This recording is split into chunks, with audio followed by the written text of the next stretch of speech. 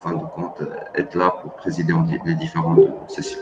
Mais ils sont là quelque part à, travers en fait la réalisation de cette, de cette conférence. Donc, euh, chaleureusement, je vous dis tous mes, mes, mes remerciements et euh, à vous la parole, c'est Brahim Merci, cher euh, Anis. Donc, euh, je ne sais pas si Abdelouad Sabré est avec nous ou bien on va commencer le, avec le professeur Moulay Othman Abou Tafaïl. Euh, on attend donc euh, Abdelouad euh, rejoint à nous. Oui. Ou bien on, on commence? Non, elle, on, on va commencer, Anna, je vais, euh, je vais checker. Hein, Je vais l'appeler. Okay. Bismillah ar-Rahman ar-Rahim. In the name of Allah, we start. Hello everyone. I am Brahim Access from Faculty of Science and Technique at Rashidia, Ismail University. I will be assisted by my colleague Professor Hassan Silkan from FSC Al Jadida, uh, Bikali University.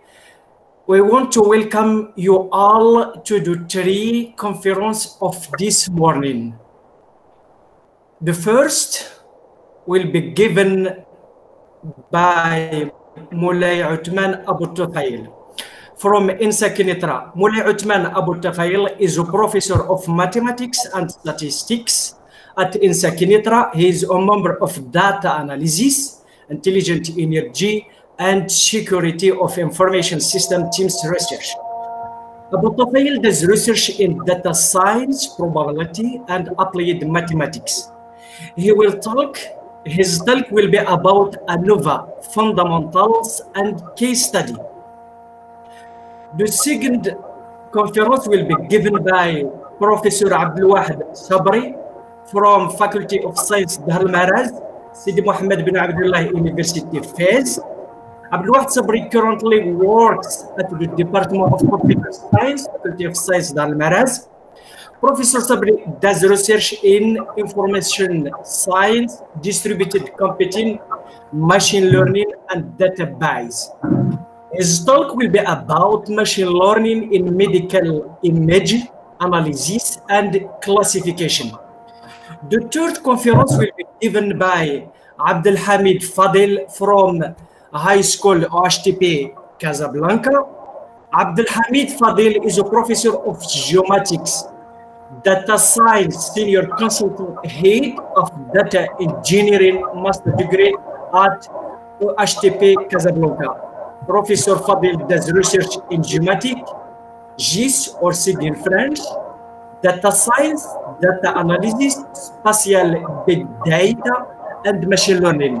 His talk will be about using of spatial big data and open earth observation data to assist natural resources like water and vegetation.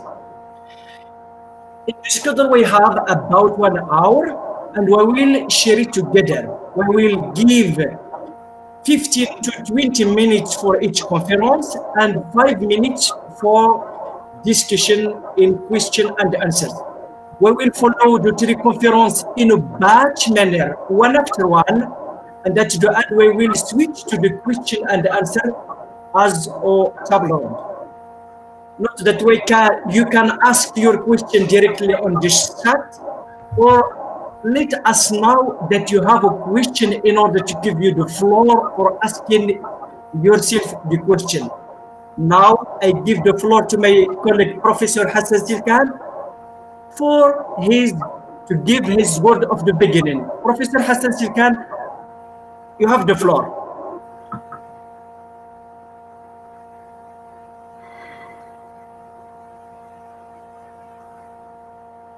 I don't know if Hassan is already with us.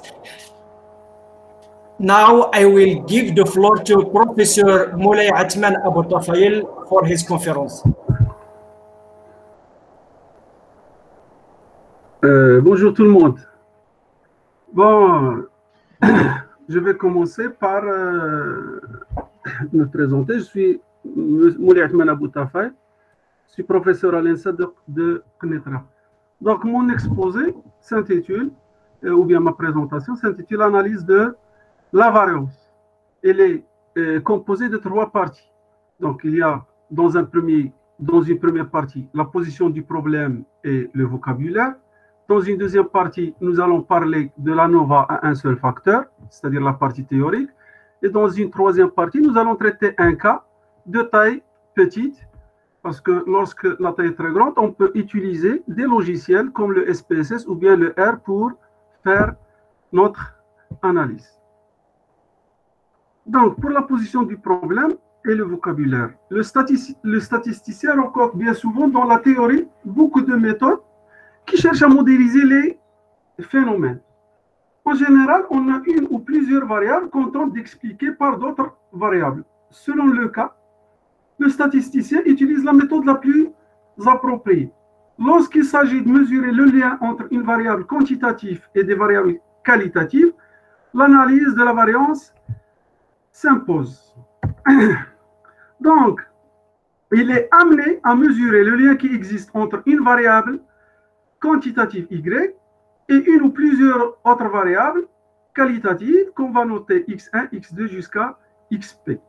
La variable y est appelée variable dépendante ou bien variable expliquée ou encore une variable de réponse. Les variables qualitatives sont les facteurs ou variables explicatives ou encore variables indépendantes. Donc, on parle d'une ANOVA à un seul facteur ou bien ANOVA 1 lorsqu'on est en présence d'un seul facteur, c'est-à-dire on veut étudier le, lien entre la variable quantitative y et une autre, euh, euh, une autre variable qualitative x ou bien x1. Mais dans le cas où on a deux facteurs, on parle d'une ANOVA, etc. Donc, qu'est-ce qu'on fait? On cherche à tester si les variables explicatives induisent un effet significatif sur la variable dépendante. Donc, l'ANOVA, c'est une extension ou bien une euh, un prolongement des tests de la moyenne. Donc, il y a le test de conformité. Le test de conformité, il sert à comparer la moyenne d'une certaine population qui est même inconnue à une certaine valeur M0 qui est fixée. Après, il y a aussi la comparaison des moyennes de deux échantillons issus de deux populations M1 et M2. On cherche à comparer est-ce que M1 égale à M2 ou bien M1 est différent de M2. Mais lorsqu'on dépasse 2, c'est-à-dire 3 et plus, donc l'ANOVA est une méthode qui sert à comparer les moyennes lorsque le nombre d'échantillons dépasse le, le 2. Donc la méthode repose sur les postulats suivants. Donc les échantillons aléatoires, ils proviennent des populations distribuées normalement, et ces populations ont la même variance. On commence l'analyse et se fait en quatre étapes. La première étape, c'est la formulation des hypothèses. Donc la formulation des hypothèses, donc soit on va supposer que M1, c'est-à-dire toutes les populations ont les mêmes moyennes, et si on rejette H0 ou on n'accepte pas H0, on va accepter l'hypothèse alternative qui est H1. Au moins, la négation de H0, c'est quoi? Au moins une des moyennes est différente des autres. La deuxième euh, étape, c'est la deuxième étape, c'est trouver le, le F observé ou bien c'est le tableau de l'analyse de la variance. Donc, euh, tout d'abord, pour trouver ou bien pour dresser le tableau de l'analyse de la variance, il faut savoir le modèle, le modèle d'analyse de la variance. Est-ce que c'est un modèle à un facteur ou bien à deux facteurs? Vu la durée, euh, je vais me consacrer ou bien je vais consacrer le temps à l'analyse de la variance à un seul facteur. Donc, là, on va à un facteur. Donc, on essaie de découvrir si un seul facteur peut expliquer ou non les variations constatées dans les observations Y et J sur la variable quantitative Y. Au départ, on dispose d'échantillons prélevés aléatoirement dans des populations normalement, comme j'ai dit, normalement distribuées et qui ont la même variance. Donc, voilà la situation, ou bien voilà notre tableau de données. Donc, il y a P1, P2, P3 et PJ ce sont les populations. Donc, on a première, deuxième, troisième et jm population. Donc, on a N1 observation sur la population P1, c'est-à-dire on a un échantillon de taille petit n1. On a N2 observation dans la population P2, c'est-à-dire un échantillon de taille N2. Même chose jusqu'à la, euh, la, population PJ, on a NJ euh, observation sur la population PJ, c'est-à-dire on a N1 et NJ euh, valeur. Donc, le T1 ici, c'est le total 1, c'est la somme des observations de la population P1. T2, c'est la somme des observations sur la population P2. T3, la somme des observations sur la population euh, P3 et TJ, c'est la somme des valeurs ou bien des observations sur la population PJ. Le Y1 bar, c'est la moyenne, c'est-à-dire c'est la somme des valeurs divisée par N1. Y2 bar, c'est la somme des YI, euh, YI2 divisé par N2. La même chose, ici, c'est la somme des valeurs TJ, YJ bar, c'est la somme des YIJ pour I allant de 1 jusqu'à NJ divisé par NJ. Et bien sûr, S1 au carré, c'est la variance de l'échantillon S2 au carré, c'est la variance de l'échantillon 2 de la, issu de la population P2. S3 au carré, c'est la variance de l'échantillon issu de la population P3. Et SJ au carré, c'est la variance de l'échantillon ici, issu de la population PJ. Donc, on note grand N, c'est la somme de toutes les tailles des échantillons. Donc, c'est N1 plus N2 plus N3 plus N J. T, c'est le grand total ou bien c'est la somme des totaux que vous avez dans le tableau. Et Y bar, c'est quoi? C'est la moyenne totale. C'est-à-dire c'est la somme de toutes les valeurs dans le tableau divisée par euh, le grand N qui est la somme des tailles des échantillons. Donc, l'analyse de la variance développée par Fischer repose sur la comparaison de deux estimateurs de la variance commune au J population normale. L'équation fondamentale de l'analyse de la variance décompose la variabilité totale, STC, la somme totale des carrés, entre les observations d'une part, due aux différences entre les modalités du facteur, et une part de la variabilité résiduelle SCE, c'est-à-dire l'erreur ici, la somme des carrés due à l'erreur. Et par suite, on a la somme totale des carrés est égale la somme euh, des carrés euh, pour, entre les facteurs, euh, entre les modalités du facteur, plus la somme des carrés due à l'erreur.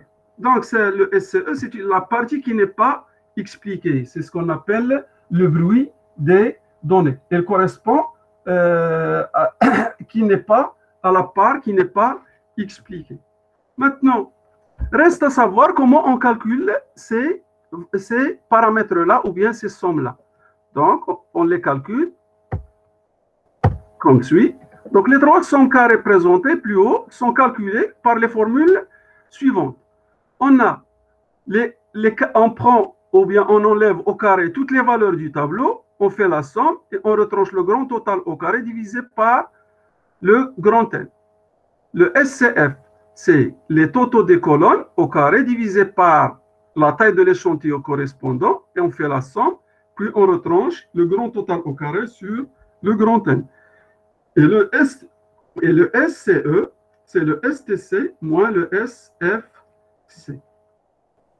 Après, on passe euh, au tableau de l'analyse de la variance. Donc, dans ce tableau-là, la valeur la plus importante, c'est le f observé qui est égal à MCE, euh, la moyenne des carrés entre les modalités des facteurs et la moyenne des carrés due à l'erreur. Donc ici, qu'est-ce qu'on met? Dans la première colonne, on met les sources de la variation, ou bien sources de, de, sources de variation. Donc il y a le facteur, il y a l'erreur, et leur somme, c'est le total. Ici, on met les sommes des carrés, SFC, SCE, SCT. Ici, les degrés de liberté. J-1, J-1, le J, c'est le nombre de modalités du facteur. Le N moins J, et la somme, c'est N moins 1. Après, dans la quatrième colonne, on a MCF qui est la moyenne. Et la moyenne, c'est quoi? C'est SFC divisé par G moins 1. Il me donne MCF. MCE égale à SCE divisé par N moins J. Et bien sûr, le F0, c'est MCF sur MCE. Donc maintenant, reste à savoir, c'est la quatrième partie, ou bien la, troisième partie, c'est comment on va interpréter le résultat obtenu. Donc, quand est-ce qu'on va accepter H0 et quand est-ce qu'on va le rejeter? Lorsque H0 est vrai, le rapport, c'est-à-dire ce rapport-là, F0, il, va, il obéit à une loi de Fischer avec des degrés de liberté G-1 et N-1 Donc, quand est-ce qu'on va rejeter le H0 C'est-à-dire, quand est-ce qu'on va dire qu'il existe au moins une des moyennes qui est différente des autres? Lorsque le MCF sur MCE est plus grand que la valeur critique qu'on va chercher dans la table de la loi de Fischer, bien sûr, avec le risque, euh, avec le risque fixé. Bien sûr, le alpha ici, c'est le risque, parce que dans toute, euh, analyse, il y a un risque d'erreur. Et le alpha ici, c'est le risque de conclure à une différence significative entre les moyennes, alors qu'en réalité, il n'y en a pas. C'est-à-dire quoi? C'est-à-dire c'est le risque de rejeter H0 alors qu'il est vrai. Donc ce risque-là, il nous aide, euh, c'est-à-dire à l'aide de ce risque-là, on va chercher dans la table de de Fischer, bien sûr, un moins alpha, la valeur critique. Donc, si le, f observé est supérieur à, cette valeur critique, on rejette H0 et on accepte H1, c'est-à-dire on, va dire qu'il existe au moins une des moyennes qui est différente des autres. Mais s'il est inférieur à cette valeur critique, on dit qu'on a qu'on accepte H0 et par suite, on a toutes les moyennes sont égales. Donc, nous allons illustrer ça sur un petit exemple, bien sûr, de taille petite. Comme ça, on va voir ce qui se passe. Car sinon, on peut faire appel à, à des logiciels qui nous aident à faire tous ces calculs-là et toute cette analyse-là pour nous donner le tableau de la NOVA. Donc, on va essayer de lire l'énoncé. Un investisseur étranger songe à implanter une nouvelle usine au Maroc Selon son point de vue, le critère le plus important à prendre en considération pour déterminer l'emplacement de cette nouvelle usine est l'assiduité au travail des ouvriers.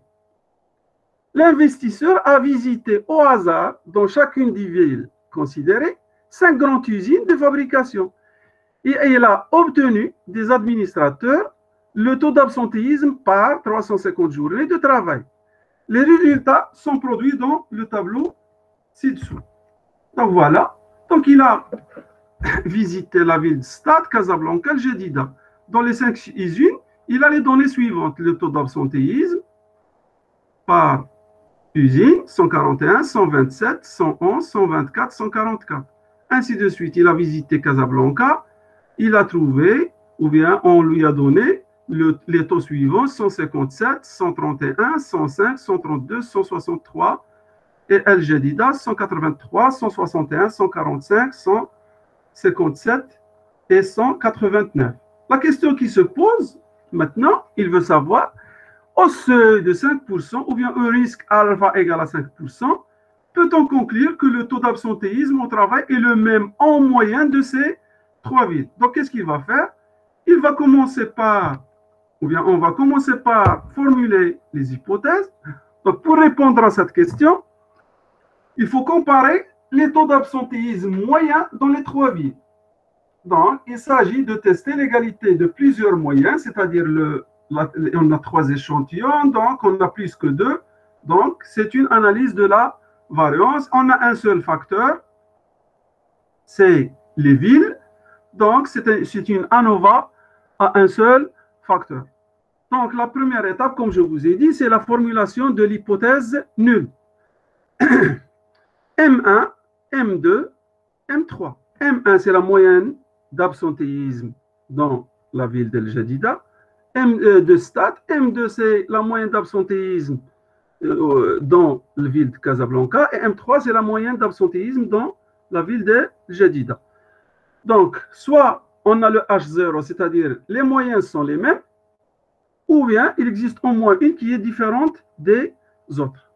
Donc, comment on calcule le STC Comme j'ai dit, on va sommer les carrés de toutes les valeurs du tableau, c'est-à-dire on va prendre 141 au carré, plus 127 au carré, plus 111 au carré, jusqu'à 189 au carré. Et après, on va retrancher le grand total au carré divisé par le nombre de valeurs. Bien sûr, dans le tableau, vous avez 5, 5, 5. C'est-à-dire, vous avez le grand N, c'est 15. Et on a le T1, le T1, 647. 647, c'est la somme, c'est le grand total de la première ligne. T2, c'est tota-, le total de la deuxième ligne. Et T3, c'est le total de la troisième ligne. Et le grand T, c'est T1 plus T2 plus T3. Donc T1 au carré divisé par le nombre de valeurs dans la ligne 1, c'est 5. T2 au carré divisé par le nombre de valeurs de la ligne 2. T3 au carré divisé par le nombre de valeurs dans la ligne 3 et moins le grand total, c'est-à-dire T1 plus T2 plus T3 au carré divisé par le nombre de valeurs. On a ces deux valeurs-là. Et bien sûr, SCE est égal à STC moins SCF qui est égal à 8149,33 moins 3908,93. On trouve que c'est 4240,4. Ce qui permet de construire le tableau de l'analyse de la variance, c'est-à-dire ce tableau-là. Donc, on va mettre chaque chose à sa place. On a le tableau suivant. Donc voilà le SCF, SCE et STC. Les degrés de liberté G-3, c'est-à-dire 3 moins 1, parce qu'on a trois modalités. N moins J, 15 moins 3. Et ici, bien sûr, le total, c'est 14. Ici, la moyenne des carrés, c'est 3908 divisé par 2. 4240,4 divisé par 12. Et le F observé, c'est quoi? C'est SMCF divisé par MCE, on a le F observé. Donc, maintenant, on va passer à chercher la valeur critique. La valeur critique, on va la chercher dans la table de Fischer. Donc ici, qu'est-ce qu'on a? On a les degrés de liberté de 12. Donc le premier degré de liberté, c'est 2. Le deuxième degré de liberté, c'est 12. Donc la valeur critique de, Fischer est f 1 moins alpha, j moins 1, n moins j. Donc c'est f 0,95 de 12. Donc on trouve 3,89. Donc comment on, a trouvé cette valeur? On, va chercher dans la table de la loi, euh, la, table de la loi de Fischer, et on va trouver que c'est 3,89. Donc le f observé dans la table, dans le tableau, il est supérieur à 3,89 qui est la valeur critique. Donc qu'est-ce qu'on va, euh, qu'est-ce qu'on va conclure? Donc on va rejeter H0 et on accepte l'hypothèse alternative H1. Donc on ne peut pas conclure que l'assiduité des travailleurs à leur travail est la même en moyenne dans ces trois villes. Et c'est ainsi que prend fin ma présentation. J'espère que j'étais bien clair dans mon exposé. Merci pour votre attention. Euh, merci, cher euh, professeur Moulay Othman Aboutafaïl, donc pour votre euh, présentation claire donc, et pertinente donc, sur l'étude et l'analyse de la variance pour savoir, pour accepter ou rejeter une hypothèse. Donc, je salue notre collègue Mohamed Adnan qui rejoint nous, donc il va nous aider à, donc, à présider cette session. Donc, euh, euh, si vous voulez, on va passer tout de suite pour la deuxième conférence qui va être animée par le professeur Abdelouahd Sabri. Abdelouahd Sabri, vous avez la parole et on va s'enchaîner à la fin vers la table de ronde pour la discussion.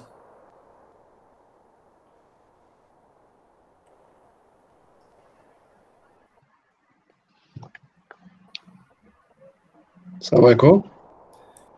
ورحمة الله آه كي دايرين الله يبارك فيك دونك جو ديمار ياك كيما كيقولوا لو بلاطو اي تا موا لو بلاطو اي افو اصبري صباح النور صباح الخير سيدي انيس تحياتي تحياتي دونك جو كومونس لو لو بارت نعم سيدي انيس لا لا فو كومونسي سي صبري سي عثمان خليك معنا لا ديسكسيون خليهم حتى لا فان دي بريزونطاسيون ديال لي ديفيرون كوليك داكور Merci beaucoup, Assia.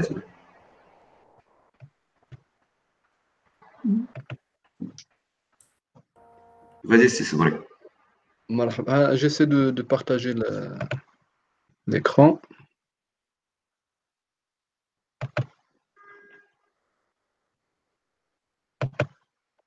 Ah, j'avais une question. Yes, we will switch to the question at the end of the three conferences. The second conference will start now, and after we will switch to the question and answers.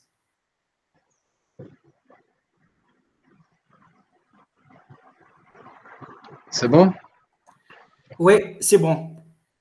D'accord. Donc, je me présente. Donc, je suis professeur Sabra Abdelwahad, professeur à la faculté des sciences d'Arl Mahrez de Fès, Université Sidi Mohamed Abdillah. Euh, avant de commencer, je tiens à remercier le comité d'organisation pour m'avoir invité à partager avec vous nos travaux de recherche scientifique. Euh, je les félicite pour la qualité de l'organisation et, surtout que c'est en ligne. Bien sûr, euh, comme on le sait tous, c'est dû au Covid-19.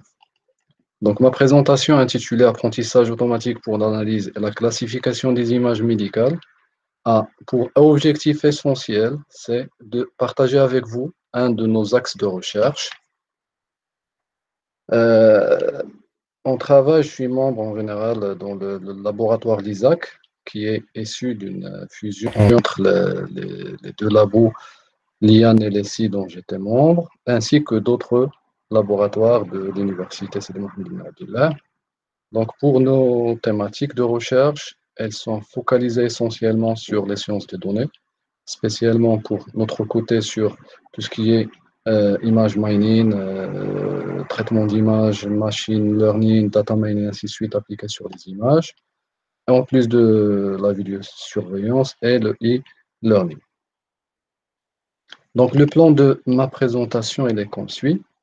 Je vais commencer par une petite introduction sur l'application euh, de l'apprentissage automatique de machine learning en imagerie médicale.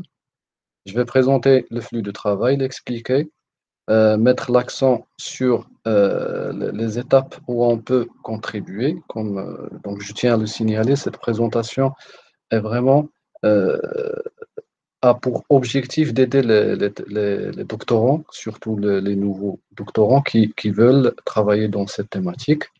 Je vais donner euh, un exemple d'application, c'est l'exemple sur lequel on travaille, c'est la, classification des lésions cutanées, c'est-à-dire les lésions de la peau, euh, en euh, deux classes, soit mélanome ou bien non mélanome, c'est-à-dire une tumeur bénigne ou bien maligne. Donc, avant l'apprentissage automatique, c'est-à-dire avant la vague de, du machine learning, surtout dans la partie euh, application dans l'imagerie, que ce soit médicale ou autre, Donc, il y avait euh, ce qu'on appelle le CBR. CBR, c'est pour Content Based Information Retrieval, qui consiste à chercher, donc l'objectif final, c'est de chercher pour l'image requête les images les plus similaires dans une base d'images. Donc là, dans le schéma présenté ou bien dans le flux présenté ici, on va voir euh, que c'est presque, presque le même schéma que utilise l'apprentissage automatique, sachant que le machine learning, data mining ne sont pas euh, récents, sont très anciens, mais euh, dû au problème de, matériel, euh, c'est jusqu'à aux années 2000 que ils ont vu l'émergence. D'accord, donc le CBR procède en deux modes. On a le mode offline et le mode online. Donc offline, on l'appelle indexation, c'est-à-dire dans les années 90, 2000, ainsi de suite.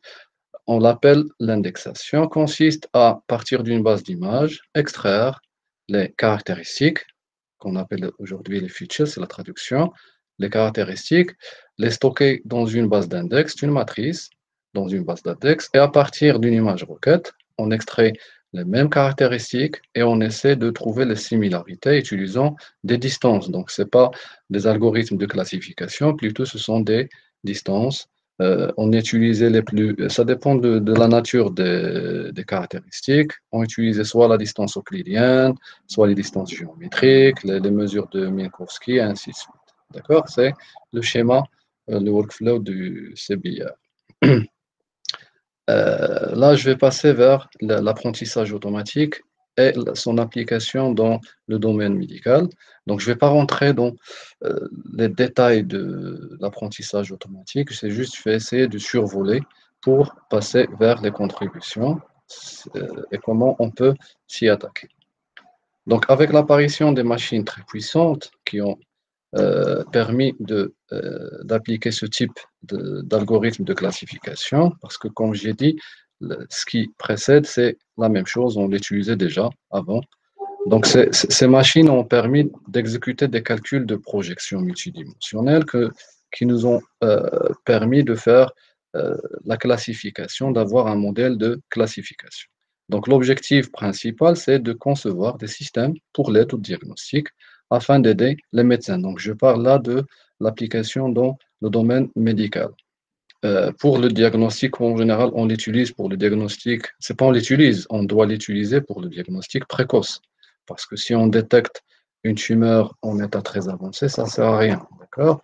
Euh, euh, je ne sais pas si vous avez entendu parler de l'application de, des algorithmes de machine learning et surtout de deep learning pour le diagnostic de COVID-19. C'est le même principe euh, de ce qu'on va présenter ici. Donc, comment on peut faire un apprentissage automatique dédié à, aux images et aux imageries médicales? Donc, on a besoin d'une base, euh, d'une base d'images qui va être utilisée par un classifieur pour euh, à la fin permettre de classer ou bien classifier une nouvelle image, euh, classifier correctement une nouvelle image, ou bien prédire l'évolution d'une maladie, parce qu'on peut l'utiliser pour la classification, c'est-à-dire identifier l'étiquette d'une nouvelle image, comme on peut l'utiliser euh, pour la, prédiction de l'évolution, si on veut chercher est-ce que je sais pas, la, la maladie évolue ou donc, pour les domaines d'application, ils sont euh, très larges. D'accord? Je vais commencer par euh, l'aide au diagnostic ou bien le diagnostic précoce du cancer, soit de la peau, euh, du poumon, mesurer et prédire le risque de certaines anomalies cardiovasculaires, aider au diagnostic des maladies comme l'Alzheimer, le Parkinson. en général, c'est pour le. C'est-à-dire la détection précoce, parce qu'on sait bien, les études très récentes ont montré que l'Alzheimer et euh, le Parkinson euh, peuvent être détectés des années avant leurs apparitions. On peut c'est appliqué aussi dans l'ophtalmologie. Généralement, on définit trois types d'algorithmes d'apprentissage. Ce sont les, types de base. On parle de l'apprentissage euh, supervisé. D'accord On va l'utiliser ici dans la classification. On parle de l'apprentissage non supervisé. On l'utilise donc toujours dans le. Je me projette dans le cas d'imagerie. Euh, on l'utilise pour la segmentation et l'apprentissage par renforcement. Il y a d'autres apprentissages. Donc, euh, si vous cherchez sur Internet, vous allez trouver, euh, je pense qu'il y en a presque, dans le 14 autres types d'apprentissage qui sont hybrides, qui utilisent donc des notions statistiques, ainsi de suite. Donc, le, le, flux de travail de l'apprentissage euh, automatique supervisé est le suivant.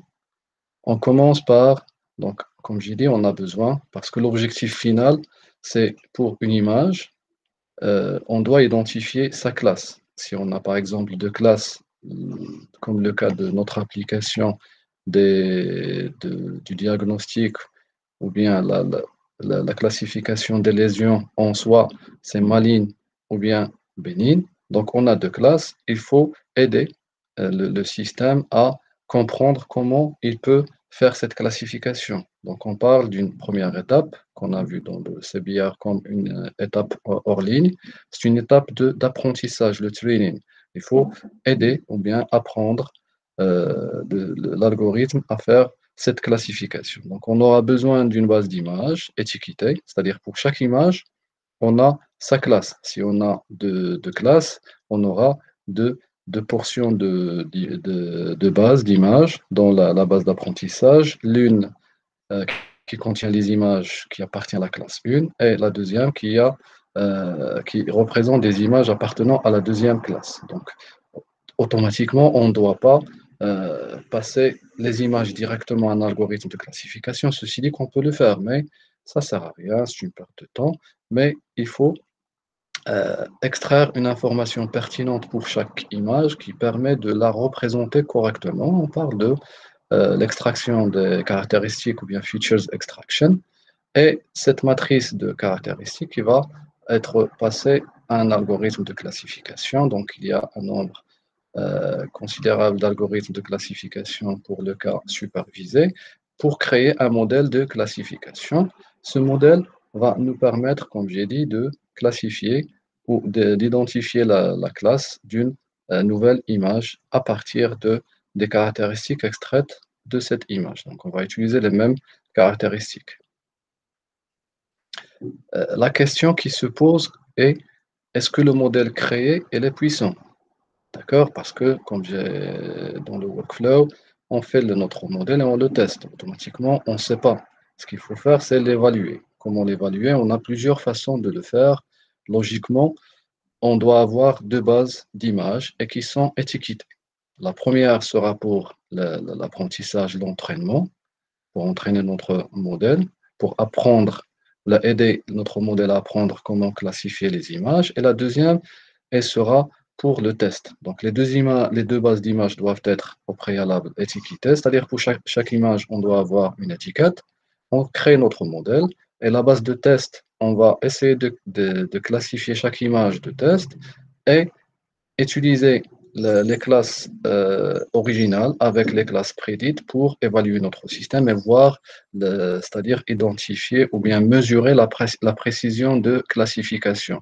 Si c'est une précision qui est acceptable, c'est bon, on passe à la phase de déploiement et de test. Sinon, il faut penser à euh, améliorer notre, notre modèle de classification. Comment on va l'améliorer? Donc, par la suite, je vais vous montrer comment nous, dans notre équipe de recherche, nous avons procédé pour améliorer euh, ce modèle de classification. D'accord?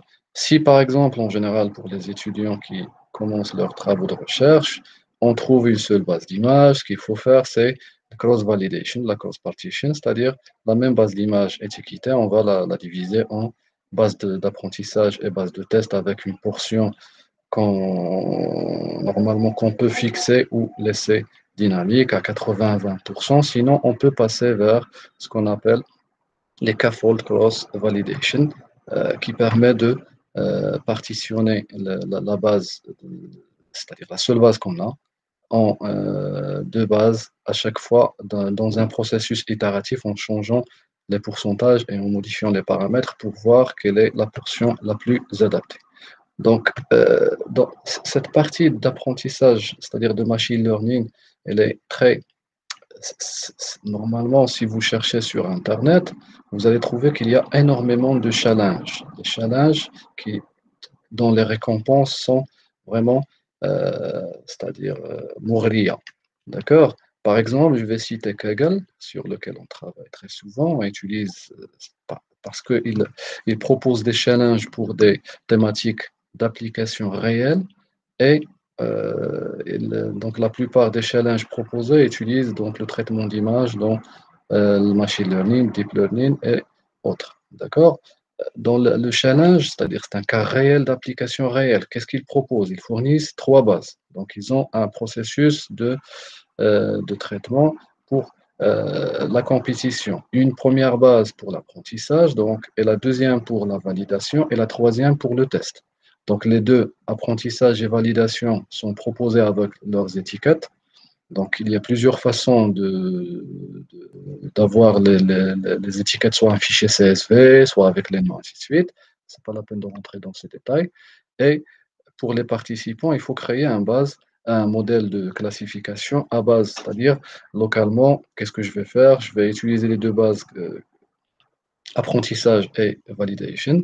Et entraîner mon modèle, euh, vérifier, évaluer mon modèle à faire à mesure, apporter les modifications nécessaires pour euh, l'améliorer.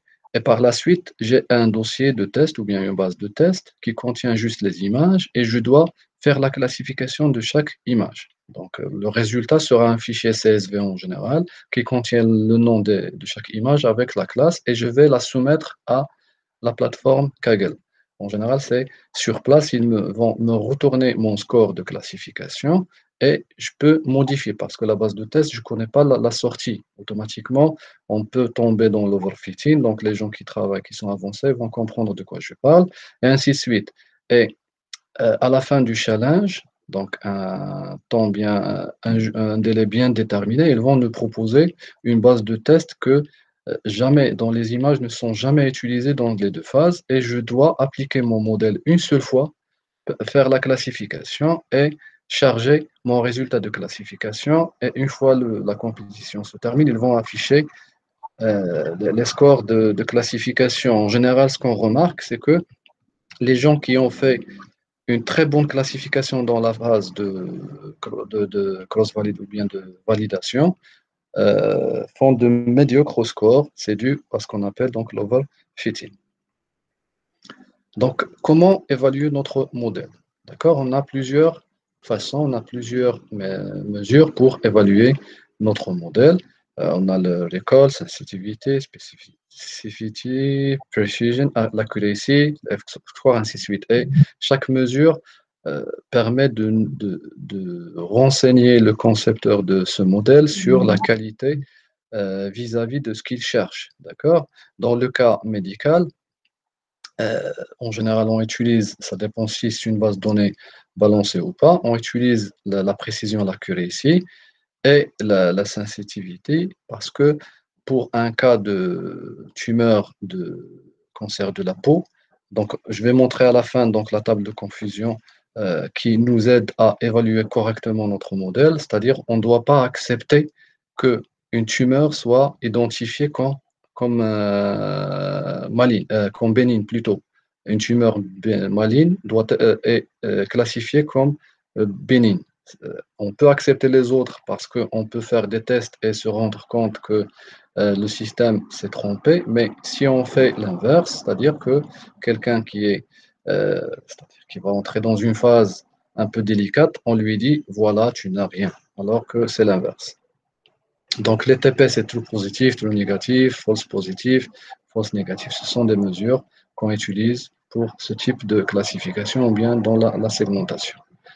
Donc là, je vais partager avec vous nos travaux de recherche. Je vais me focaliser sur l'application de l'apprentissage automatique c'est toujours dans la classification des images médicales, mais là, je vais rentrer dans ce qu'on fait dans notre laboratoire, euh, c'est-à-dire la classification des lésions cutanées.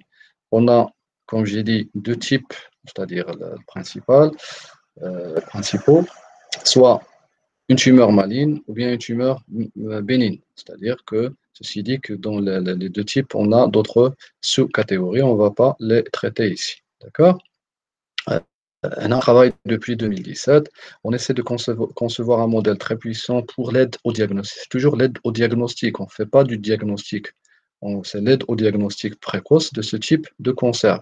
Vous allez voir que ce qu'on fait peut être appliqué dans n'importe quel euh, type d'imagerie médicale. Ce qui change, c'est euh, les informations à utiliser qui doivent être euh, personnalisées pour chaque application. Donc, pour les datasets, les bases d'images sur lesquelles on travaille, on a deux types. D'accord? Nous, on travaille sur deux types. On a une, ce qu'on appelle donc une base APH2 de 200 images, c'est-à-dire une base de petite taille et une grande base, ESIC, qui est un challenge très connu dans la classification des lésions de la peau, qui est de 2000 images. Pourquoi ce choix? C'est pour euh, voir notre, c'est-à-dire comment se comporte notre système avec, dans le cas de petite base et dans le cas de grande base, sachant que par la suite, je vais expliquer pourquoi le choix des petites et grandes. Donc, pour contribuer dans ce type d'application, là, ce type de problématique, nous avons trois parties. Les trois parties, je les ai listées ici. On a une base d'image avec les étiquettes et on a les étapes qui suivent pour avoir un modèle d'apprentissage. Donc, on peut contribuer dans la partie pré-traitement. Pourquoi? Parce que dans chaque traitement, que ce soit les lésions ou autres, on doit identifier une zone d'intérêt c'est-à-dire la région d'intérêt. Pour notre cas, c'est la lésion. Si on arrive à bien la détecter, à bien segmenter notre image, la suite va être vraiment, euh, c'est pas facile, mais va être pertinente. D'accord? Et ce type d'image, dans n'importe quelle image euh, médicale, d'ailleurs n'importe quelle image naturelle, on trouve qu'il y a du bruit et la segmentation, elle est très difficile. Et pour le faire, nous avons commencé par aider à, euh, c'est-à-dire proposer des, des, méthodes pour aider la segmentation par un pré-traitement. C'est pour l'objectif, comme j'ai dit, faciliter la segmentation pour identifier sans erreur la lésion. Euh, par la suite, on peut, c'est-à-dire contribuer dans la partie Features Engineering qui consiste à l'extraction, quelles caractéristiques on va utiliser, est-ce que la couleur, est-ce que la texture, ainsi de suite. Euh, et chaque chaque type d'application a ses particularités. La normalisation et ce qui nous, la, contribution dans cette partie essentielle, c'est proposer de, nouvelles, de nouveaux descripteurs et euh, essayer de chercher quelles sont les caractéristiques les plus pertinentes, parce qu'on va voir par la suite qu'on peut avoir un nombre très élevé de caractéristiques, mais est-ce que toutes ces caractéristiques sont euh, bénéfiques ou bien sont pertinentes? Et à la fin, on peut contribuer dans l'algorithme de classification. À vrai dire, euh, dans l'algorithme de classification, on ne fait que euh, choisir, sauf si quelqu'un peut, c'est-à-dire qu'il y a un bagage mathématique et statistique qui peut proposer un nouveau algorithme de classification. Et ce n'est pas notre cas. Donc ici, j'ai présenté un petit exemple de segmentation directe sur les, images de nos bases. Donc on voit bien que la segmentation directe ne permet pas Euh, c'est-à-dire d'identifier correctement les lésions. Euh, j'ai dans la, première euh, colonne mis le, terrain vérité pour faire la comparaison visuelle et on peut faire l'évaluation utilisant donc les TF ainsi de suite. Donc ce que nous avons proposé en premier lieu, c'est de faire un pré-traitement.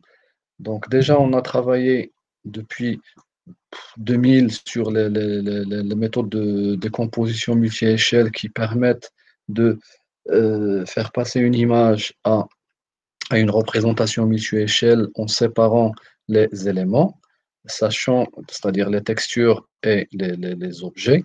Euh, il y a la BMD, le DP, Fourier, ainsi de suite. Donc là, nous avons choisi d'utiliser un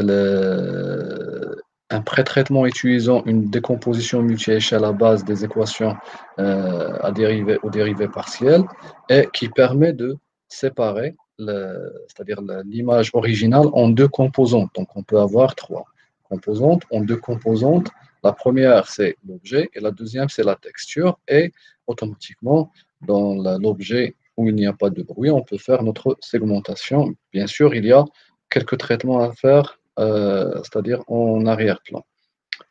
Donc cette, proposition nous a permis de faire, c'est-à-dire d'avoir un taux de segmentation qui est très très très acceptable et on a pu avec les algorithmes traditionnels de faire d'identifier notre région d'intérêt. Donc une fois euh, nous, avons, nous, avons pu identifier la lésion avec la segmentation parce que dans le masque de segmentation, on peut retourner facilement vers identifier la, lésion et la peau, c'est-à-dire les isoler en deux parties séparées. Donc la deuxième partie, une fois, si on ne peut pas identifier la lésion correctement, donc le, reste, c'est-à-dire les, caractéristiques, ne seront pas, euh, c'est-à-dire pertinentes. Donc l'étape suivante, qui est l'ingénierie de caractéristiques, en général, premièrement, il faut extraire les caractéristiques. Comment on a pu les faire euh, euh, D'après les études, c'est-à-dire les, recherches bibliographiques, il y avait ce qu'on appelle les règles ABCD que les dermatologues utilisent. Euh, pour, parce qu'un dermatologue, dermato, avec son dermoscope, il peut facilement identifier si la lésion est bénigne ou maligne. Et après, si c'est maligne, il faut passer au autres tests pour euh, confirmer ce, diagnostic. Donc l'ABCD pour la symétrie, les bords, la couleur et le diamètre de la lésion. Donc il y a d'autres euh, règles qui ont été proposées par la suite et nous, de notre, notre part, on a pu proposer d'autres caractéristiques qui ont pu, c'est-à-dire rendre le système, de, le modèle de classification très puissant. Euh, dans un premier temps, utilisant, se basant sur les règles ABCD utilisées par les dermatologues, nous avons extrait 342 828 caractéristiques pour euh, la faire passer à un algorithme de classification utilisant seulement la texture et la couleur. Ce qu'on a fait, parce que c'est le, début, ce qu'on a fait, c'est essayer d'identifier le maximum possible de caractéristiques qui, nous, qui peuvent euh, qu'on peut utiliser dans la, phase d'apprentissage. Donc ce nombre très élevé euh, nous a poussé à poser la question, est-ce que toutes ces caractéristiques sont relevantes, sachant que ce nombre très élevé va euh, induire ou va inclure un, temps de classification qui est très élevé. C'est pourquoi nous avons pensé à procéder à ce qu'on appelle donc la sélection des caractéristiques, chercher des algorithmes qui vont nous permettre de dire quelles sont les caractéristiques entre ce nombre élevé de, caractéristiques qui est le, plus pertinent? Donc, nous avons étudié quatre algorithmes de sélection et vous allez voir que euh, tous ces algorithmes permettent de réduire d'une manière très remarquable le nombre de caractéristiques à utiliser. Là, on opte sur le relief qui nous a donné un très bon euh, score de, en nombre de caractéristiques qui a permis de réduire le nombre à 5, c'est-à-dire à partir du nombre très élevé, il nous dit, l'algorithme, que seulement 5 euh, peut-être peut faire l'affaire, et tout en, améliorant la précision de la classification, parce que si on euh, fournit un nombre élevé à un classifieur, il va peiner à faire la classification correctement, mais à 5, ça sera très facile.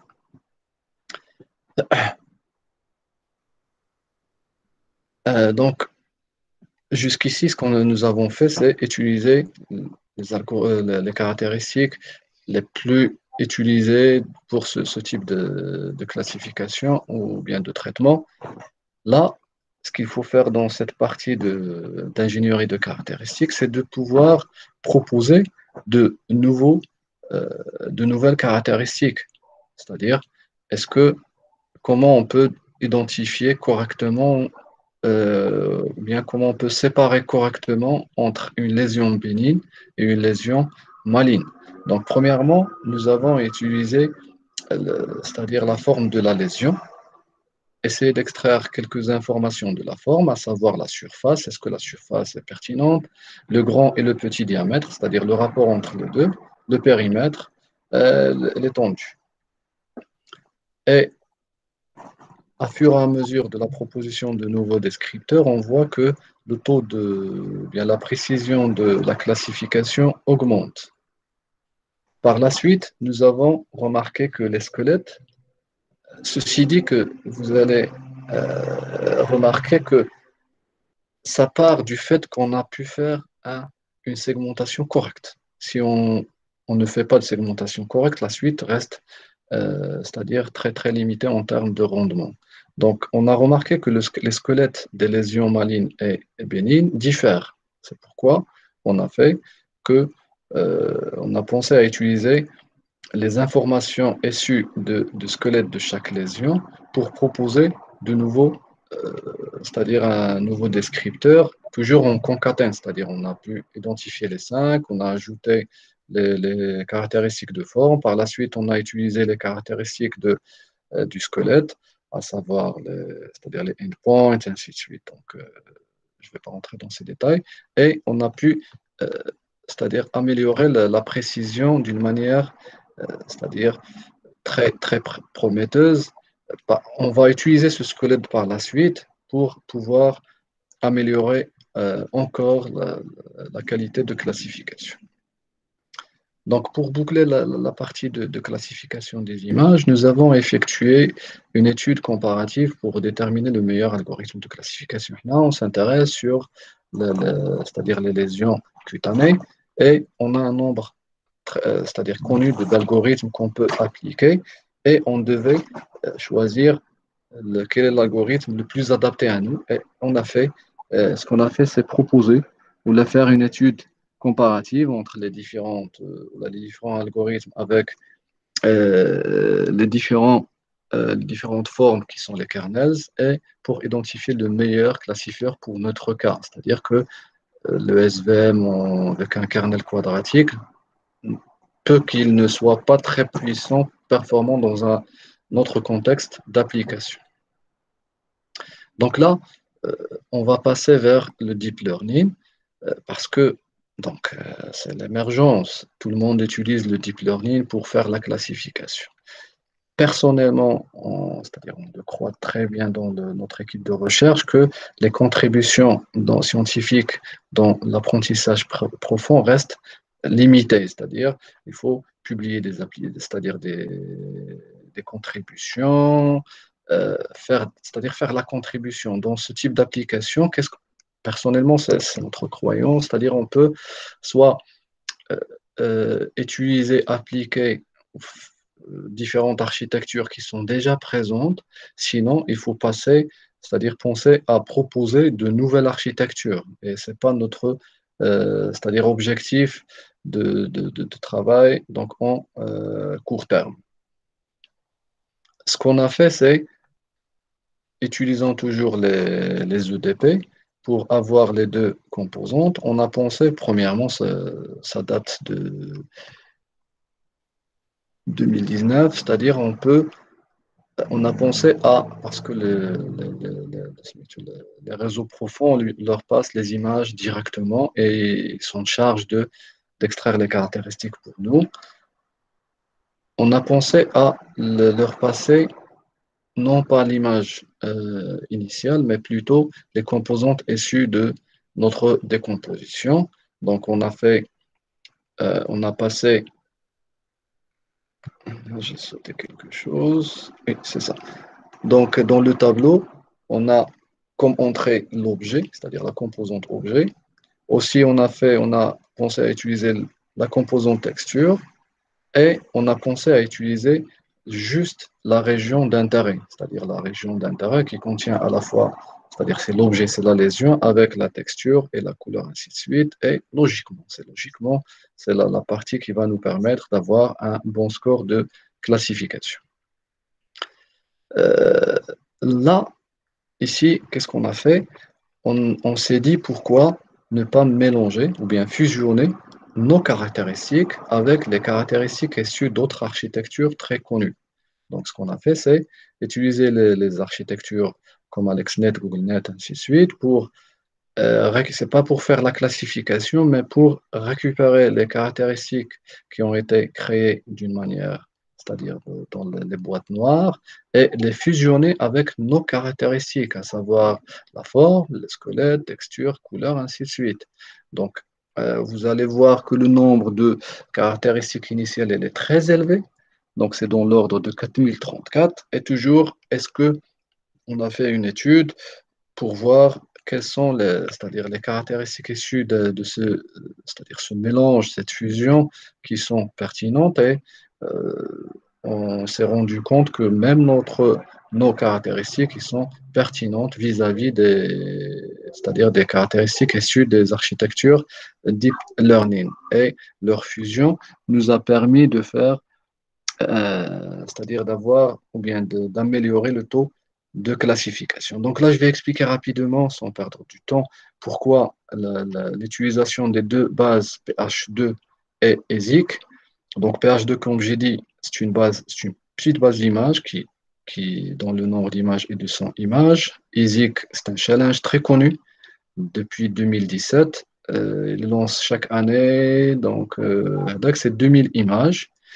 Euh, donc, automatiquement, euh, le deep learning est très performant si on lui propose un nombre élevé de bases d'apprentissage.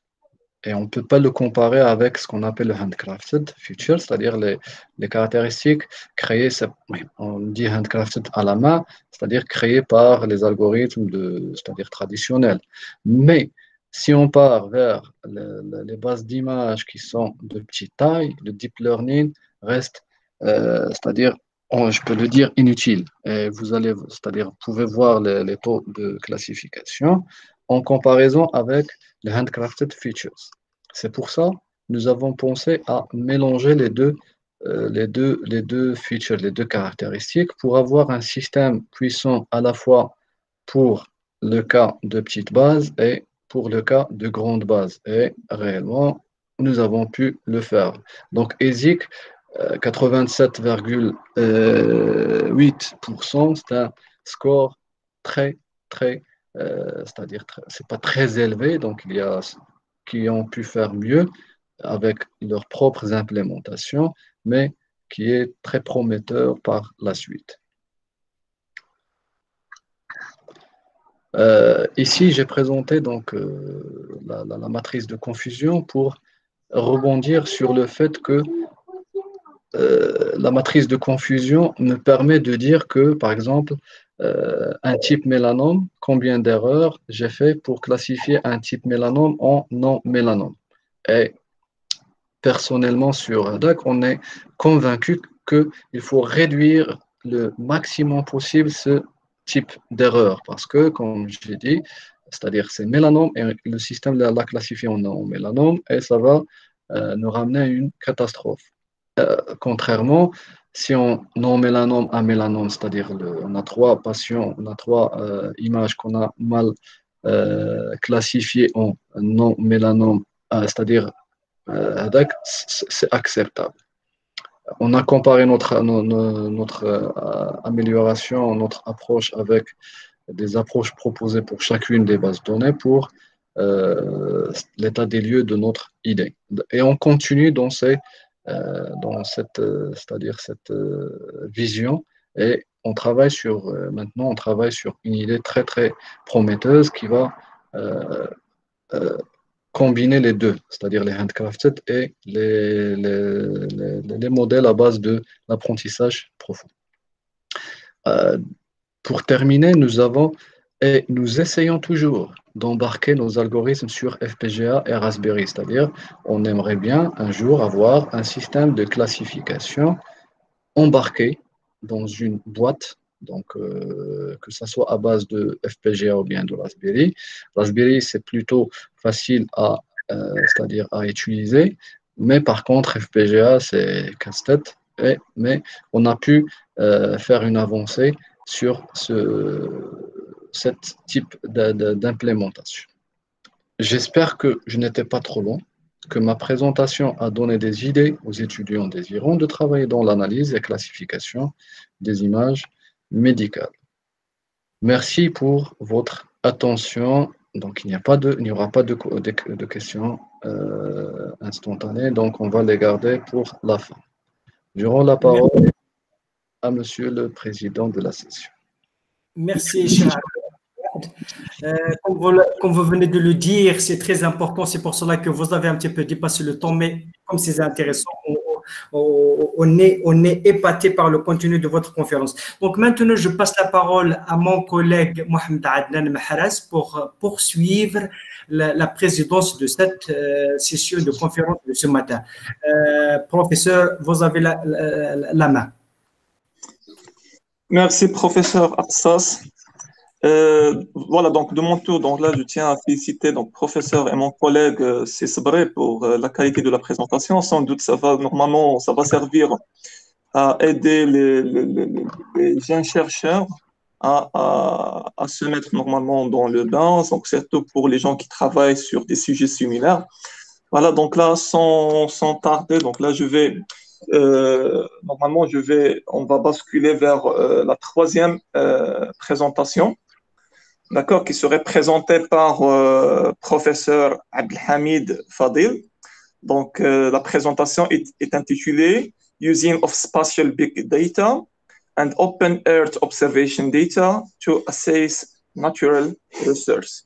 Donc, professeur Abdelhamid, à vous la parole. Assalamu alaikum, bonjour tout le monde. Hello everyone. Donc voilà, je vais essayer de de partager mon écran. Je ne sais pas si vous voyez mon écran. Pas encore. Pas encore Oui. C'est bon, euh, juste euh, Selim, que vous avez partagé euh, l'écran entier. Donc d'abord, on est en train de voir euh, l'interface euh, l'interface web. Donc il a quand la présentation juste à côté, relancer à chaque fois. D'accord, d'accord. OK. D'abord, c'est pas arrêter la, la présentation. Oui. Voilà, je vais reprendre la présentation.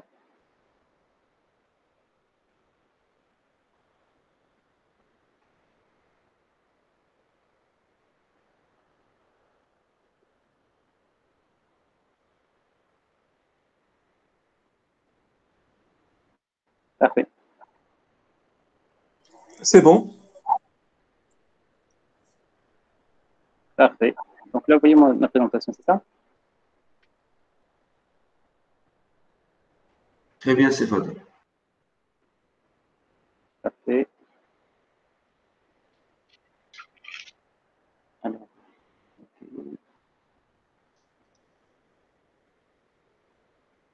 Voilà, donc euh, bonjour tout le monde. Euh, c'est un honneur à moi de présenter, dans, présenter ma conférence dans cette euh, conférence organique que je tiens à saluer et remercier et féliciter également les organisateurs pour la qualité de la conférence et la richesse des présentations qui ont été faites tout au long de cette conférence-là.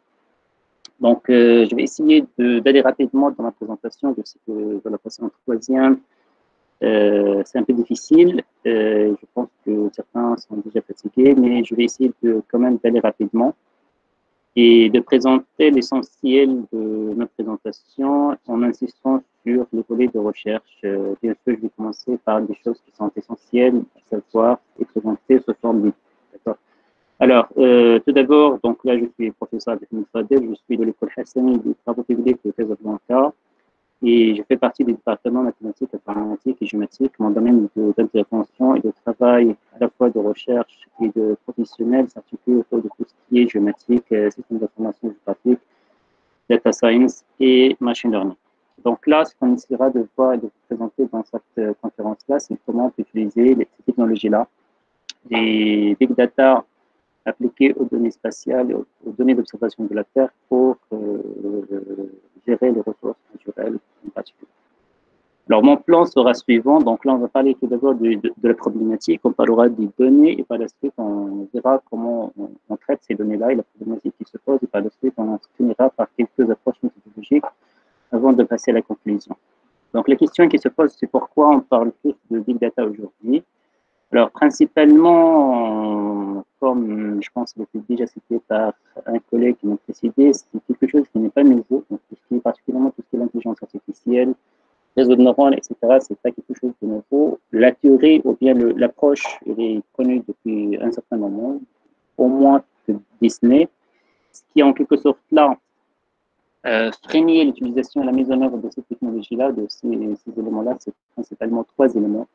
La première chose, c'est le stockage de, la donnée. Le deuxième, c'est le traitement de la donnée, les capacités de traitement de la donnée. Et le troisième facteur, c'est les données. Tout simplement, on n'a pas les moyens pour traiter les données, on n'a pas les données pour, en faire l'entraînement le training de, des modèles. Rapidement, là, c'est des choses sur lesquelles je ne vais pas trop tarder. Donc là, vous voyez sur ce schéma-là, il y a une évolution technologique euh, et matérielle qui est assez rapide, là, qui a fait que aujourd'hui, on assiste à une chute libre du coût de stockage et de livraison des données. Et donc là, aujourd'hui, ce n'est plus un problème de stocker de la donnée, également au niveau de la mémoire. Également, on assiste à une euh, montée flagrante et exceptionnelle des moyens de calcul. Dans ce sens là, avec l'invention de différents types de calculateurs, de supercalculateurs, on arrivons aujourd'hui au cloud computing. Sur la question de la data, aujourd'hui, euh, dans le passé, on parlait de la rareté de données. Aujourd'hui, on est passé en quelque sorte vers une deuxième problématique qui est l'abondance de la donnée. Là, ce que vous voyez sur cette figure-là, c'est que en une seule minute, on arrive à produire des millions et des milliards en quelque sorte de la donnée de toute nature, qu'elle soit sur les réseaux sociaux, sur les données géographiques, euh, trafic de GPS, téléphone portable, sur achat, etc. Donc là, on est arrivé à un morceau sur de la donnée, sur bien sûr, pour tirer profit de cette donnée-là, il faut avoir les moyens pour la traiter, pour la valoriser. Là, aujourd'hui, on estime que euh, la quantité de la donnée mondiale est le double chaque deux ans. Donc, on est arrivé à un moment, on parle de la data comme le pétrole du jour. Donc là, j'essaie d'aller rapidement pour tout simplement essayer de caser une présentation dans le temps alloué. Et là, on passe à la problématique ou bien à la data. Euh, c'est bon? Euh, Vous m'entendez? Il n'y a pas de problème? C'est bon, c'est bon, vous pouvez continuer. Parfait, parfait. Hmm. Juste euh, pour m'assurer, parce que là, on, on, on, est en ligne, à un certain moment, on se pose la question est-ce qu'il y a quelqu'un de l'autre côté? C'est bon, merci. Voilà, donc là, très clair, c'est. Pardon, merci. Donc là, euh, passons à la donnée spatiale et particulièrement la donnée d'observation de la Terre. Alors, euh, ça, c'est quelque chose qui est très connu. Tout le monde qui, qui a travaillé sur ces données-là, il, toujours, il soulève toujours le problème de la donnée comme le principal euh, des enfreins pour le développement d'applications et des choses dans ce domaine-là. Et donc là, on parlait toujours de problèmes d'accès à la donnée, de problèmes de disponibilité de la donnée, etc.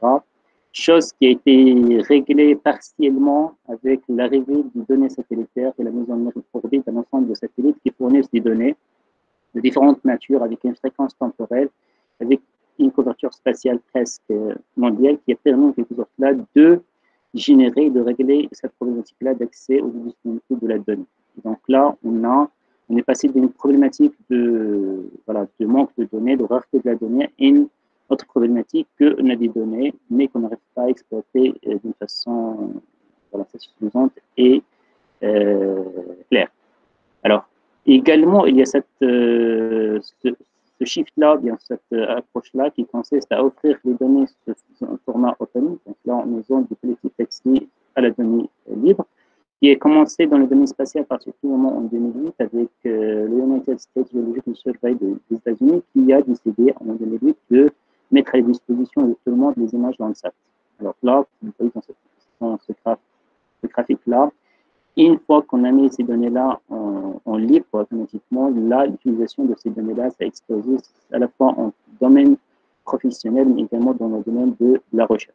Donc là, c'est à partir de ce moment-là qu'on a mis en place un ensemble de plateformes pour traiter ces données-là à différents utilisateurs. Donc là, ça a commencé avec les États-Unis, par la suite euh, l'Europe va suivre en quelque sorte là la même approche avec l'arrivée en quelque sorte d'un ensemble de satellites, particulièrement le Sentinel, pour lesquels presque toutes les données sont disponibles sur, Internet et par la suite un ensemble de privés qui travaillent dans la donnée, bien qui opèrent dans la donnée spatiale, qui ont des satellites, ont suivre là la même approche comme l'Inde, le Brésil et on assiste euh, dernièrement à l'arrivée en force la Chine qui a mis en orbite un ensemble de satellites qui commence elle-même à fournir des images satellites sur, sur Internet euh, gratuitement.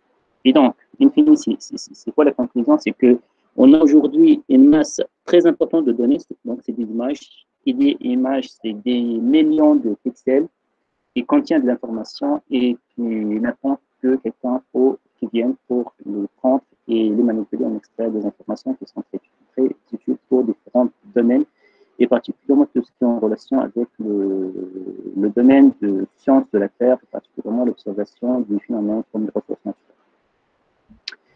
Donc voilà, c'est là où on peut dire que le big data dans le domaine spatial et dans le domaine des sciences de la Terre a commencé. Et donc la question qui se pose par la suite, c'est comment peut-on euh, faire le traitement, comment peut-on faire le processus de ces données gigantesques?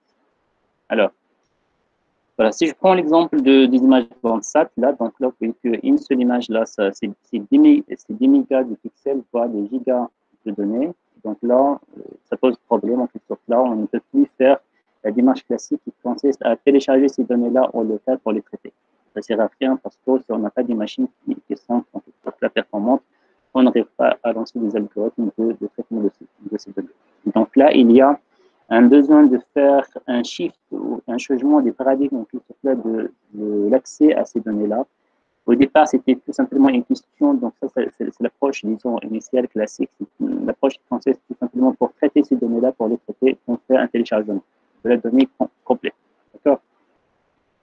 Donc, avec le développement, bien sûr, technologique, et également du système d'information géographique, et particulièrement de la partie web GIS, est en relation avec les sites sur, sur le web, on est arrivé à mettre en place des middleware, des softwares, des softwares intermédiaires qui permettent en quelque sorte là, au lieu de télécharger les données, de faire un traitement sur le, le milieu et par la suite, ça juste l'information utile.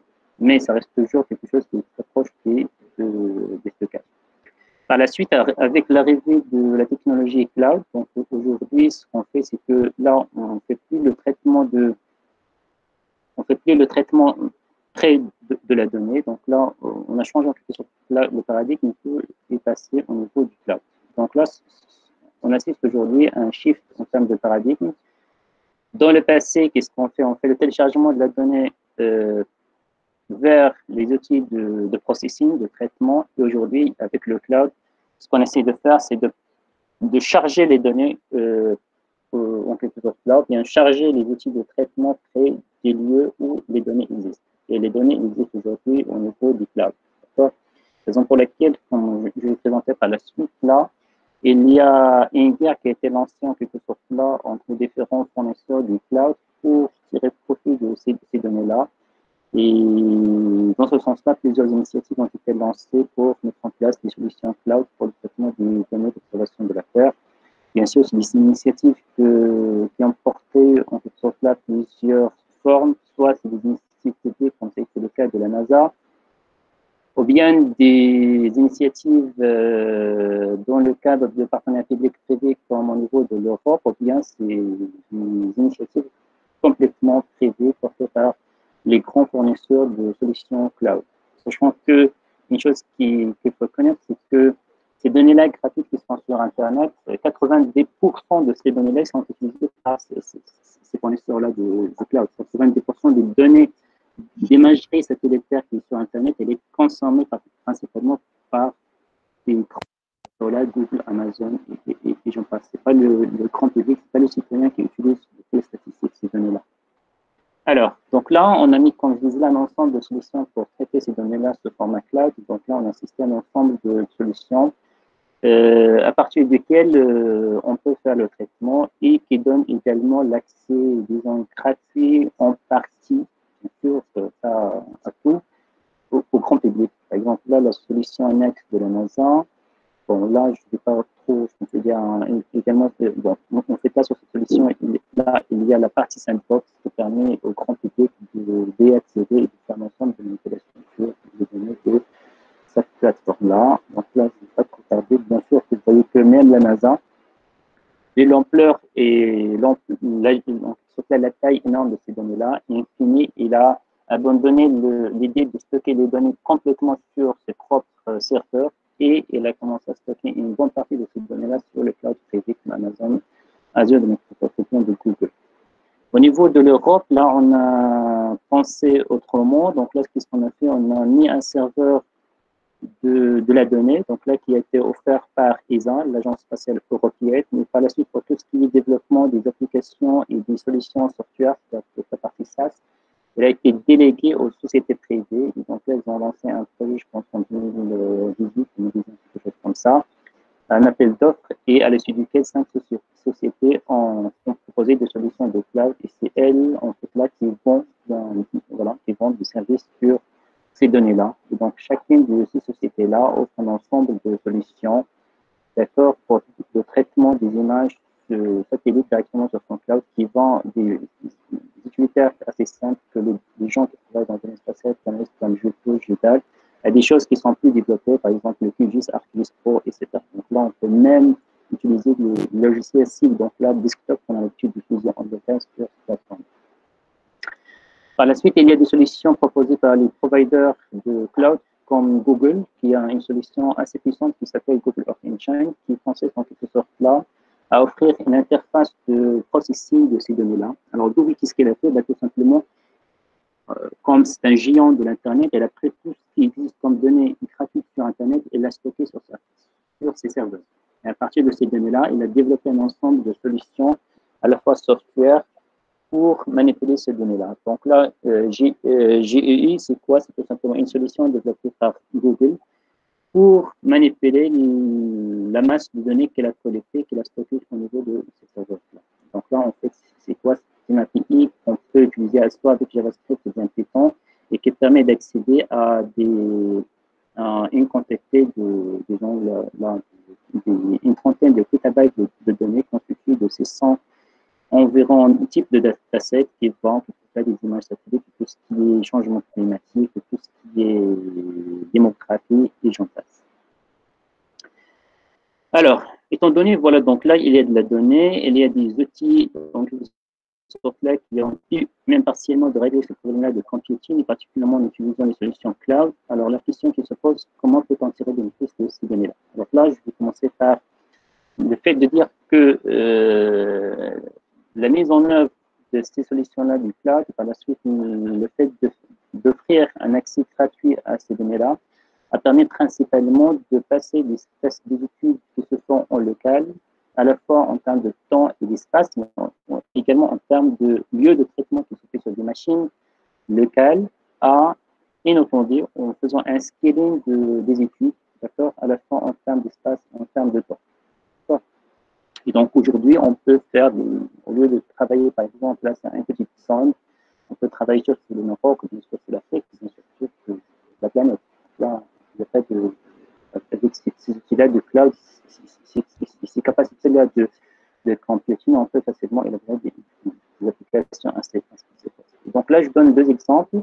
La première, c'est la cartographie en fait, des changements de la forêt au niveau des États-Unis qui a été fait 85 et 2010 en utilisant la solution NEXT de la NASA, donc qui nécessitait 15 000 images dans le SAT et 200 000 heures de calcul, à partir duquel on a élaboré une base de données, à partir duquel on extrait d'énormes informations, soit pour une cartographie, ou une Deuxième projet, cette fois-ci sur la solution Google, ça a été fait par, euh, dans le cadre d'un projet de recherche au départ en 2013 par euh, un chercheur qui s'appelle Hans et son équipe au niveau de l'Université de Maryland.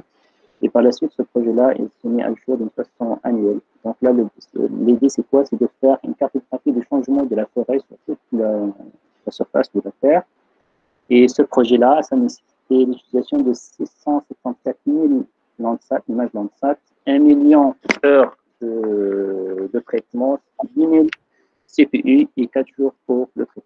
Donc, vous voyez que c'est quelque chose qu'on ne peut pas faire si on n'a pas de cloud, si on n'a pas l'accès aux images. Bien sûr, à partir de ça, on peut extraire d'énormes informations. Alors, une autre application, c'est l'application qui a été faite par l'Agence spatiale européenne au niveau d'Afrique. Et donc là, l'objectif, c'était d'élaborer la première carte d'occupation des sols de toute l'Afrique donc, ça a été fait là, entre 2015, décembre 2015 et décembre 2016 par des chercheurs de, de l'ISA en utilisant 180 000 images Landsat de A à une résolution de 20 mètres ça permet de générer des classes d'occupation du sol de formats de différents formats et particulièrement Donc là, le, résultat de ce projet-là, juste l'image résultat final, est sur Internet, il fait 6 giga D'accord. Donc ça, c'est quelque chose que vous pouvez télécharger pour, particulièrement pour les, gens qui sont sur le projet de Voilà, donc ça, c'est au niveau international. Maintenant, à l'échelle locale, au Maroc, comment peut-on tirer bénéfice de, de ce boom-là à la fois de computing et de data? Alors là, on a essayé au niveau de l'école Hassania, dans le cadre de notre projet de recherche au niveau de, de notre laboratoire, la GIS, de mettre en place une politique de voilà, de, de manipulation et d'extraction et d'exploitation des phénomènes là, en se basant sur une approche basée sur le propre concept, c'est-à-dire que essayer tout d'abord d'expérimenter et par la suite de faire le scaling à la fois dans l'espace et dans le temps et dans le thème. Pour cela, on a travaillé, on a lancé un projet de, de recherche dans le cadre de, une thèse de Madame et Mademoiselle Lachtab sur mon encadrement en coopération avec la faculté de l'INSEE, que l'objectif là, c'est de faire la cartographie de l'humidité du sol depuis le Maroc et par la suite utiliser cette information-là pour le, le monitoring d'un ensemble d'événements euh, extrêmes liés à la pluie, soit en accès en relation avec les inondations ou bien en déficit, c'est-à-dire en relation avec la sécheresse. Donc là, l'objectif, c'est d'utiliser les données SMOS, qui est un satellite de l'ESA, qui a été lancé euh, vers 2009-2010 pour tout ce qui est capture et mesure de l'humidité du sol et de la sanité des océans. Nous, on travaille particulièrement sur les composantes et donc là, dans un premier temps, on a fait là la cartographie de, de ce paramètre-là et par la suite, on a travaillé sur le cloud en utilisant GE pour tout ce qui est la cartographie dans le temps de ce paramètre-là. À partir de là, on, on extrait l'ensemble des informations donc là, je passe euh, rapidement sur euh, les, choses. L'idée ici, bien l'objectif ici, c'est de présenter juste l'idée par la suite euh, les gens qui sont sur ça. Et donc, à partir de ces données-là, une fois qu'on a fait la cartographie de l'humidité qui est un paramètre clé en ce cas de génération d'une inondation, on a utilisé ces données-là pour le suivi et la compréhension en quelque sorte d'un ensemble d'événements d'inondation qui et par la suite, on a fait presque la même chose, mais cette fois-ci là dans le sens contraire, là pour tout ce qui est suivi de, la sécheresse. Donc là, on a commencé par étudier la sécheresse dans deux localités. Et par la suite, on a fait le pour aller vers ce qui est de l'impact en utilisant les capacités de calcul de cloud computing.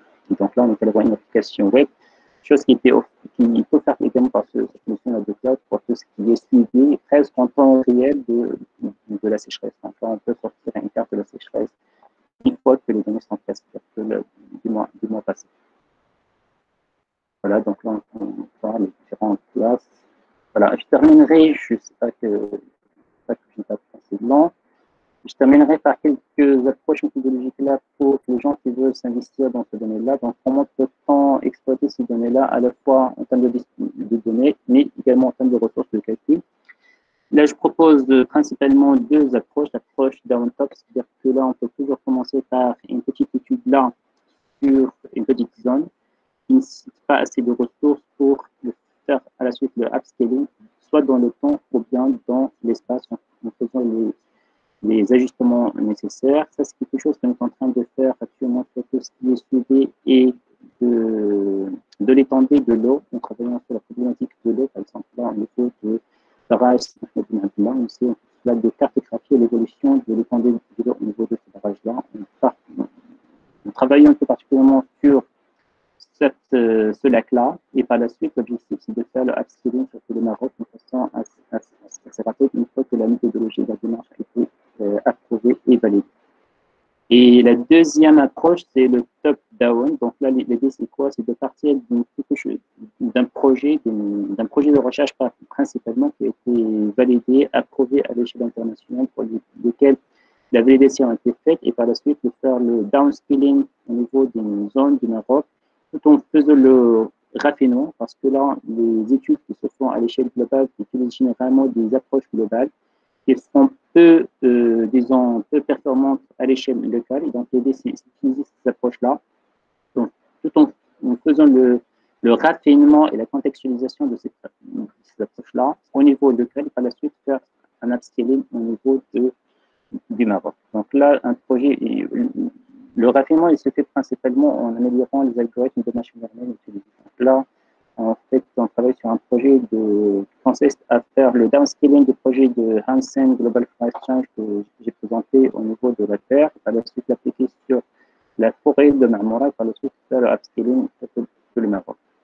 Un deuxième projet dans le, même cadre, c'est un projet qui consiste à faire l'expansion urbaine du site de, des villes marocaines. Ça, c'est un projet qui a été lancé également au niveau international à travers un projet qui s'appelle Atlas of Urban Expansion.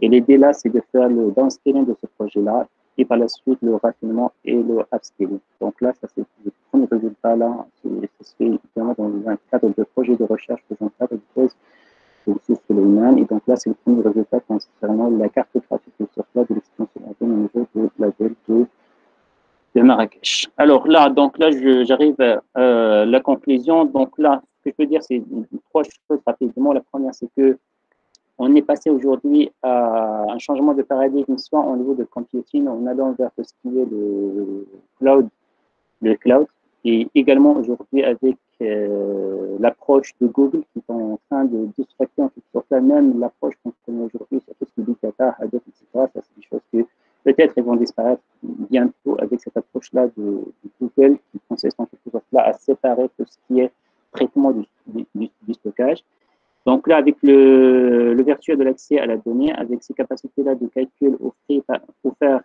par le, cloud computing, on peut aujourd'hui faire des applications assez, développées, assez intéressantes. Et la, meilleure façon de tirer bénéfice de ces éléments-là, c'est de les tester. Je vous remercie. Merci. Euh, merci, cher euh, collègue et professeur euh, Sifadil, pour la qualité de la présentation et aussi, donc, normalement, par sa richesse. Euh, voilà, donc là, on va normalement lancer donc, une table ronde. Bon, voilà, donc, si vous avez normalement pour l'audience, si vous avez des, questions à poser à nos chers professeurs. Mais avant, donc là, à titre d'organisation, donc là, j'aimerais bien euh, normalement noter ceux qui vont normalement poser des questions. Comme ça, donc là, euh, on va normalement dispatcher donc là euh, l'un après l'autre. Donc, s'il vous plaît, donc là, pour ceux qui ont des questions, ils l'indiquent, ils lèvent la main.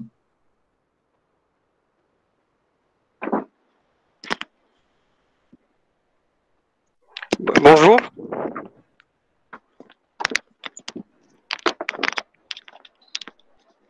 Bonjour. Bonjour, donc euh, Hichem Jamil, j'aimerais bien poser une, euh, une question.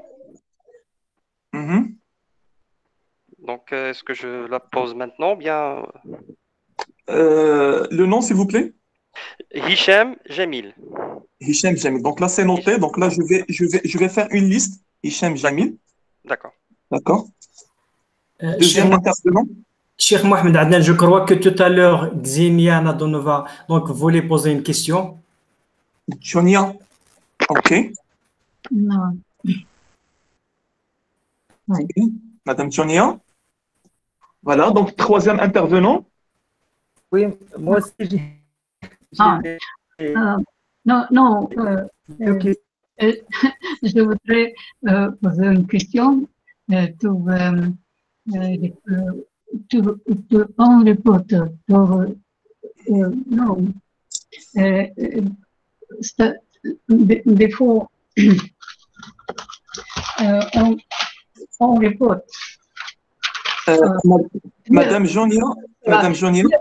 Il est possible d'appliquer cette méthode statistique pour, analyse, pour, pour analyse de données en médecine. Mais je voudrais communiquer avec euh, euh, pour rechercher cette direction. Military, military, military Academy, my collègue, euh, il, il, est très intéressant pour, pour, pour euh, votre dépôt. Ok, Madame Juniel, je vais noter donc votre question et je vais tout à l'heure la passer donc là à notre professeur Othman. D'accord. Non. Maintenant, je note, je note la liste maintenant. La, la troisième intervention, ça sera avec qui? Non. Euh, euh, je n'ai- pas question, euh, mais euh, je voudrais communiquer avec vous. Je pense qu'il n'a pas de. C'est pas une question, il veut faire un commentaire pour que- sur le, le deuxième exposé, je pense. Le Non. premier, je crois. Je crois le Le premier. Ma question premier. euh, euh, de, de, d'utiliser pratique de, euh, votre méthode. D'accord. L'utilisation pratique de la méthode. Yes. La mise en place de la méthode. Ok. Donc là, je comprends bien la question. Donc là, je vais la noter. Je vais la noter et une fois que je termine la liste, je vais normalement la passer à notre cher collègue euh. Donc, euh, troisième intervention. Sirksas, vous avez une question? Pardon, c'est. Euh, merci beaucoup. De rien, de rien, madame. Oui, Hassan, donc là, Hassan Silkan, vous avez une question? Hassan, Non, Non. Non. Vous Hassan, m'entendez? D'abord. C'est Hassan, donc on n'entend pas bien? j'ai- Essayez de clair la question sur le chat. Ah, euh, merci beaucoup. Euh, je n'ai pas, euh, euh, je n'ai pas question. Merci beaucoup. Non, De, de rien, madame, de rien. la, vo- votre, vo- votre réponse est très intéressante. C'est tout. Merci, merci, madame. Voilà, c'est c'est Hassan, c'est Hassan Silkan. Vous avez une question? Oui, j'ai une question. La première question concerne euh, la première présentation. D'accord, c'est Hassan. C'est Hassan. Est-ce que vous pouvez euh, reporter la question parce que je note maintenant la liste? Oui. Donc, je- c'est question d'organisation, c'est tout. Donc là, je vais noter votre nom. Oui. Quatrième intervention, Brahim Aksas. Brahim Aksas. Oui. Cinquième intervention,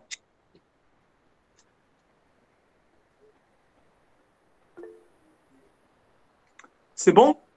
Donc, on a quatre questions. Bonjour. Moi aussi, s'il vous plaît, Mohamed Ouanan. Mohamed Ouanan.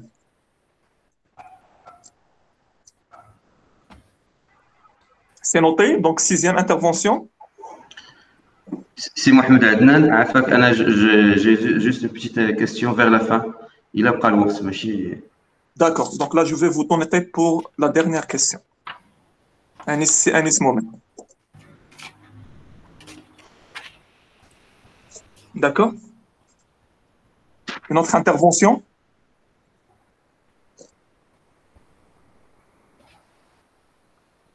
C'est bon, on peut commencer le, débat?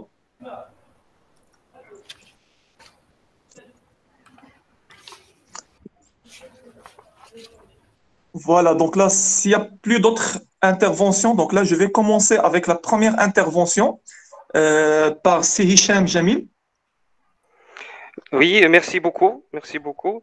Euh, donc, euh, tout d'abord, euh, donc je tiens à remercier tout le monde, notamment les Juan qui ont fait des exposés tout à fait intéressantes.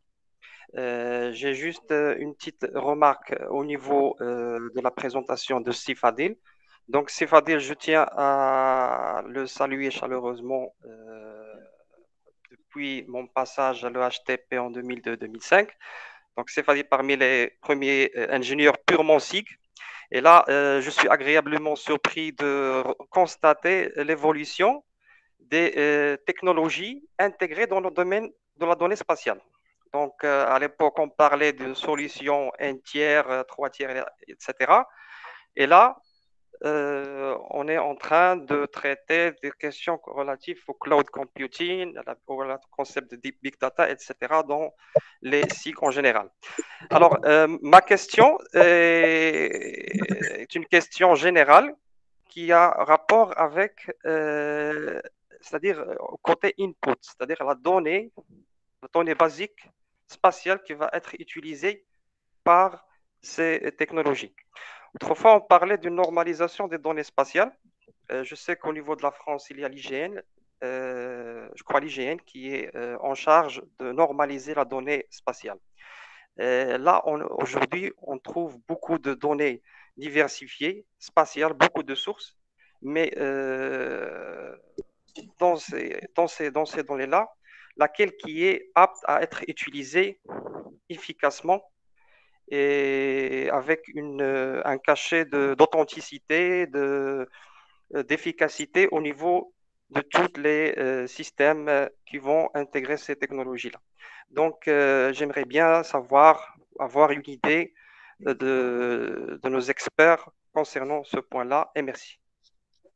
Merci, Sam Jamil. Donc, c'est Fadil. Donc là, si vous voulez enrichir et donc apporter donc euh, normalement plus de détails sur la question. D'accord. Alors, tout d'abord, je tiens à remercier Jamel pour la question et je tiens également à le saluer pour le travail qu'il effectue dans le domaine où il travaille, dans le domaine de, l'eau. Alors, effectivement, cette question-là de, la donnée est complètement pertinente parce que là, effectivement, on, est passé d'un état de manque de données à un état où on a une abondance de données. Mais il y a d'autres problématiques qui se posent, particulièrement la problématique de la qualité et de la véracité en quelque sorte de la, de la donnée. D'accord? Et donc, euh, effectivement, ce problème-là de, de, la qualité et de voir quel type d'information on va utiliser, est-ce qu'on va utiliser n'importe quelle information sur laquelle on, on tente, ou bien il y a des procédures là qui permettent de quantifier et de donner une valeur, disons, véridique à cette là c'est quelque chose qui est au cœur du développement aujourd'hui qui se fait dans nos domaines, et particulièrement dans nos domaines spatiaux. Et aujourd'hui, ce qui est important également, c'est que euh, ce développement technologique, il a également d'offrir un ensemble de types pour mesurer la, le degré de la qualité de la fiabilité de la donnée. Pour laquelle aujourd'hui, lorsqu'on fait par exemple un traitement, classification d'une image satellite, on ne peut jamais utiliser cette donnée-là si on n'a pas un jugement, un décret de curation derrière cette classification. Mais reste quand même que la question reste posée. On a toujours besoin de la donnée de ground, sur le terrain pour permettre au moins d'avoir un petit échantillon par rapport à quel on peut se référencer, par rapport auquel on peut faire l'étude de, de, de la. Et donc, la question, elle est fondamentale, elle reste posée. On essaye euh, d'aller en quelque sur le développement des outils qui permettent en quelque sorte là, de point de vue algorithmique, de mettre en place les outils les, les, les plus, en les plus, les performants pour extraire de l'information. Mais cela ne peut faire si on n'a pas une information de référence, une information particulièrement locale à laquelle on peut en quelque sorte faire confiance également important, c'est qu'aujourd'hui, on assiste à une multitude de, sources de données. Donc là, il y a des données qui sont postées de différents capteurs, satellites, etc. Et il est également envisageable et possible de faire la comparaison de la donnée entre ces différentes sources pour statuer quelque chose là sur la validité de la donnée. Donc, l'idée, si on a une donnée de référence de faire, on peut toujours utiliser cette donnée-là pour, au moins partiellement, pour faire le test, en termes d'échantillonnage, et on a pas cette donnée-là, on peut passer à des comparaisons intra-données. Sinon, on peut faire des données en quelque sorte là, on se base sur des traitements statistiques. Mais ce qui est également important, c'est de se poser la question. Si on n'a pas cette donnée-là, qu'est-ce qu'on peut faire? Et donc, le fait d'avoir cette donnée-là, on peut toujours tester, on peut toujours essayer de voir qu'est-ce qu'on peut tirer de, cette donnée. Et pas la question de la reste toujours euh, posée il faut utiliser, mais bien sûr avec euh, modération. Et voilà. Ok, donc euh, merci bien. Merci beaucoup, Professeur Fadé. Professeur Fadé pour l'explication. Euh, voilà, donc là, je crois que la deuxième intervention par Junia, c'est juste normalement, euh, ils veulent, je crois, donc communiquer directement avec, euh, avec euh, professeur Etman, donc là, pour échanger le- normalement le, euh, les projets de recherche. Voilà, donc là, la troisième intervention, donc par euh, Hassan Silkan. Donc c'est Hassan, si vous voulez normalement intervenir. Bonjour, chers collègues. Avant de commencer, je tiens donc à remercier donc, les, euh, les, profs d'avoir invité et aussi pour. euh, je suis heureux d'être parmi vous. Donc, j'ai deux questions. La première question concerne la distribution. Donc, quel est l'impact de la distribution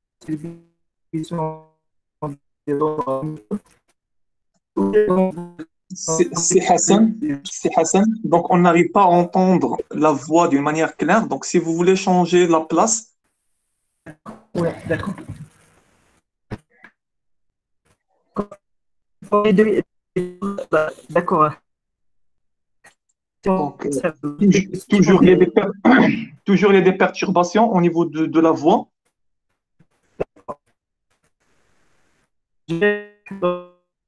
La première con- concerne la distribution des données. C'est Hassan. C'est Hassan. D'accord, je vais essayer de, de régler le problème. S'il vous plaît, donc là c'est Hassan. Si vous avez ce problème-là persiste, euh, vous pouvez écrire en commentaire la question. Donc là, euh, je peux passer donc à la quatrième intervention. Et là, je vais rebondir à, ta- à ton intervention. Donc là, euh, juste après. C'est Hassan, vous m'entendez?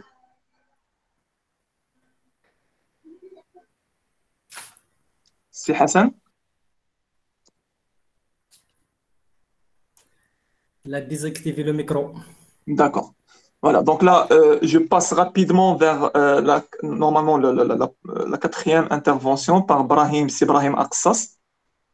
Merci, chers collègues. Donc, euh, je tiens tout d'abord à remercier les collègues professeur Moulay Atman et professeur Abdelwahid Sabri et le professeur euh, Abdelhamid Fadil pour les, les, conférences pertinentes, très intéressantes. Donc, le problème, donc, j'ai une, petite question, donc, peut-être deux questions. Une pour le- mon collègue Abdelwahid Sabri sur euh, lorsqu'il a parlé donc au diapo 22, l'objet, la couleur, la texture. J'aimerais savoir qu'est-ce qu'il veut dire par l'objet. Est-ce que c'est la forme ou bien euh, j'ai pas bien compris qu'est-ce qu'il veut dire par l'objet. La deuxième question pour le p- professeur Fadil. Donc, vous, donc, euh, il a mis en relation donc, euh, le, big data, les sigles, le- le- les systèmes d'information géographique, bien sûr, sur le, par exemple sur l'eau. Et donc, est-ce que, est-ce que vous ne voyez pas qu'il y a un problème de l'insécurité des nations et des entreprises lorsqu'on met les données sur le cloud? C'est un problème de souveraineté des nations. Et merci. Merci Sibrahim Aksas. Donc là, euh, normalement, votre intervention, je vais la dispatcher sur les deux professeurs, c'est euh, Sabri et c'est Fadil. Donc là, je commence avec euh, c'est Abdelwahid Sabri. Euh, la première partie de la question, ça concernait donc là l'objet. Qu'est-ce que vous entendez parler par objet dans le diapo 22? Merci, professeur Ameraz. Merci, professeur, pour la, la- question. Donc, en fait, dans une euh, image, euh, que ce soit 2D ou bien 3D, on a plusieurs éléments. Donc, on a les textures, donc on a plusieurs textures, et on a les objets. Donc, ce qu'on essaie de faire avec les décompositions multi-échelles, que ce soit le DP, la BMD, Fourier, euh, Wang Fourier, ainsi de suite, c'est de pouvoir isoler euh, les textures tout d'abord, c'est-à-dire euh, les différentes textures, ce sont, si on les, transpose dans le- le- l'espace, euh, c'est-à-dire la transformée de Fourier, on va voir qu'il y a euh, plusieurs composantes euh, qui, vont de les hautes fréquences vers les basses fréquences.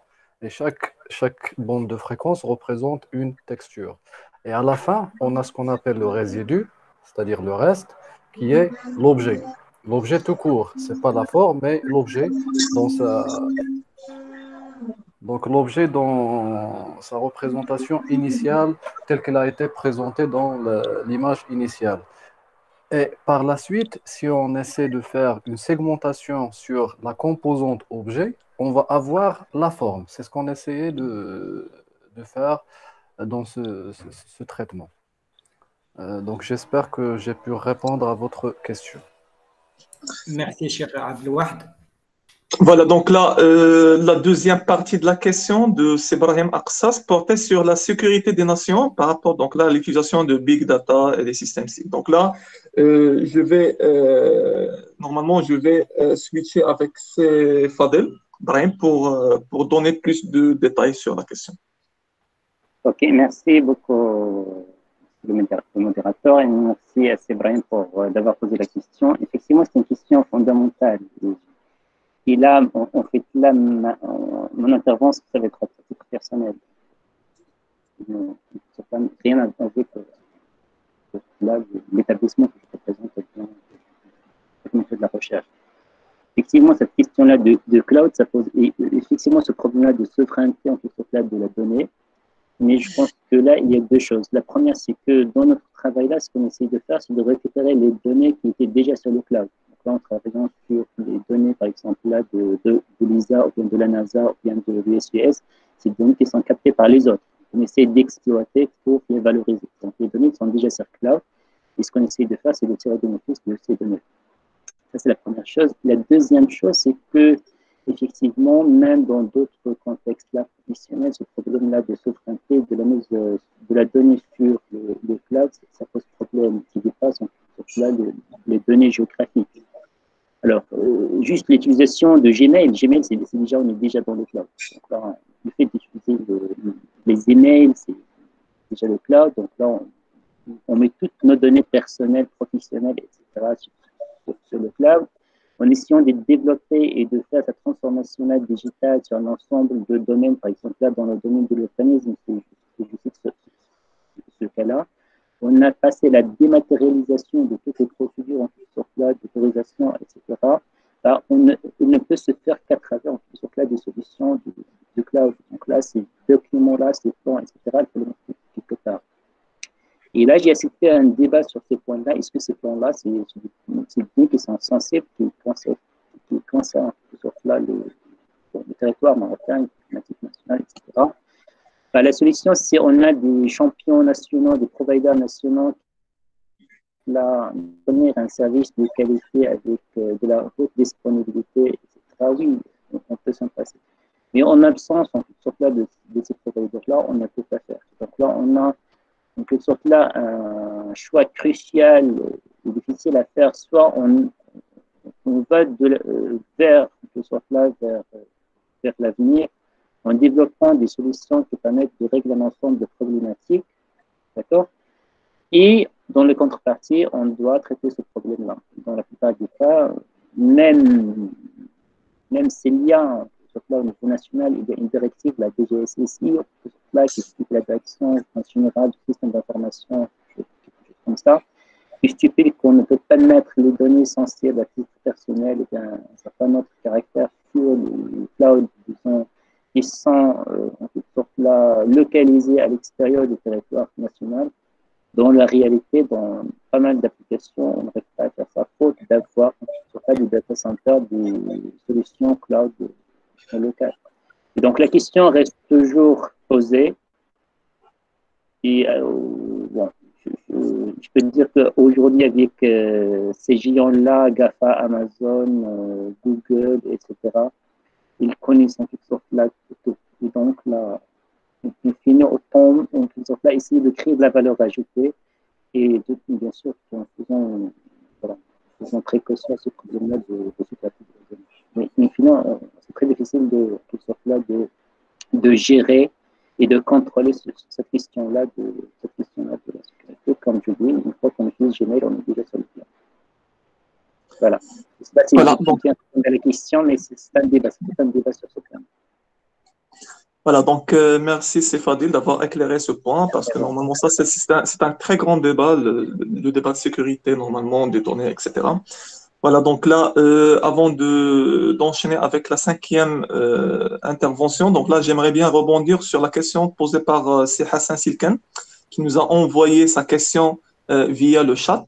Donc là, la question normalement euh, cible la deuxième présentation qui était normalement faite par euh, Sabri. Euh, Est-ce que les algorithmes de deep learning, machine learning offrent les mêmes possibilités que le système CBR Donc là, euh, c'est-à-dire là, il compare donc là avec les algorithmes de machine learning à l'instar de cas plus proches voisins, range query, RKNN, etc. Donc, est-ce que normalement, ça donne les mêmes possibilités que les systèmes euh, classiques de CBR Donc, euh, c'est Sabri, à vous la parole. Merci, professeur Madnan. Merci, c'est Hassan, pour la question. En fait, donc la CBR, dans sa forme de base, elle est très limitée du fait que les distances utilisées sont très limitées. D'accord? Mais il y a des travaux euh, parce que normalement, quelques, on, pensait que, ça fait des années que le, la, Content-Based Information Retrieval, c'est-à-dire une méthode, elle est morte. D'accord? Alors que non.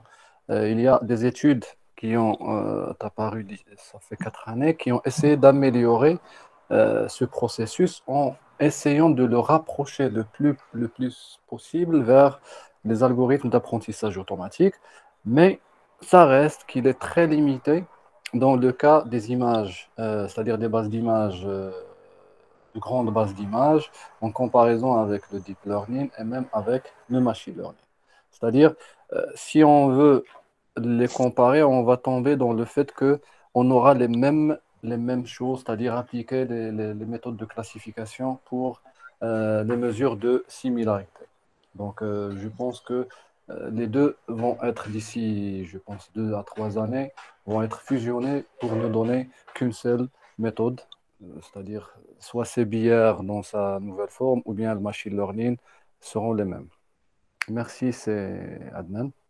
Ok, donc là, merci Serdi Wahed pour euh, l'explication et l'éclaircissement de ce point-là. Voilà, donc là, je vais, euh, je vais rapidement enchaîner avec euh, l'avant-dernière intervention. Donc, c'est Mohamed Ouannan. Donc, à vous la parole. Salam alaikum. Donc, tout d'abord, je tiens à remercier les, organisateurs de ce congrès et aussi les conférenciers d'aujourd'hui. Les conférences sont très pertinentes et, très riches. Et donc, j'ai deux questions euh, à mon collègue vrai. Donc la première question, c'est le pré-traitement des, des bases des images. C'est-à-dire que vous avez dit qu'en quoi on doit avoir deux bases d'images qui sont étiquetées. Est-ce que étiquetées ou bien classifiées? Surtout, vous travaillez avec l'apprentissage supervisé. Ça, c'est la première question. Deuxième question, à la fin, vous avez dit que pour augmenter l'efficacité de notre modèle, on a essayé de mélanger nos, attributs utilisé pour notre modèle avec les autres. Donc, est-ce qu'il ne faut pas une étape de pré-traitement aussi pour, normaliser, etc. Et merci. Merci, pour, euh, pour les questions pertinentes. Là, donc là, je, je passe à Sébré. Donc là, pour la première question, donc. Euh, oui. Un problème de son. Un problème de son. Quelqu'un a un problème de son. Donc là, euh, donc là, apparemment, donc il y a deux questions. Donc, la première, ça concerne le, pré-traitement des images. Est-ce que vous parlez de, des algorithmes supervisés? Et la deuxième question, normalement, on reporte sur euh, le mixage des, des, features, des caractéristiques. Donc, est-ce que ça ne nécessite pas donc, un pré-traitement avant de, de l'exploiter? Donc, merci, professeur. Donc, en fait, pour les termes étiquette ou bien classe, classe je suis de, de l'ancienne maison. D'accord? J'ai travaillé avec CBR, ma thèse, je l'ai fait avec CBR, avec la décomposition du fichier échelle, et on utilisait des étiquettes, ainsi de suite. Ce sont les mêmes. Donc, si, je dis étiquette, c'est parce que c'est, donc, ce sont des labels en anglais. Donc, étiquette et classe, c'est la même chose pour, euh, pour nous. Donc, c'est-à-dire une base de données étiquetée ou bien euh, pour l'apprentissage supervisé, c'est la même chose. Donc, pour la deuxième question, en fait, on utilisait les, caractéristiques extraites du deep learning et qui sont déjà, euh, c'est-à-dire ils sont déjà pré-traités, euh, prêtes à l'utilisation. Parce que en fait, ce que fait deep learning, c'est avec des, systèmes de convolution, essayer d'extraire à la fin un vecteur, un vecteur descripteur et le faire passer un classifieur. Donc là, au lieu de lancer le, c'est-à-dire le, traitement en entier en deep learning, on le laisse faire l'extraction des caractéristiques pour nous et on les mélange avec nos, caractéristiques euh, qu'on les appelle les handcrafted, c'est-à-dire les, les, caractéristiques faites à la main, tout simplement. C'est ce qu'on essaie de faire. Donc, est-ce qu'il y a un pré-traitement sur les caractéristiques issues du learning Non, parce qu'ils euh, sont déjà prêtes, euh, donc ils n'en ont pas besoin. Merci Sedna. J'espère que j'ai pu répondre. C'est ça, deux questions. Merci. Si vous permettez, seulement pour la classification, merci bien. Donc, l'étiquetage, c'est la même chose pour la classification. Alors, comment faire la classification? Par exemple, il y a plusieurs images pour dire telle image appartient à telle classe? Euh, c'est-à-dire c'est l'étape finale, c'est-à-dire comment pour... avant de... La première chose, c'est la classification, c'est-à-dire regrouper, les, créer les classes. Mhm. D'accord, donc euh, par exemple, je vais prendre l'algorithme. Euh, là, on, ne crée pas hein. Déjà, la base, qu'est-ce qu'on. La base, déjà, elle est euh, classifiée, étiquetée. Pour chaque image, on a sa classe. D'accord, donc en général, donc, on, il y a des travaux sur lesquels on travaille en parallèle, c'est de faire un traitement non supervisé suivi de supervisé pour essayer d'identifier les images. C'est un long processus et je pense qu'il va donner de, bons résultats. Mais en général, donc, les bases sur lesquelles on travaille sont déjà euh, étiquetées. Pour chaque image, on a sa classe. Merci.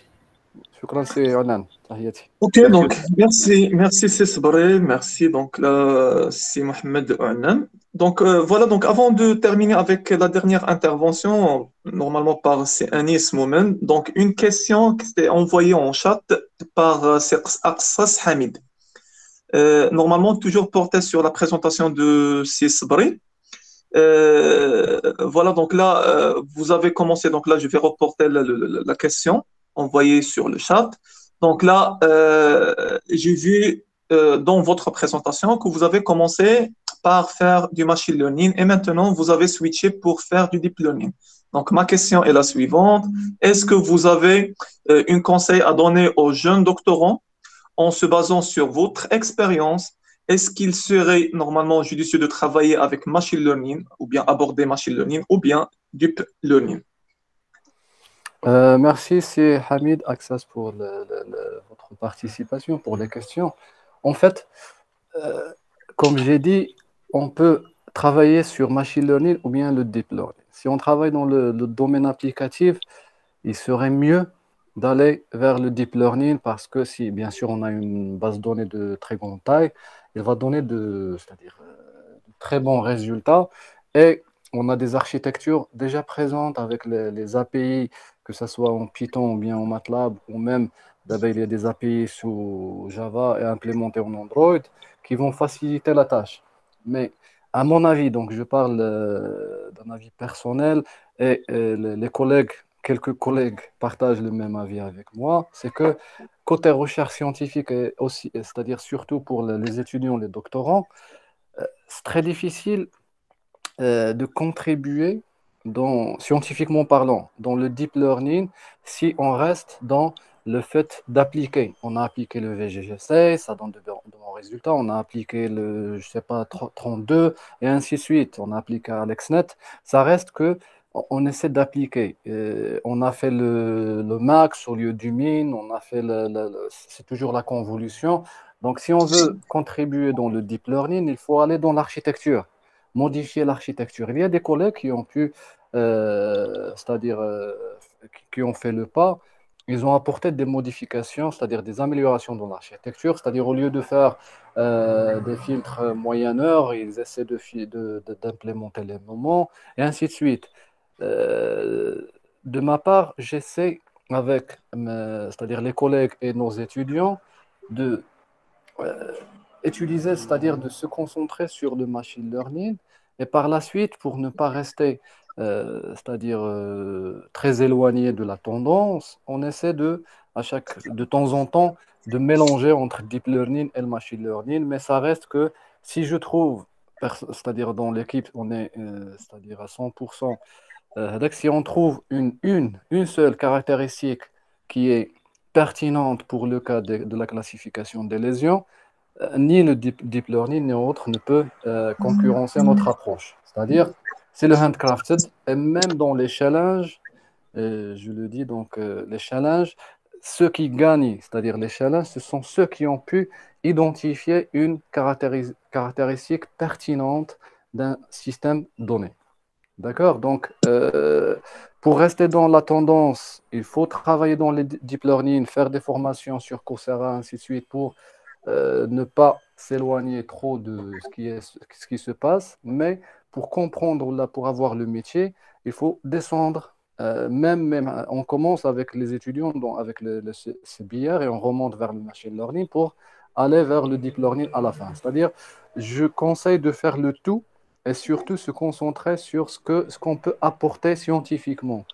Donc, c'est mon conseil pour les étudiants, les doctorants euh, par la suite. Donc, euh, shukran, c'est Hamid Aksas pour la question. Et merci, Sadnan. Voilà, donc merci Saad pour les conseils prodigus. Euh, on va clôturer donc cette session avec la dernière intervention euh, par Anis Moumen. Anis, à vous la parole. Merci beaucoup, c'est Mohamed Adnan. Euh, c'est juste une brève, une brève question pour euh, Sefadel. Euh, que pensez-vous du big data par rapport Est-ce est que vous pensez que nos administrations marocaines pourraient adopter un jour euh, des architectures de, big data ou, selon votre expérience, est-ce qu'ils ont déjà adopté cette technologie entre cloud computing, big data? Est-ce qu'on peut, est-ce que ça va, ça va, ça va s'intégrer? Est-ce qu'on peut faire des recherches dans, le, dans, dans ce genre de, de, thématique, en quelque sorte, selon votre expérience? Merci beaucoup.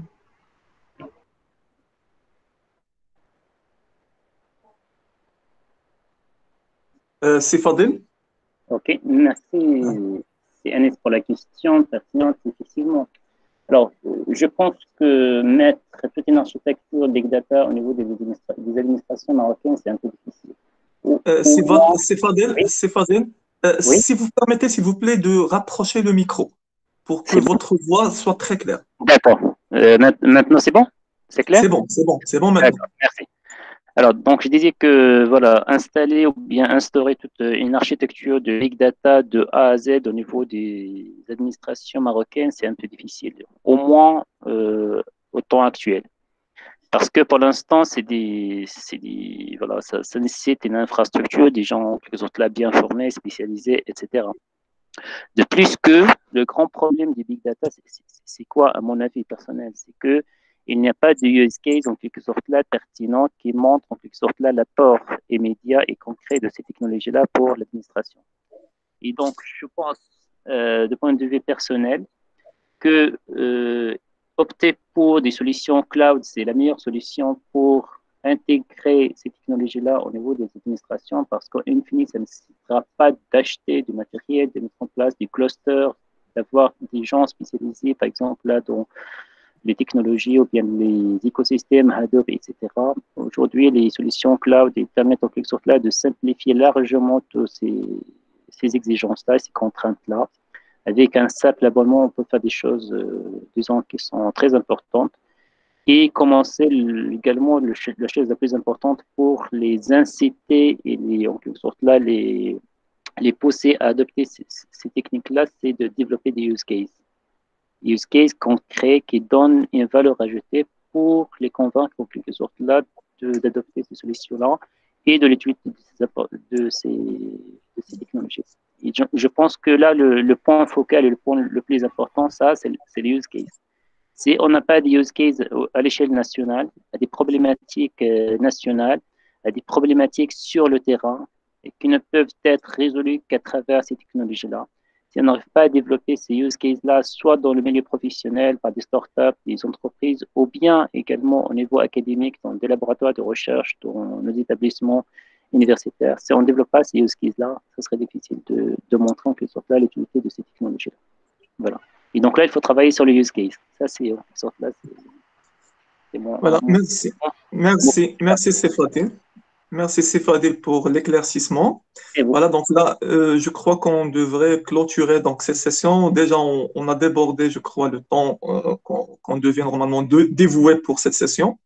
Euh, on va switcher, je crois, avec les sessions euh, orales. C'est ça, c'est Anis? Oui, oui, c'est Mohamed Adnan. Donc, euh, chers participants, donc déjà, chers conférenciers, je tiens à vous remercier et vous féliciter pour la qualité, vraiment votre, on va dire, votre esprit euh, généreux de partager avec nous, euh, soit doctorants ou spécialistes, euh, professeurs ou chercheurs. Donc, tous nos remerciements pour, nos remerciements pour votre disponibilité et votre patience, sachant que nous avons, on est en train de travailler à distance, donc il y a certainement des contraintes et ces contraintes, ça génère des fois des, des coups de, de stress ou autres. Donc, tous mes remerciements. Donc, effectivement, c'est Mohamed Adnan. On va euh, aller directement vers les sessions de communication. Ici, sur la room 1, sur la room 1, on va continuer la session 3. Euh, hein, la session 3, ça veut dire la session machine learning. Donc, chers participants qui sont concernés avec le machine learning, restez ici dans la room 1. Donc, euh, pour la room 2, donc là où je vais commencer à ouvrir la deuxième room pour la session 4, la session qui concerne les travaux en relation avec le software engineering and uh, optimization. Donc, j'appelle euh, notamment euh, les, euh, nos chers, nos chers modérateurs, surtout de la, de la session 4, round 2, d'aller vers le lien de la round 2. Donc, je vais la partager sur le chat pour commencer à vous inviter à, à vous donner l'accès à cette, à cette Et encore une fois, mes remerciements. Bien sûr, les participants de la room 1, de la session 3, restez avec nous. Chers, chers modérateurs de la room 1, restez juste ici dans la room 1. Voilà. Merci. Je vais commencer à ouvrir. D'accord. Merci. Voilà, la room 1, elle est ouverte. La room 2 est ouverte. C'est la room D'accord, on peut, on peut commencer? Donc la session 1.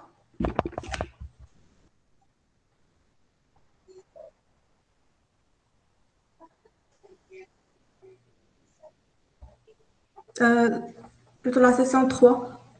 Est-ce que vous arrivez à m'entendre? Oui, oui. Très très bien, Madame Hiba. Euh, merci beaucoup pour votre disponibilité aujourd'hui et pour la patience. Bon, on est très désolé pour le débordement du temps, etc. Mais on peut rien. C'est pas grave.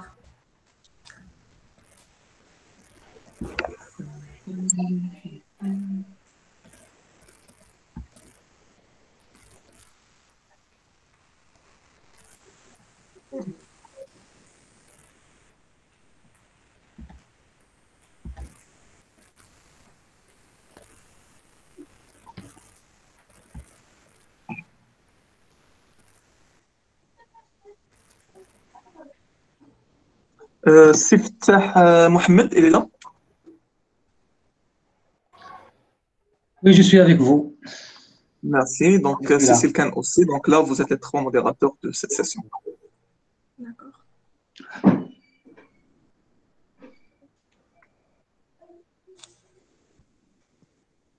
Donc, on commence ou, pas encore?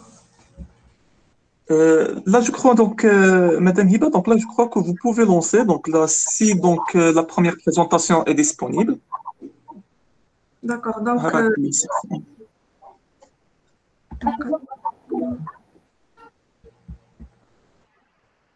Donc, vous pouvez convoquer la première présentation, oui.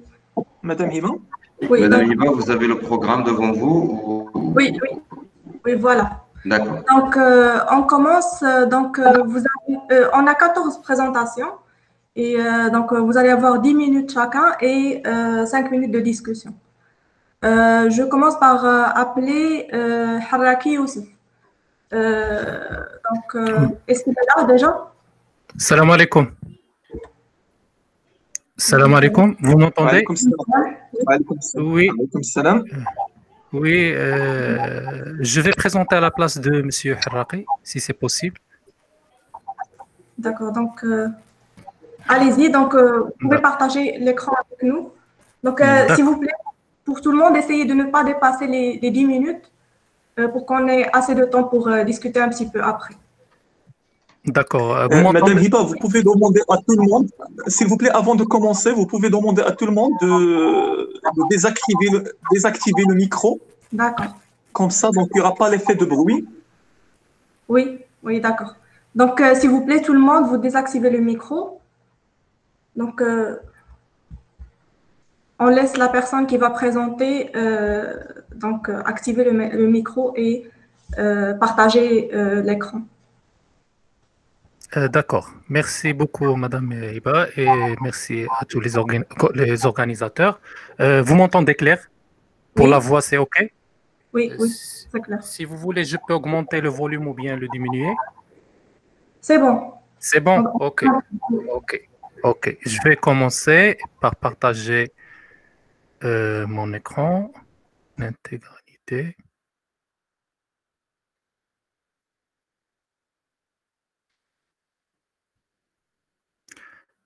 Alors maintenant, vous pouvez voir euh, la présentation?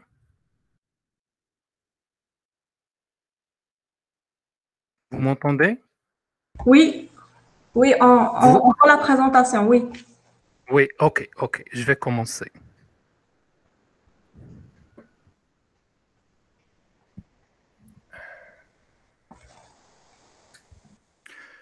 Uh, hello to everyone and uh, greeting to all.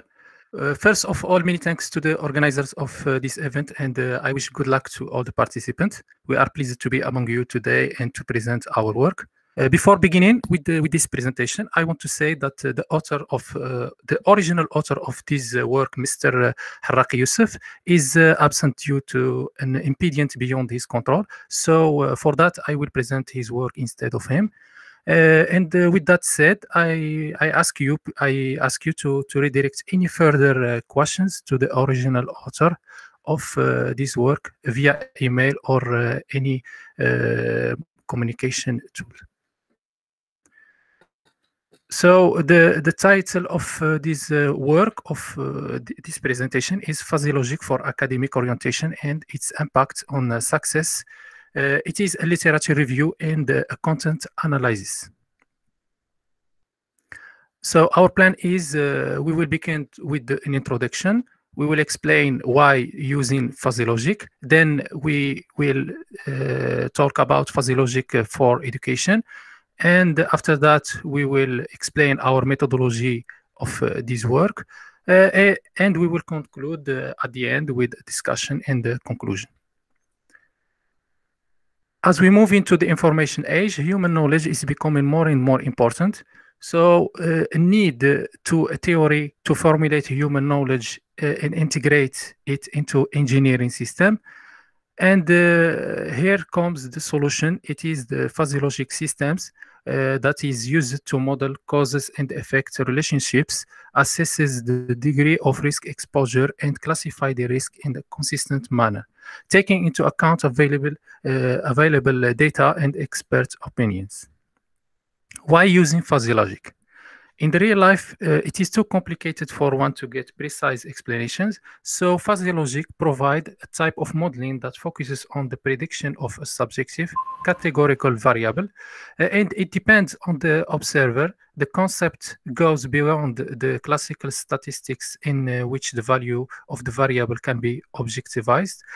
Uh, also, the application of fuzzy logic uh, is an attempt to apply reasoning close to human thought, uh, thus uh, allowing the integration of expert systems into automated processes. Reasons to apply fuzzy logic to education.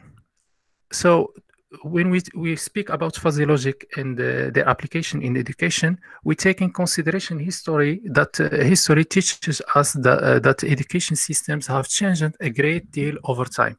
And we must uh, now manage these systems to ensure the success of uh, as many people as possible.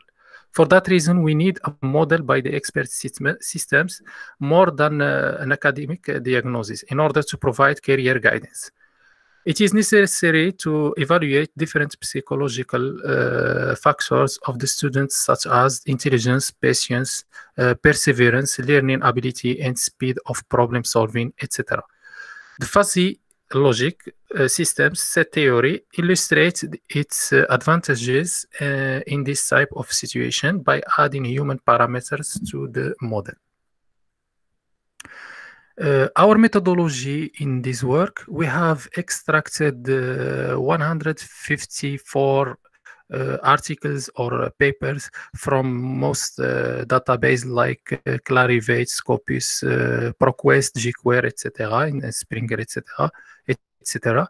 Uh, we had uh, all this paper fit to to the Zotero software, so we have converted them to uh, to a RIS file, and with this RIS file, we have analyzed his content, its content with the NVivo software.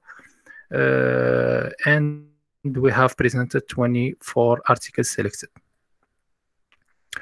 As uh, I, we have said before, we have analyzed our library by type of reference, by year of publication, and by them, occurrence of word, to make a synthesis and, and, uh, and evaluate critique of, of uh, a set of articles related to our research problem. And finally, we have compared the different model used and discussed the result. So this is, uh, in this table, we have the list of articles on career uh, or uh, doing researches uh, on career guidance and the career paths. We have in 2018 the authors Tara Steves, Alexander A, etc and uh, it's go with the the years before and after so the first work we will describe uh, it's the uh, the fuzzy logic and optimization of educational path by Taras Tarasiv. Uh, as you as you see here in the figure, we have the fuzzy logic system uh, using Mandamni model rules. Uh, we have the input data, which are directions, budget, support possibility, and output data, which is educational path uh, for change probability. To describe the uh, economic motivation of an individual by changing uh, their educational path, um, they developed the mathematical economic optimization model and tested on real data, more than uh, 5,300 students. According to the modeling result, 66% of the students choose their optimal educational path, thus uh, taking into account uh, their economic preference and personal skills. Uh, for the second work or the second paper, the, the architecture. Sorry. New fuzzy logic based career uh, guidance, titled new fuzzy logic based career guidance system with web and C, uh, CGS by uh, author uh, Picker. Uh, the same goes for the, the architecture of, the, of uh, their system. We have input data, output data, and the fuzzy, logic based on web and CGS fuzzy logic model for the prediction of uh, vocational guidance based on the data of, uh, of uh, with the ninth grade student. The model is tested on 20, 20 students of uh, professional classes, classes of 10th uh, and 11th year. Uh, we were guided to different departments by the classical method. As for the third work, uh, titled An Exploratory Study of Hierarchical Fuzzy System Approaches in a Recommendation System by the author Tajul Rosli Razak, uh, the same goes again. It We have the, the, the figure explaining the, the, their uh, systems architecture. We have input uh, variable, fuzzy logic based on FLS, and the output variable in the input variable we have questions. And the output variable we have a web programmer uh, to to to specify the, the paths. The work was done to explore the use of uh, hfs um, uh, model and compare it to the flat fls model in the context of the career path. The experiment was conducted based on 4k uh, criteria uh, namely topology number of rules rule structure and interpretability for the fourth work titled Course Recommendation System using Fuzzy Logic Approach by Suleiman, uh, the model for recommendation course, uh, courses using fuzzy sets is based on two characteristics, characteristics which are competence and interest. The skills are contributed from the eight courses based on the diploma results, which can be classified programming, problem solving, computer and data analysis skill. The interest part is based on a questionnaire questionnaire with the 12 questions, uh, which can be classified according to programming, critical thinking, and uh, organizing information, practical work, data processing, networking. Their systems is in the figure as you see. The same goes again. Uh, the fuzzy model of skills is based on the Mandani type with the mat, uh, MATLAB tool. MATLAB tool. Uh, fuzzy variable identified in this project is the type of skill which contributes according to the academic results of the eight uh, entry subjects. Uh, each of the material will be classified with four fuzzy uh, outputs. Thus, uh, each result of the rules consists in identifying the four types of skills, whether they are weak, medium, or good. Finally, we conclude with says uh, in the previous section uh, we could compare we have compared four models of Mandani type used for fuzzy logic systems. And uh, realized in this way the aim of this comparison was to situate our problem in relation in, rela in uh, relation to the existing work and to choose the model close to our case on which it is based. Uh, this comparison uh, allowed us to to see that we could opt for a system of recommended courses and the academic path for the engineering cycle at the, the National School of Applied Science, uh, ENSA, uh, at the Ibn Tufayl University in Kenitra. Uh, and this system can be classified into three parts, which are the competence, the student interest, and the, the recommendations of uh, the professor. Uh, here we present uh, in the figure we present our our proposed model or architecture. Uh, as you see we have uh, input data which are diploma results interest analysis by using or by the tool of questionnaires.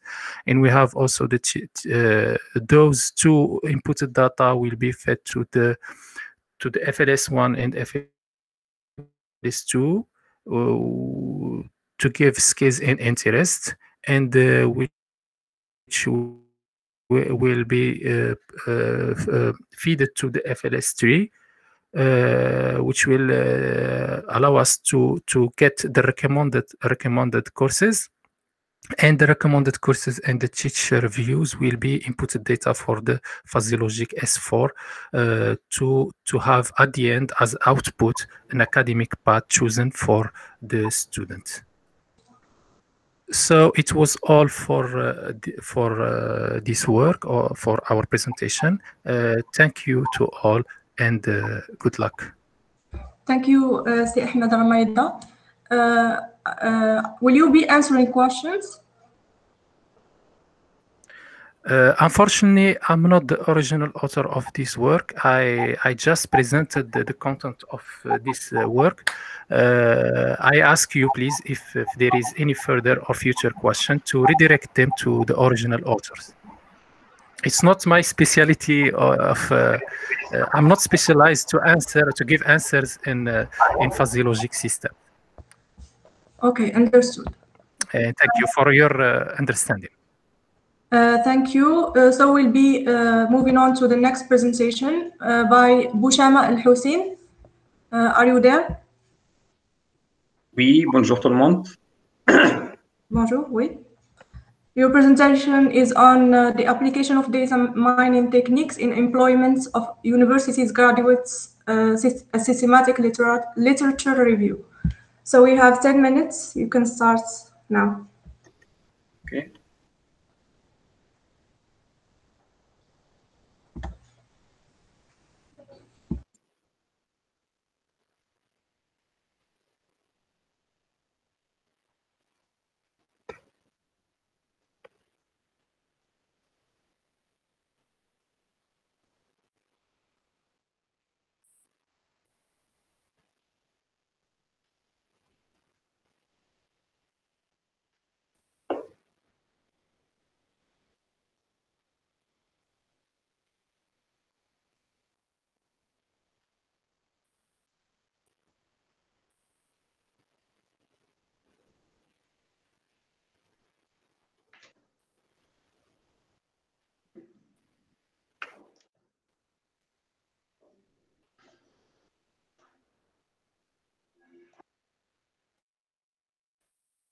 Vous, me recevez, vous recevez mon écran, s'il vous plaît?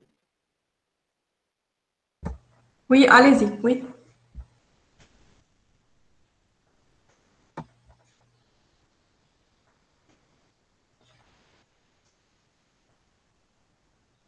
Ah, en fait, euh, bonjour tout le monde. Euh, L'intitulé de ma présentation est The Application of Data Mining Techniques in Employment of uh, University Graduates, a Systematic Review. Euh, présent travail va sur le Python de moi-même team et il a été supervisé par euh, euh, M. Anis Moumen et M. Younes Bouskri ici. Dans un premier temps, on va présenter notre plan de travail. En premier lieu, euh, une introduction. De, deuxièmement, la problématique et les objectifs de notre travail. Troisièmement, la méthodologie suivie. Et quatrièmement, la discussion et la conclusion. Donc, euh, avant d'entamer notre sujet, il faut d'abord euh, mettre l'accent sur l'actualité du marché du travail au Maroc qui est l'actualité au, au, niveau des territoires marocains. En fait, euh, on montre que depuis 2006, la population plus active est style ayant... S'il vous plaît, euh, les slides Oui. n'avancent pas.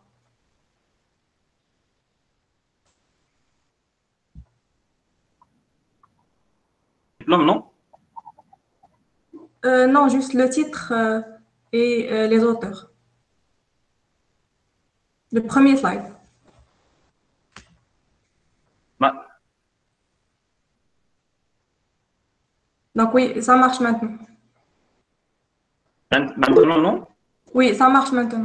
Donc, euh, comme je disais, le- l'enquête euh,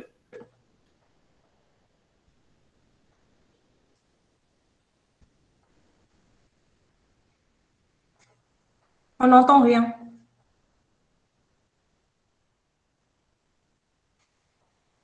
Si Bouchama, on n'entend rien.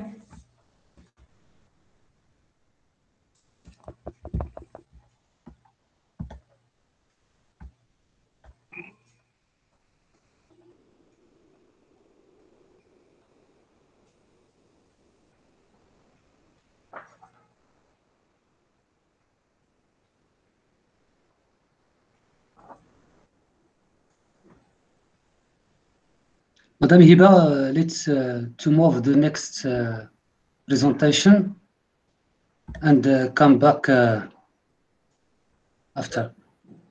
Why he isn't here? I Ah, think yes, it's disconnected. screen. It's disconnected. Ah, okay. Uh, okay, uh, you can take the this this one, uh, Professor. Uh,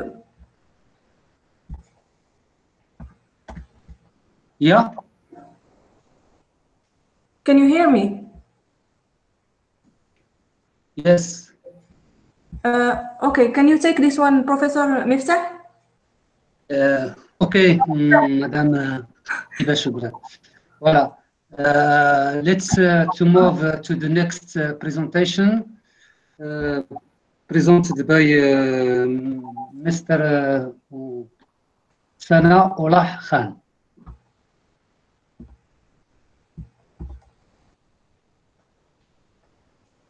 Sana Olah Khan, are with, with us?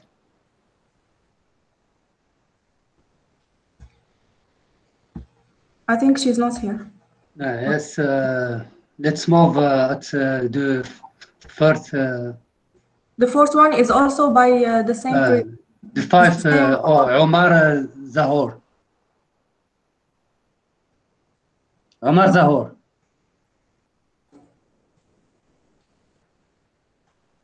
I want to take uh, Mr. K- Karam Ahkouk. Oui, Karam, oui. Euh, vous à vous m'entendez? La parole. Uh, you can share your uh, presentation and uh, start. D'accord. Omar, Omar. Excusez, envoyé un message.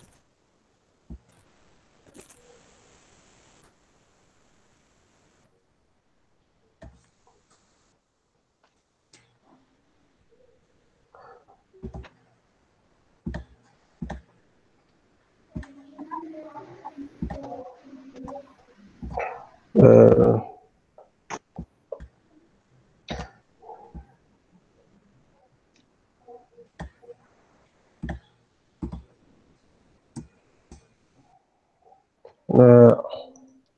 Mr. Uh, hi everybody. The, uh, yes, yes. Uh, could you see my um, screenshot? Yes, you can start. So um, uh, my presentation is about uh,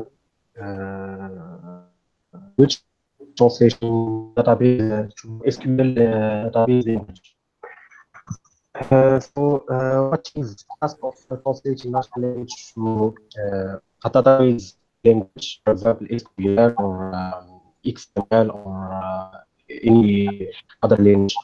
Uh, taking the example in the screenshot, for example, uh, Excuse me, Mr. the- Karam. Yes. Uh, we can't hear you well. Please uh, allow closer Uh, of the of uh, the microphone. Is it a problem of connection or uh, about the voice? I don't know. Okay. I will switch to another.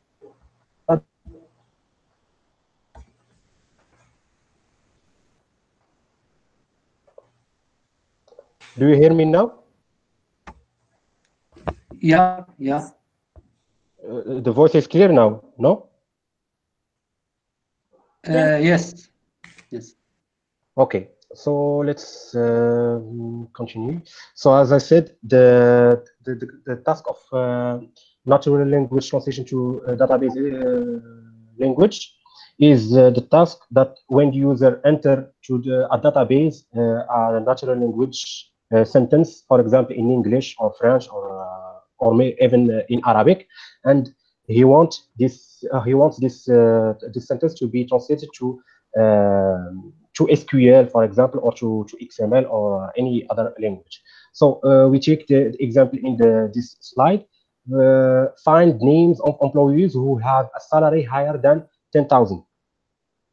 Uh, the user, uh, uh, how the, he uh, do this, how the, he does this this task is by detecting the relevant parts on the sentence. For example, he he knows that names, employees, and salary higher than 10,000 should be should appear in the in the target um, SQL query, and he tries uh, automatically to build uh, his um, uh, natural his uh, uh, target language uh, query uh, by uh, combining the the relevant parts from the natural language sentence to the SQL uh, uh, query. Here we have select employees dot nine dot name from employees where the employees uh, dot uh, salary is higher than ten thousand. Uh, in the study domain, there are two approaches. There is the, the first one, which is uh, based on syntactic uh, parser, and there is another uh, which is uh, based on uh, an semantic analysis. The syntactic parser is used or i- it is always based on either a guided or unguided grammar. Uh, when the sem- sem- semantic parser is, uh, we, we, found it in the previous work, uh, works, always with unguided grammar.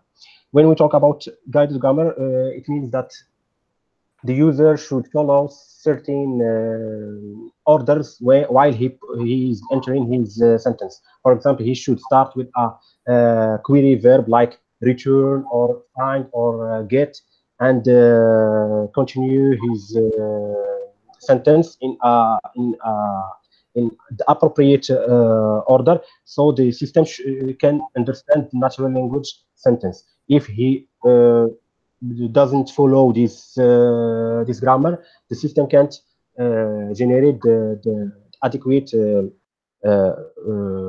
query. For for the syntactic parser, we have uh, the process as follows. Uh, there is the definition of the grammatical categories. Uh, there is the application of the free context rules. Uh, then the conversion to an intermediate representation. We will see uh, some examples uh, of these tasks later.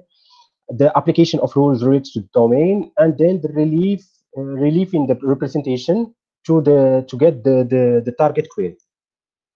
So Uh, when we talk about uh, grammatical, uh, defining the grammatical categories, it means that we do uh, the, the part of speech of the natural language sentence. Here we have find the paragraphs that deal with management. So we have verb, determinant, the, the, the paragraph it's a noun, that it's a pronoun, and uh, etc. Once we have this, uh, we have defined the, the grammatical categories, we can uh, construct the syntax tree, which is as follows. It helps us to build uh, an intermediate representation. Uh, here we used uh, um, uh, discourse representation system, but we can use any intermediate representation like XML, for example. So the the mapping is uh, is simple. We have here the verb find. It is it is converted to event. The paragraphs it becomes here, and event the the the the, the, word that did it is an event here. It is uh, very simple. Then when, when we apply the the rules related to domain, here we'll talk about uh, the natural language translation to database language. We get rid of the words that we don't uh, need. For example, the words that we don't need, uh, like uh, the query verbs, find, uh, like the the, the words uh, that are that can be removed like the here object uh, agent. We just keep the, the, the important things to have a better uh, representation. So the paragraphs here it is uh, converted to P because in the database we might have tables called P, not paragraphs and management and uh, we have the the relation uh, that deal uh, con converted to about so we here we are looking for the P that are about management. And uh, directly we can uh, map this uh, relieved representation to the target uh, uh, SQL query like it is shown. Here, as, we, as I said, uh, we can use any intermediate representation like XML. So as you can see, the, we have employee, the query below here, its representation, it is here in XML. Uh, for the other approach that you use uh, uh, semantic uh, analysis, it is based on deep learning techniques uh, using uh, neural networks. Of course, we have many types of, natural, of neural networks the good thing with this uh, this approach it is uh, that the, the result is consistent. It's not like uh, the syntactic parser. The problem in the syntactic parser as i said the, is the grammar. The user should follow the, the, the predefined grammar so the, the system can understand the natural language and translate it here with semantic parser, we don't have this problem. We, the user can enter the, his sentence as his, he wants, and the, the, system, because he it, because it is uh, uh, trained uh, using a data set, it can uh, predict the appropriate uh, um, appropriate uh, query. So using a naturally uh, a neural network and a data set after uh, an entrainment, entrainment or the training phase uh, using backpropagation, the model becomes uh, uh, trained and uh, it allows us to uh, predict or generate the intended queries.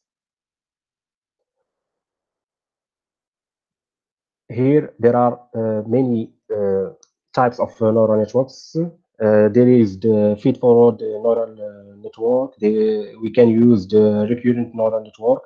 Um, I think everybody knows this, this these systems and uh, we have the BLSTM, which is uh, uh, just a recurrent uh, neural network with the two uh, in the two senses, and we have the transformer, which is the last um, powerful uh, neural network provided by Google. So here we will see the a, a quick uh, fast comparison between the two uh, ways to to do this task.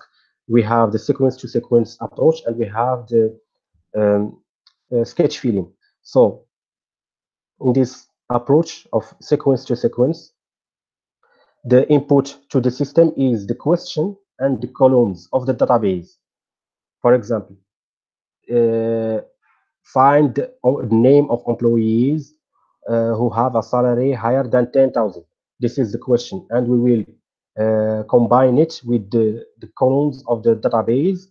Uh, uh, it doesn't matter if the database ha- uh, has more than one table. Uh, the important uh, thing is we, will um, tokenize these tokens and uh, feed them to the system along with the question. So the model sequence to sequence will generate an SQL query. This SQL query will execute executed against the database. The result from these data from this uh, database will be compared to the ground truth. The ground truth is the the, the correct answer for the for that SQL query. So we do this uh, thing uh, again and again until the, the system uh, returns the or the model returns the, the, the appropriate uh, query.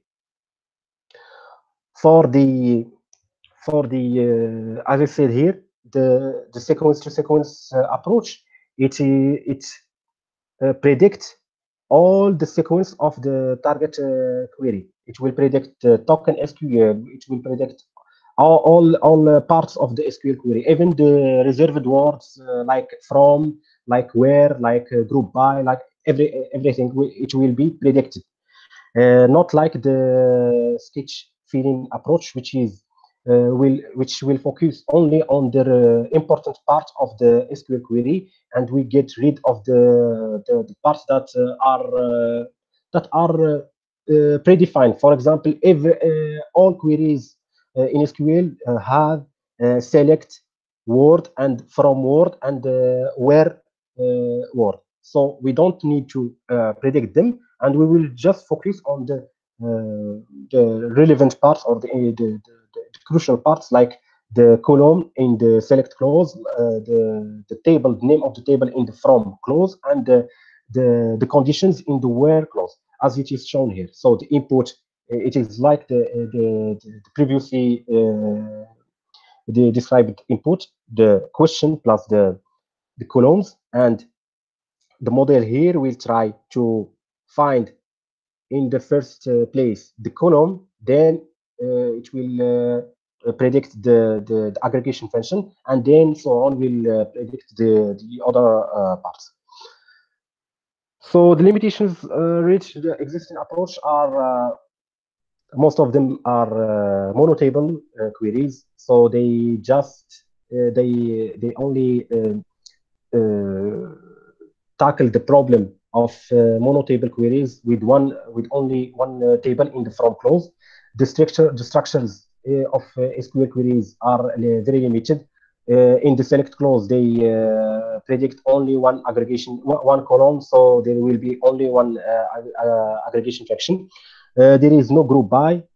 Uh, here I'm talking about the existing approaches. There is no group by. They don't uh, predict uh, the group by uh, command of SQL. Uh, of course, there is also no no um, no order by and no nesting uh, queries or uh, or uh, uh, intersection or all the the complex uh, um, commands of SQL are not supported. And uh, execution accuracy it is uh, 90 uh, percent. So our aim is to uh, develop an advanced query uh, an advanced query system that can uh, that can treat the complex structures with multi tables in the from clause uh, along with the joins and the multi columns in the select uh, clause. uh, there should be uh, many aggregation functions and group by and uh, order result. How we will do this? We will uh, we are uh, right now extending the current data sets. Uh, there are two data sets uh, uh, right now uh, called uh, the first one it is called uh, WikiSQL and another is called uh, Spider. We are uh, trying to extend these uh, current data sets to support or to to have richer scale of of SQL data SQL queries. Um, we will use semantic parsing without reinforcement learning because we want our uh, system to be independent of the execution of uh, of uh, these queries. We don't need the system to execute these queries to uh, predict the appropriate uh, query. We the system should work independently on the, the, the execution on the database. Uh, we will use uh, pre-trained uh, models for the for the to get the uh, word embeddings.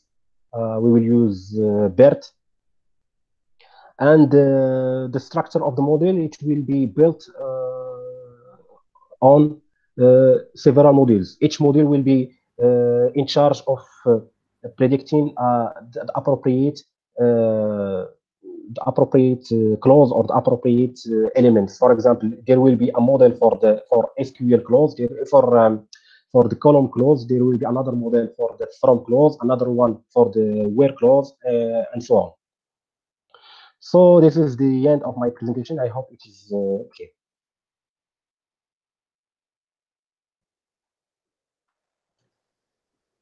Thank you, Mr. Karam, uh, for, uh, for your uh, presentation. Uh, was clear and uh, pertinent. Uh, questions about uh, this presentation, please. You can ask uh, your question.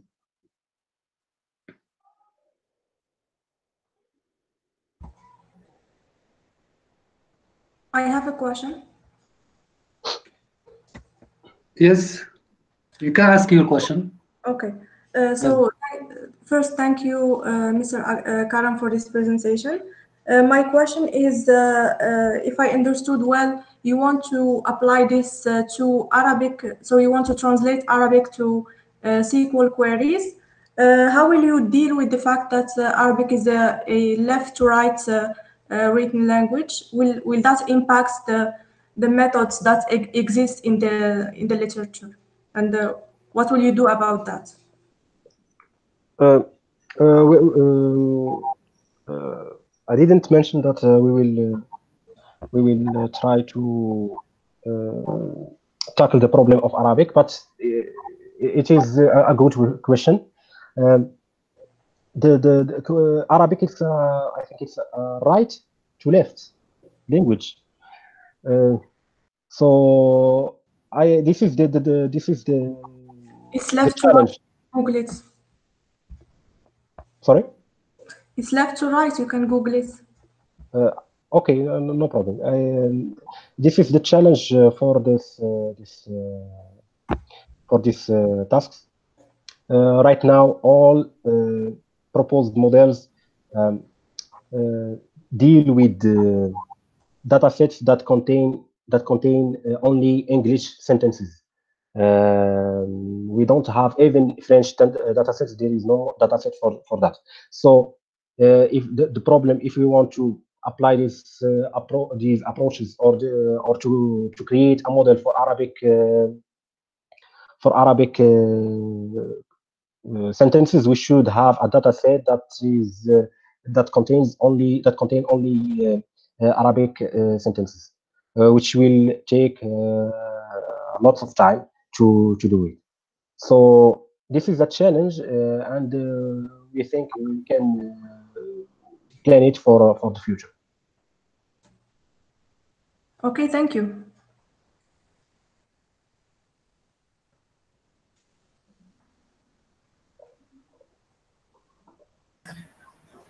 Do you have any questions?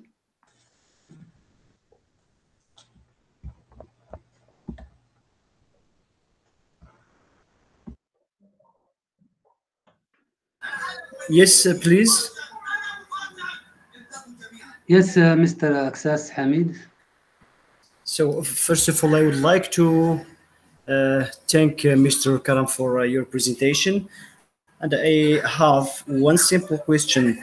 Let's say, for example, if the query, the sentence in uh, English language uh, contains mistakes, gra- grammar mistakes. So how how you deal with the situation? For example, instead of uh, hire uh, the the user write higher uh, without with a mistake. Yes. um, uh, since we uh, th- this is this is the the benefit the, the beneficial thing with uh, with se- semantic analysis or semantic parsing.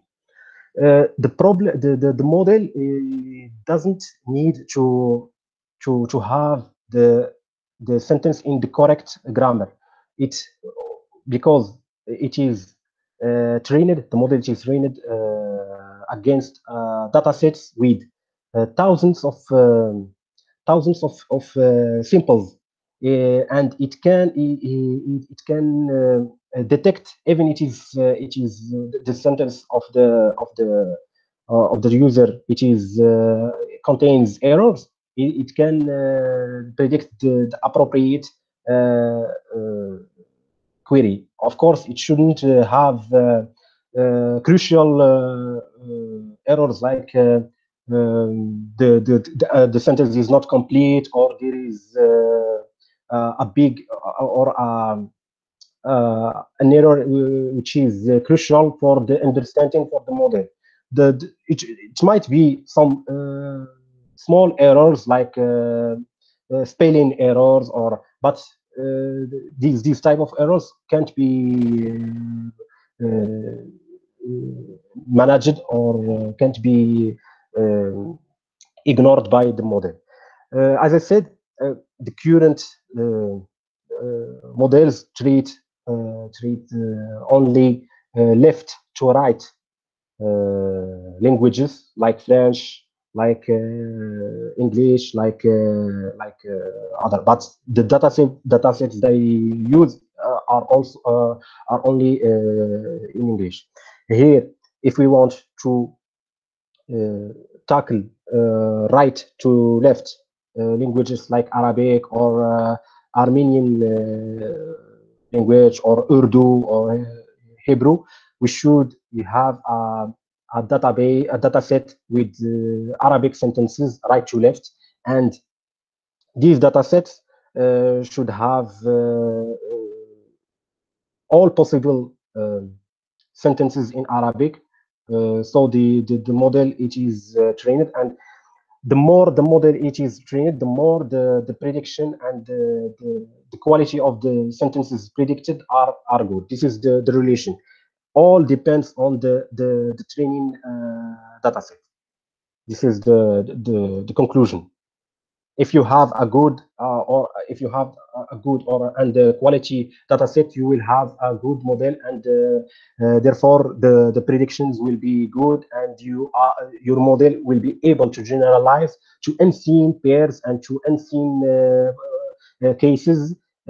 So, for example, like the Google Translation we use every day, it is trained on millions or or even billions uh, lines of, of text. So the quality depends on the the, the, qua- the quality of prediction depends on the quality of the the data set. That's it. Thank you, Mr. Karam, for uh, your uh, response. Uh, so I think uh, that's enough for questions. Uh, we can move to the next presentation uh, presented by uh, mm, Ms. Khadija Mjahdi.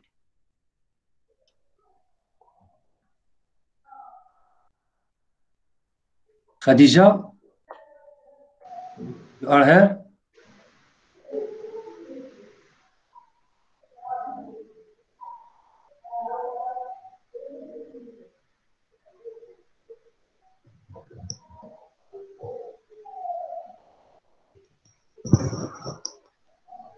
Khadija Mujahadi, you are here?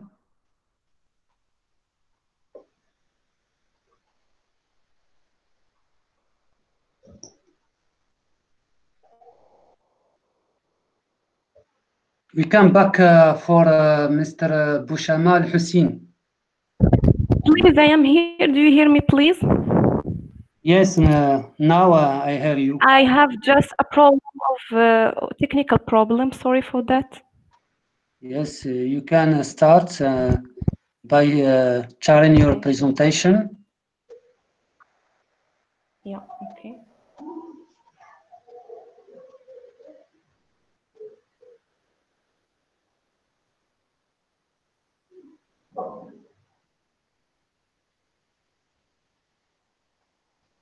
Mr. Karam, you can close your uh, microphone. Is it clear, please? Yes, yes, you can start. Okay. Can we will be So, start? hello everyone. So, hello everyone, dear chair, dear professor, dear PhD students. My name is Khadija Majhadi, a PhD student in the first year of the Information Systems and Vision Laboratory at the Faculty of Science, Munzar University. I am very proud today to present and share with you my work entitled The Survey of Natural Language Interface for querying Database in LADB. But before starting, I would like to thank my professor, Mustafa Mashkour, for his assistance and supervision, his availability, his guidelines, also, and also his advice. So, the outline the outline of our presentation is as follows: an introduction to natural, to natural language interfaces for databases, then an overview of the advantages and disadvantages an- of NLADB systems. After that, we will talk about the different approaches and architectures adopted in the exciting NLADB systems on the literature, highlighting their advantages and disadvantages. Finally, the history of NLADB and the best known NLADBs in the literature will be proposed before concluding and providing some perspective of our work. So, the huge amount of data published and distributed over the network increases the demand for new and efficient methods and applications to handle, analyze, summarize, and extract knowledge from this huge amount of text. Approximately 2.5 trillion bytes of data are generated every day. This is what has made databases an indispensable tool in all information management systems. But the extraction of information stored in these databases is generally carried out of using queries expressed in computer language, such as a a structured query language is SQL. This generally has the effect of limiting the number of potential users, in, in particular, uh, non-expert non, uh, expert database users who must know the database structure to write such, such a request. One solution to this problem is, sorry, one solution to this problem is one solution to this, to this problem is to propose and uh, to use natural language interface to communicate with the databases, which is the easiest way to get information. So the appearance of a natural and or we can say an interactive natural language interfaces for databases is becoming a real need and an ambitious goal to translate user's queries given in natural language into an equivalent one database query language.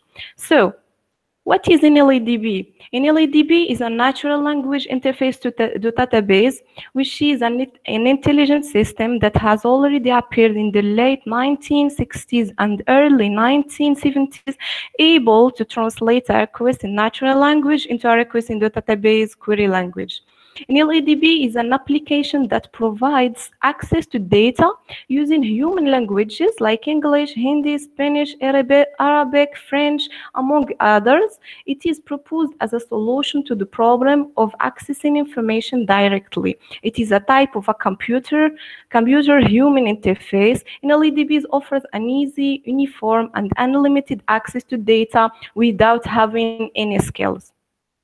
So the main advantages of NLEDBs are absence of artificial language means that uh, NLEDB systems allow user to access the information stored in a database using queries written in natural language very easily.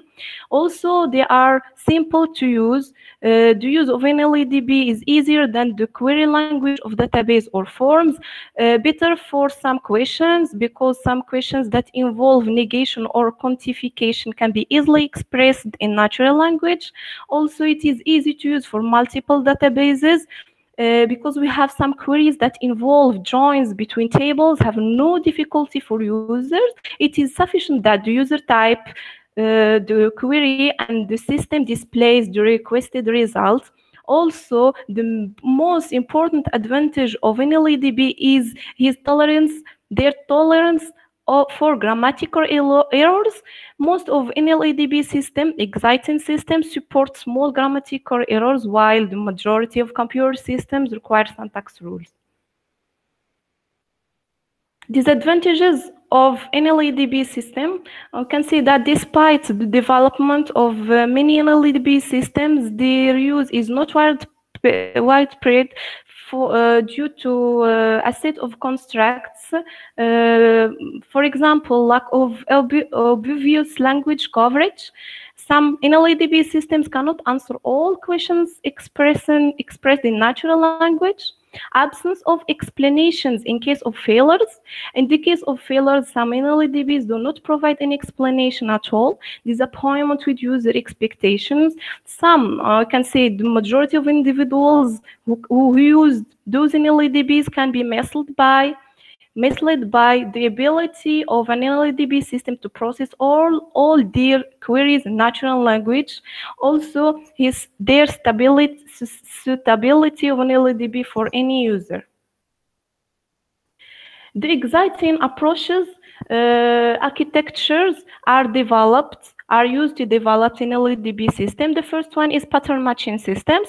Pattern matching systems is appeared in the late 60s and early 70s, it, use, it uses the language based on the structure of the, the uh, language. No, sorry, it uses the formal list processor language based on the structure of the list processing language. It creates a query in NLEDB from an, an entry corresponding to a, a predefined model using a set of rules Many NLEDB systems use pattern matching systems because of its simplicity to map user inputs expressed in natural language to a query in database query language. These systems often manage to find reasonable answers to user requests, but they are limited just to a specific database. One of the best systems based on this architecture names ELIZA. The second architecture is syntax-based systems. In syntax-based systems, the natural language query is parsed syntactically, and the resulting parse entry is directly mapped to a uh, database query language expression. These systems are grammatical rules that describe the different possible syntactic structure of queries and the lexicon of words that may appear in the user queries. The main advantage of this approach is that it provides detailed information about sentence structure, words, grammatical function, the relationship between these words, and how those sentences can be grouped to form more complex sentences. The best known syntax-based NLEDBs in the, in the literature is Gunnar.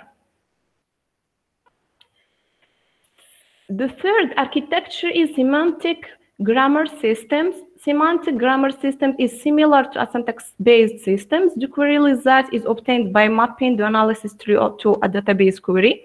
The basic idea of such a system is to simplify the analysis tree as much as possible by removing unnecessary nodes or combining some nodes. But the main disadvantages is that the analysis tree in this system has specific structures and node labels, which makes it uh, useless for other applications Many NLEDBs such as planes, ladder, and are based on this architecture. Also, we have intermediate representation languages. Uh, those systems were proposed because of the difficulties of translating user queries expressed in natural language directly into a database query language.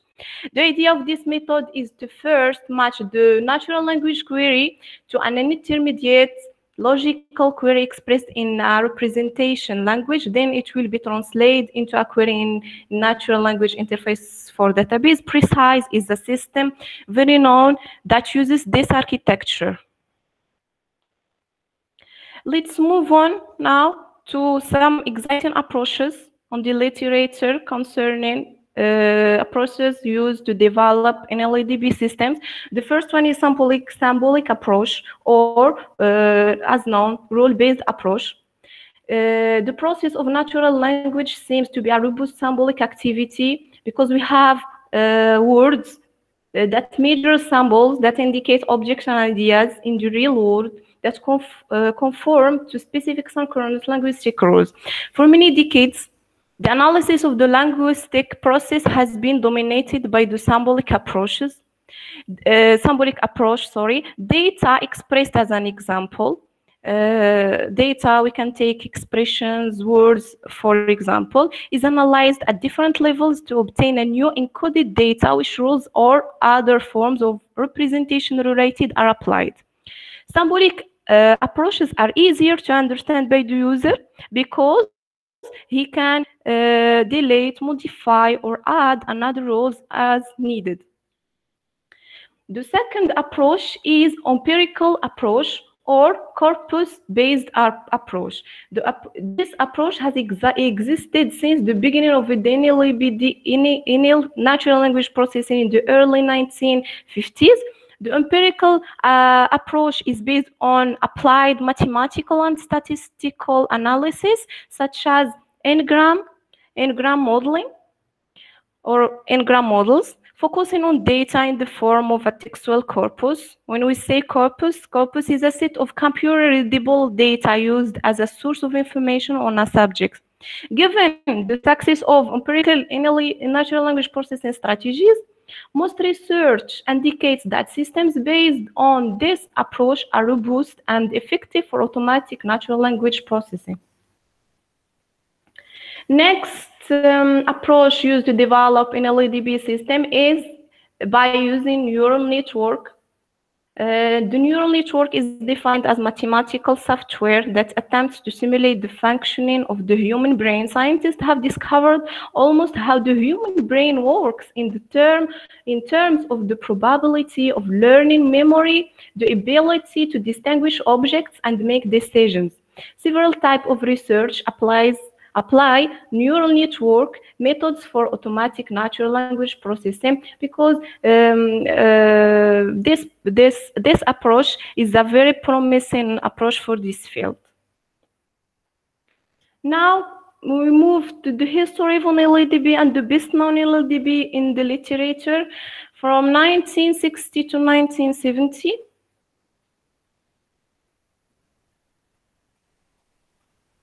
Over the past 50 years, many attempts have been made to create intelligent natural language interfaces for query databases.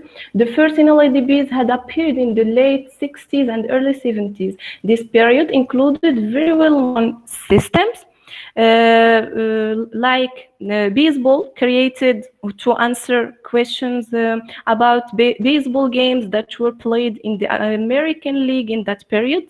Loner, it managed to answer 80% uh, of the proposed queries without any errors.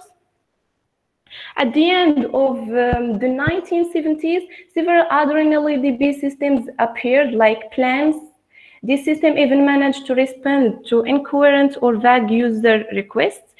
Uh, or later, it uses semantic grammar systems to analyze and then respond to user requests and the rendezvous system developed at the IBM laboratory to help users to ask or formulate their requests in case of, of ambiguity for analysis. Now let's move Khadija, on. Uh, Ms. Khadija, I am, I am sorry Yes. to interrupt you, but you have just uh, uh, two minutes uh, to left to finish your Okay, so yeah, we have here uh, also, yeah, I will. Uh, others, other NLADB system develops, but the problem here is that these systems are dependent on the database domain. It can only uh, be used for a specific database domain and could not be easily config reconfigured for use in other area of databases. After 1990, 90s, there are uh, so many other NLADBs to try to, to, to solve this problem. Here are the examples of those NLADBs. So many examples. So based on based on uh, this this literature review, we can classify the natural language interface to databases based on uh, some characteristics.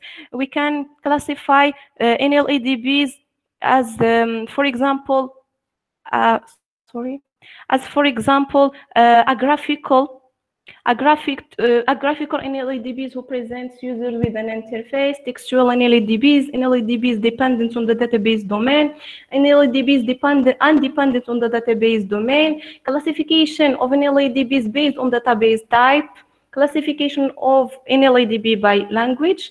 As a conclusion, we can say that NLADB allows us to translate a natural language query often used by non-technical users into a database query language. Generally, several NLADBs have obtained encouraging results, although the majority of them have been developed so far for a specific use.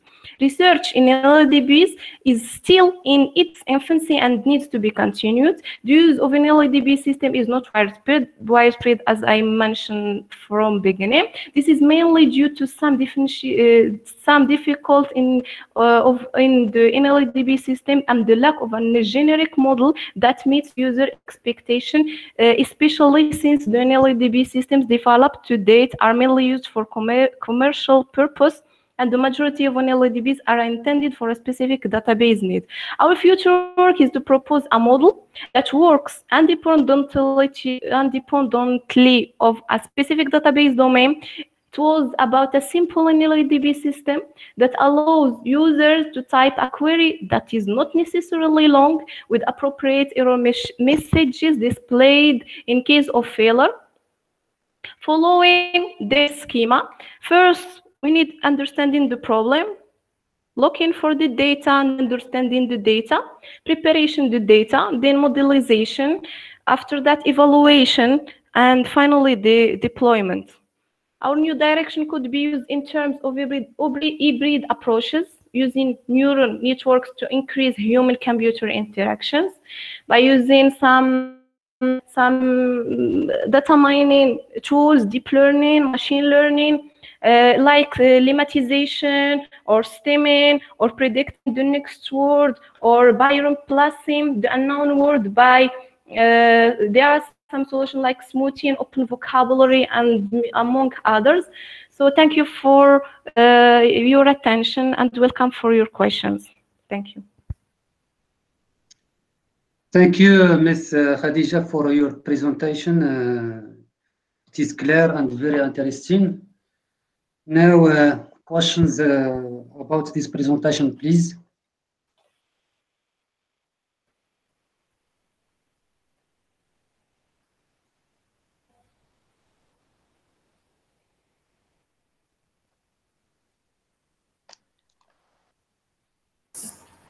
Yes, Mr. President. Yes, uh, Hamid Access, you can ask your questions. So, firstly, thank you for the presenter of this great presentation. So, I have a question regarding the input language of the of an NLADB system.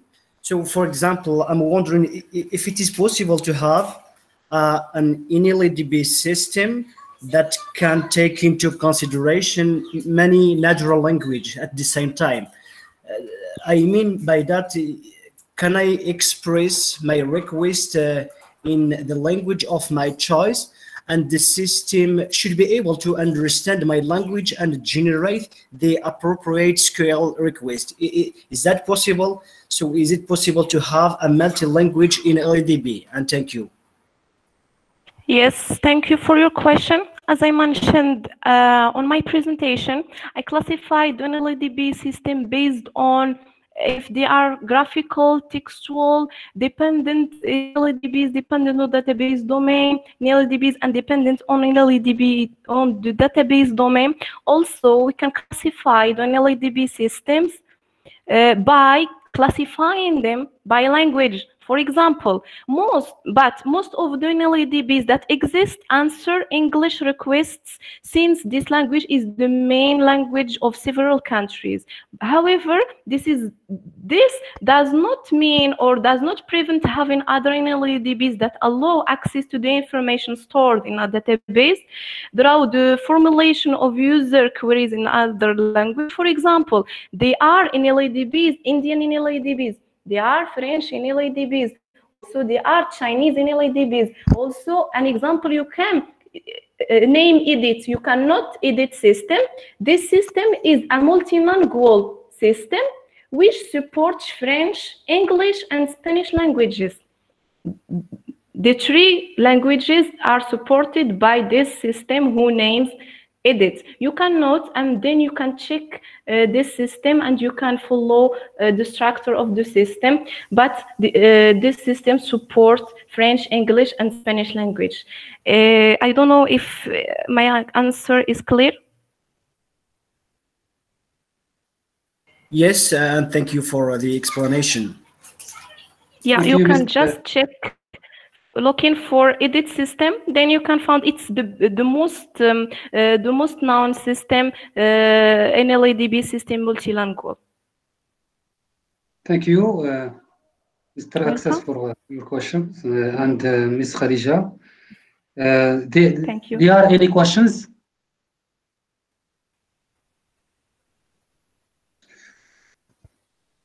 Uh, so I have a question uh, I'd, I'd like uh, to ask you, Ms. Khadija. Donc, uh, yes could you give us some uh, details about uh, ELISA database? sorry ELISA database, more the details. yes okay yeah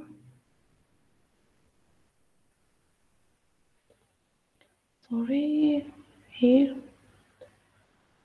There are a lot uh, of so i can't remember all all the systems so i need to to to check about this system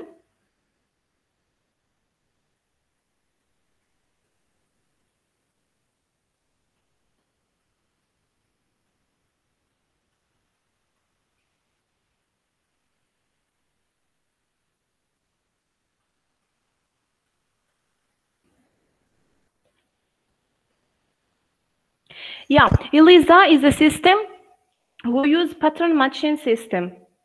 Means it take uh, a, query, uh, it, it, it take a query uh, expression in natural language by using a formalist processor. It's a language specified to this uh, to this architecture then it this this uh, then it creates a query from a known tree to a predefined model. Means that they specify some rules depends on their models okay that are specified to uh, to the, the the type of, of questions are but the problem with this this uh, this uh, system is not uh, it's not we cannot uh, find or often manage some answers to user because they are specific, specified to a database.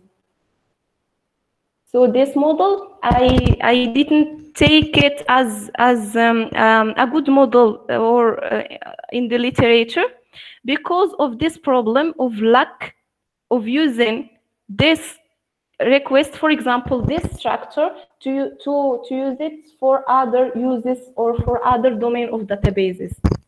It only depends on the system that they use.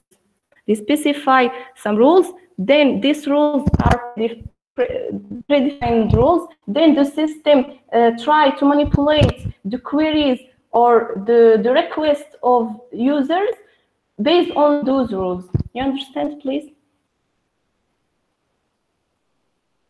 Yeah, yeah, it's, it's enough uh, for me.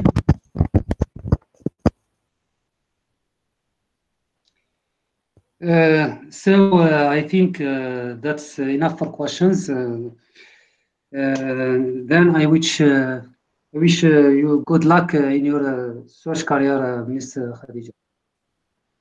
Thank you so much. So we can move to the next presentation. Is um, Mr. Bouchama Al Hussein here?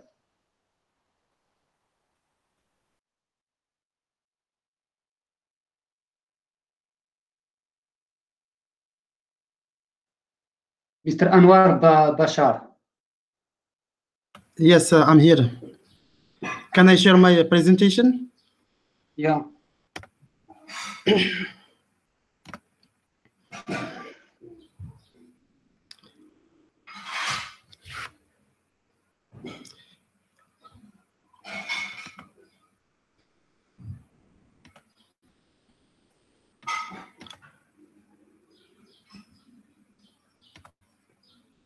Is uh, my presentation is uh, visible? Can you see my Yes, presentation? Now My- it's uh, Clear? there. Yes, thank you. Full, full screen. Uh, Wow, yes, yes. Right now.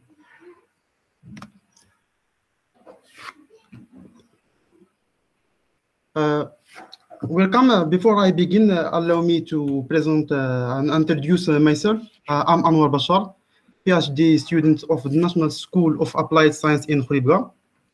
My uh, presentation is about the research work uh, on the topic uh, an intrusion detection method using a binary classification model. My plan for this presentation is as follows. First, I start with an introduction. Then I'm going to show you the concept of an, an IDS. Then I will present uh, our uh, proposed model. Finally, the results uh, obtained by our model and the comparison with other research. Uh, currently, the use of uh, computer network services have become necessary in most sectors of human activity, from personal use to professional use. But these networks are subject to several threats, sometimes very expensive and dangerous. There are traditional tools to protect our networks, such as antivirus, firewalls, encryption techniques, but these tools are unable to fully protect network. The implementation of a second line of security is necessary. This is an IDS, the subject of our works. First, what is an IDS? An IDS is a mechanism for monitoring network activities to detect potential threats to data integrity, accessibility, and confidentiality. An IDS can be placed in several locations in our network, and each location has, uh, has its own advantage and disadvantage. For example, if we place uh, the IDS upstream of uh, the firewalls, uh, the IDS will effectively detect the external threats, but may generate a very high number of alerts because the traffic is not unfiltered by the firewall. If it is placed between the DMZ, the DMZ the area and the firewalls, uh, it will generate a fewer alerts.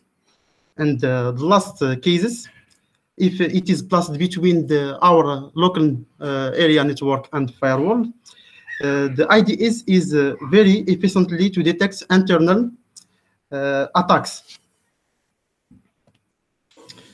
The other classification for IDS is uh, the uh, detection method.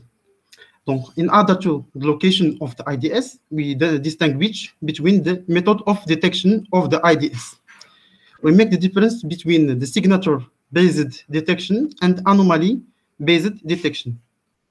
So for uh, the signature-based IDS detection, intrusion following a signature already known to do this very powerful for the de detection of classical attacks, so the known attacks.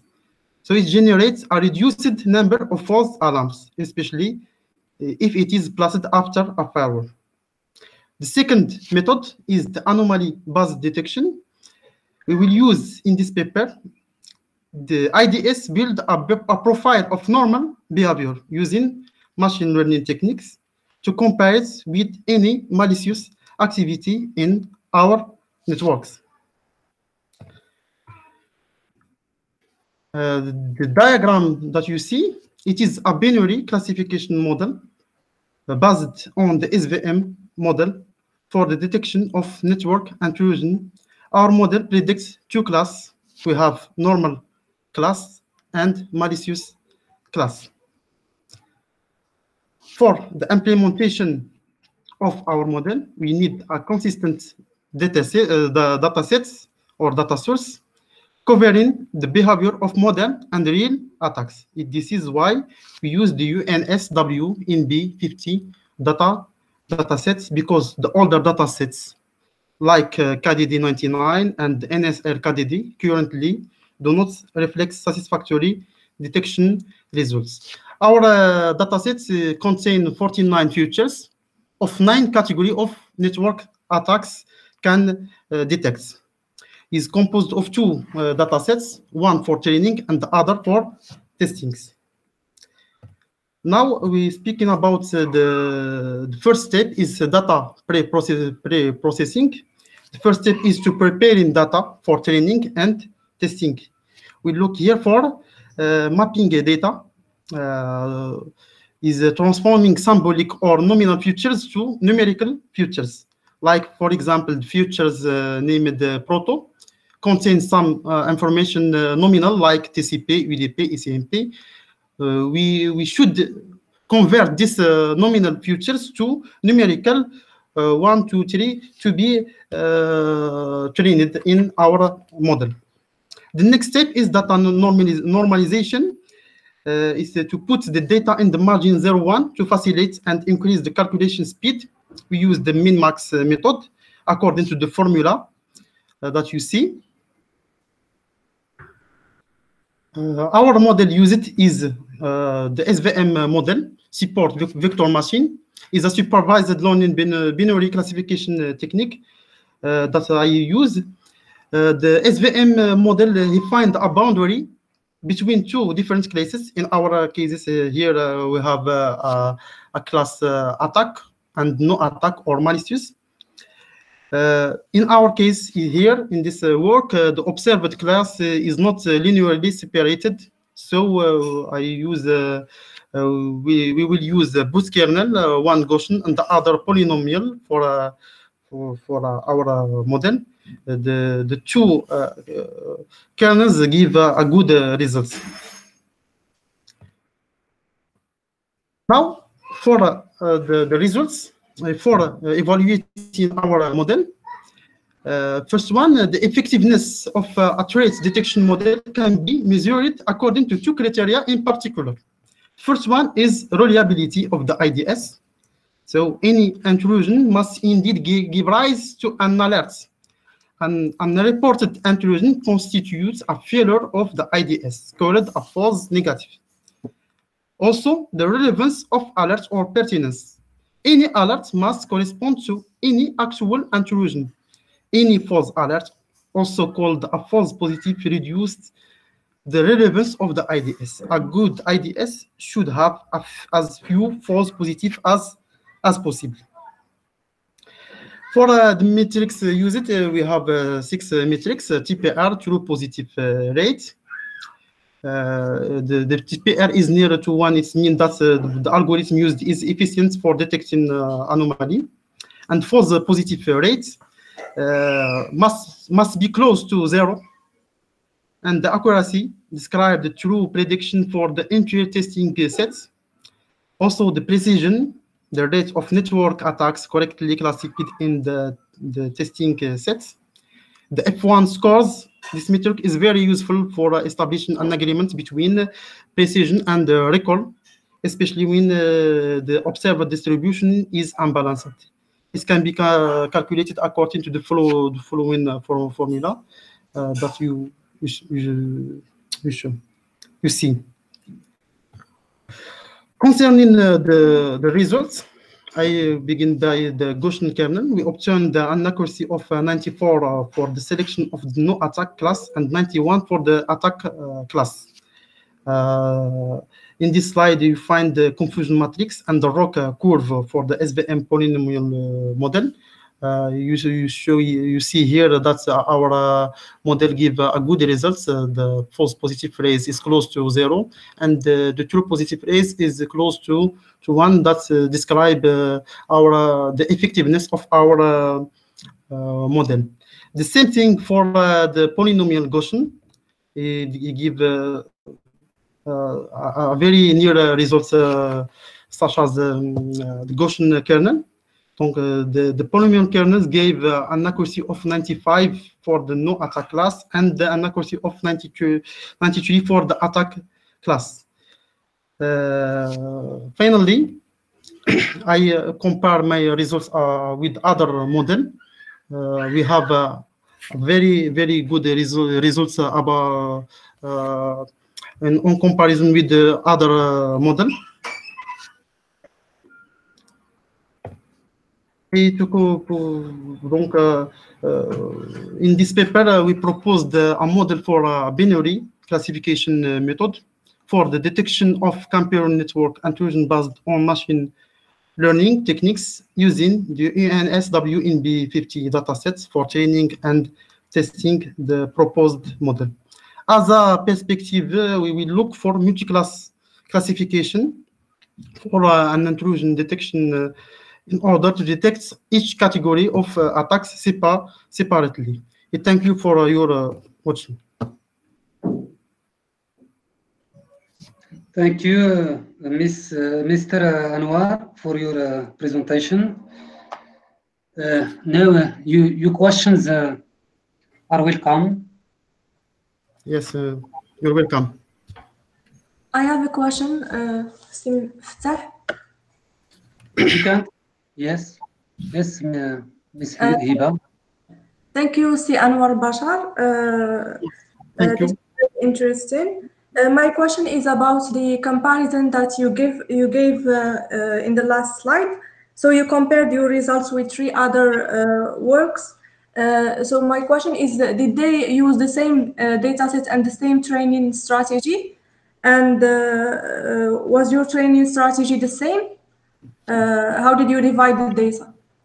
Yes, uh, of course, uh, the, the tree model uh, proposed here in this uh, comparison use the same uh, data sets, the UNSW in B15. Okay, uh, but did, uh, did you use the same uh, training strategy? Yeah, uh, there are a, a different model here. I use the support vector machine. The, the other uh, works they use uh, other other machine learning techniques. But I'm looking for just for uh, results. Okay, uh, so I'm talking about uh, how did you divide the data? So did you use a random split, 80-20, or did you use cross-validation? No, no, the, the data set is uh, is is already uh, splitted. Uh, the, the, the, like uh, as uh, I uh, uh, speak about the the, the UNS, UNSW in B50 contain two two data sets, one for training and the other for testing. And they used the, the same uh, splitting? Yes, yes, Uh, of course. Okay, that's it. That's my question. Thank you. Yeah, very good. Thank you. Uh, there are any questions, please?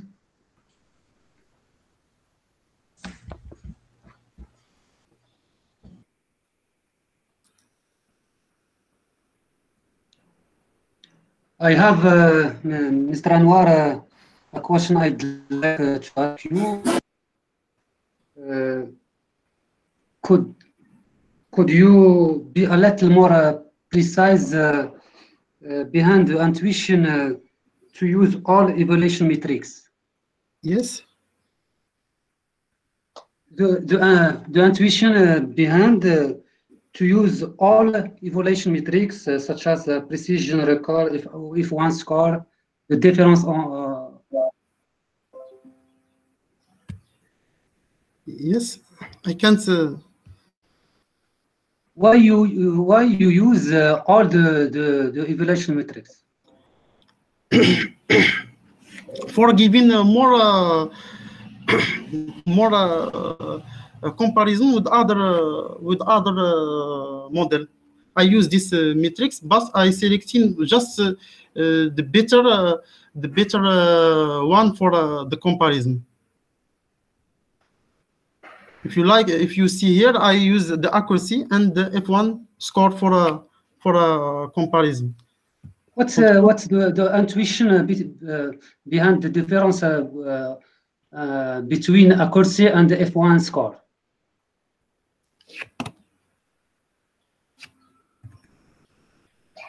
Uh, the F1 score is for unbalanced data.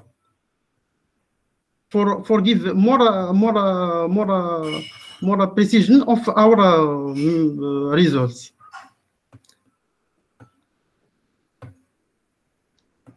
The accuracy is described the true prediction for the entire testing set, but the, the F1 score is very useful for for uh, for uh, an agreement between the precision and recall. So the, the F1 score is the, the best uh, uh, metric for evaluation. Thank you. There are any questions?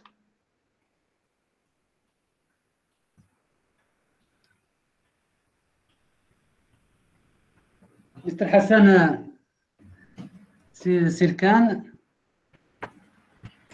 I would uh, like to switch uh, to you to chair uh, the next uh, session. Thank you very much, Prof. Abdel Fattah. Donc, next uh, Thank you, Abu. presentation. Are you? Hello. We thank you very much, Prof. The next presentation is uh, an overview of reg- regression algorithm application to the climate change. The presentation of uh, El Mahdi Rouahi. Uh, yes, good morning. Good morning. You have you have 10 minutes to present your Okay. your work.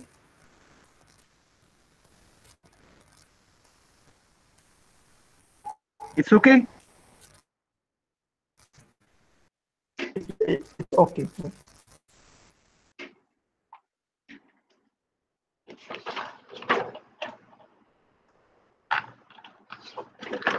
Ladies and gentlemen, good morning. My name is El Mehdi Rouhi, PhD student, uh, first inscription in Shuaib Dukali INSA School, Laboratory of Information Technology, El Jadida, Morocco.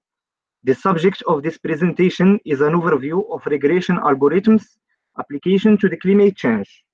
This work as realized by Rouhi El Mehdi, Professor Lashgar Mohammed, and Professor Qartit Ali. And this is presented by The presentation plan is organized as follows. Firstly, introduction. Secondly, studied algorithms. Then simulation result. Next, discussion results. And finally, conclusion with the, with the future scope. Introduction. The evolution of artificial intelligence and the concept of machine learning integral with the Internet of Things, IoT, allowed researchers to apply these techniques in, to develop the agriculture. This helped farmers to increase their productivity, to use the maximum of available land, and to optimize the use of water resource for irrigation. Problematic. Specific water requirements for different weather conditions during the growing period define the exact amount of water that should be used for irrigation. These systems must analyze different type and very large volume of data.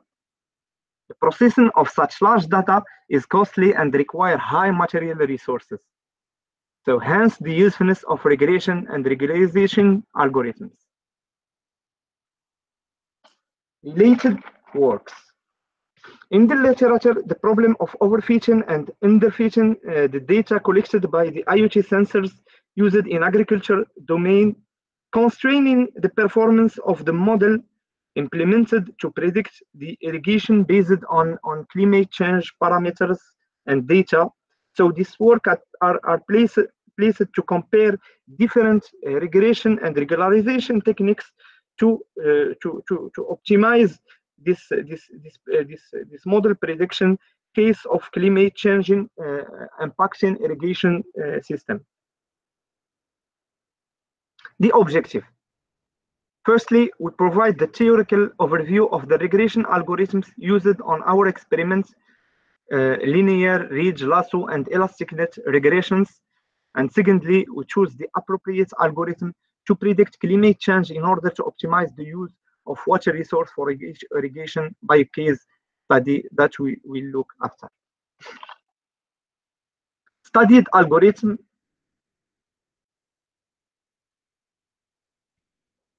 Regression analysis is the statistical method for predictive modeling, and it is one of the most commonly used methods in many scientific fields, satisfying the assumptions such as collinearity between variables ought to be a significant issue in regression, and are methods designed to overcome such a problem.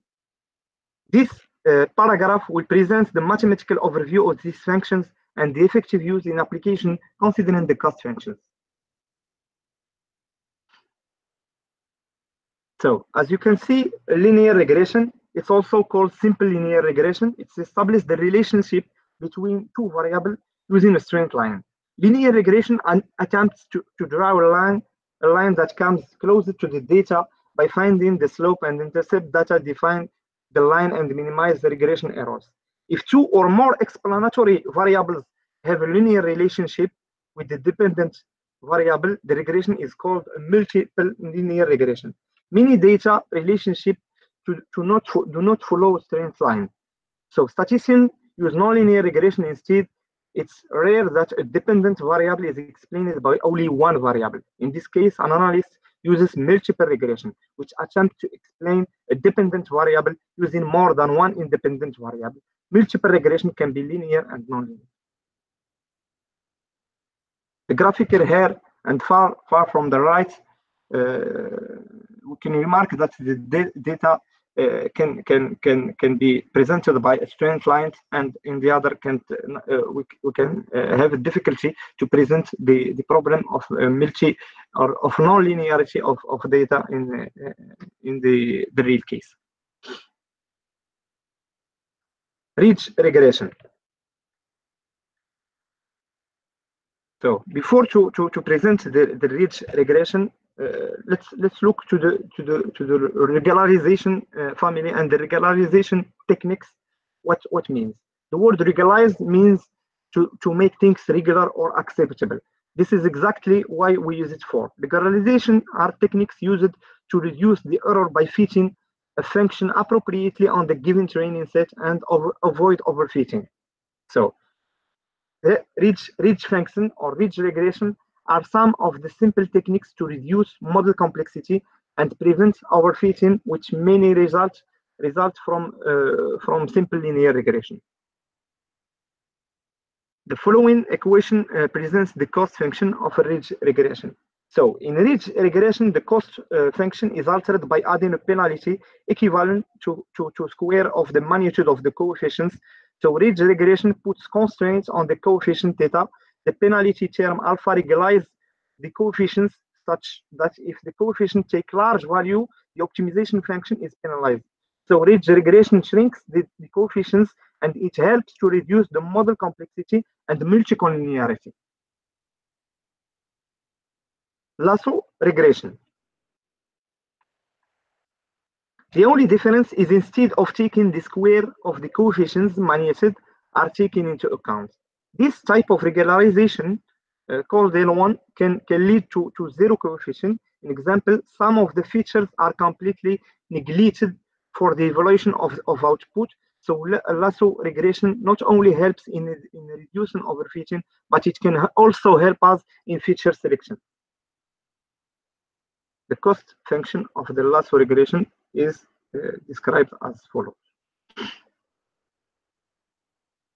Elastic net uh, regularization, uh, which can be translated as elastic net X, is a compromise between ridge and lasso. The regularization temp is simple, a simple mixture of the regularization terms of these two regression and mathematically is presented with the cost functions uh, you can see below. And we can find uh, the, the, the, the functions uh, that uh, we see before uh, in ridge or lasso by changing the value of parameter alpha. Use, use case.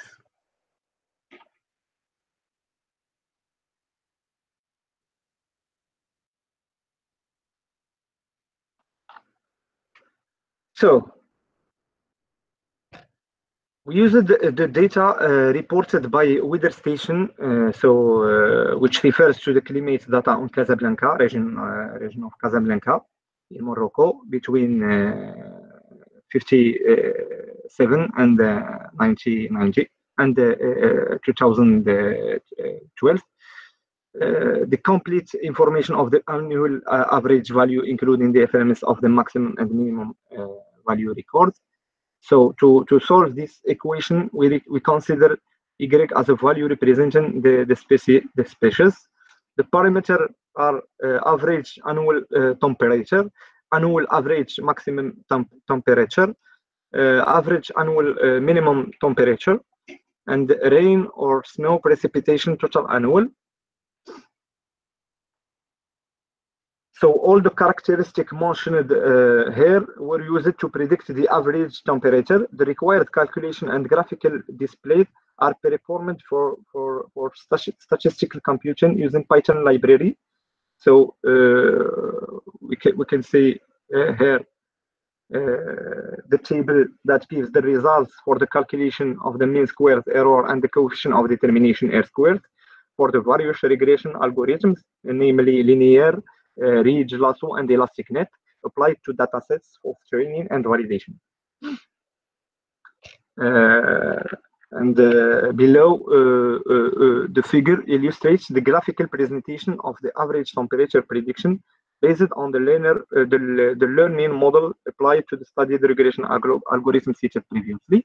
As we can see on the small quadrant here on the red quadrant, uh, we have a small uh, slope for the straight lines of uh, of linear ridge and and lasso regressions. And uh, we can we can see that there is there is not a, very uh, visual difference uh, from between ridge and re linear regression. But in, in in in details we can we can see that that for regression uh, reg ridge regression we have uh, uh, it it outperform outperform the the other regularization techniques and and have a small a small difference between with with linear regression. The results obtained on on the training uh, data, data set for ridge regression and are slightly similar to linear and indicates an R squared Uh, equal to, to 81.05% and the mean squared equal to 0.36. So the ridge perform better because there are many large parameters of about the same value and the most predictors mentioned, mentioned above in example precipitation and wind speed impacts the response of average temperature. So conclusion, uh, the regression and regularization uh, analysis shows that ridge algorithm make a compromise between the simplicity of the model coefficient to close to zero and the non-collinearity of the independent variable like precipitation and wind speed.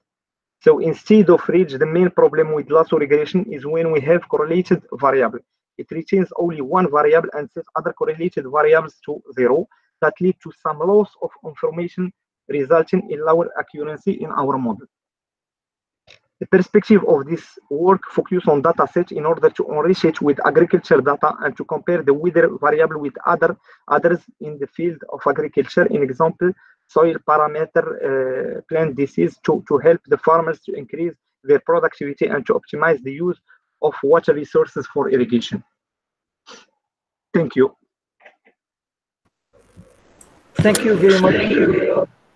Thank you very much, Mr. Mehdi, for the presentation. Yes. Okay, if there are Yes. questions, Dear Hassan, I have a question. yes, it's Ibrahim. Thank you, Sir Hassan. Thank you. Congratulations, uh, Mr. El Mahdi, for your presentation. I'd like you have made a comparison between different model, uh, linear regression, lasso, and others. A question about the model, the order n. When we we do the initial model y hat equal theta zero plus theta one x1 plus son until theta n xn. How? How do you choose n? In your study case, you, you chose n equal to 5. Why did you choose? Did, did you try n equal to 4, n equal to 3 to see what is the, the best choice for n?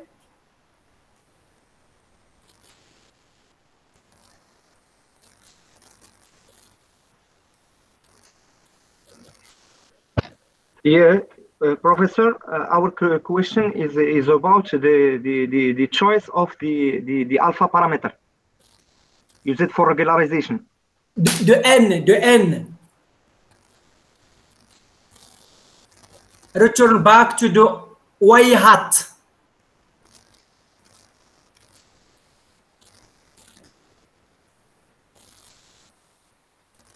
Before, before,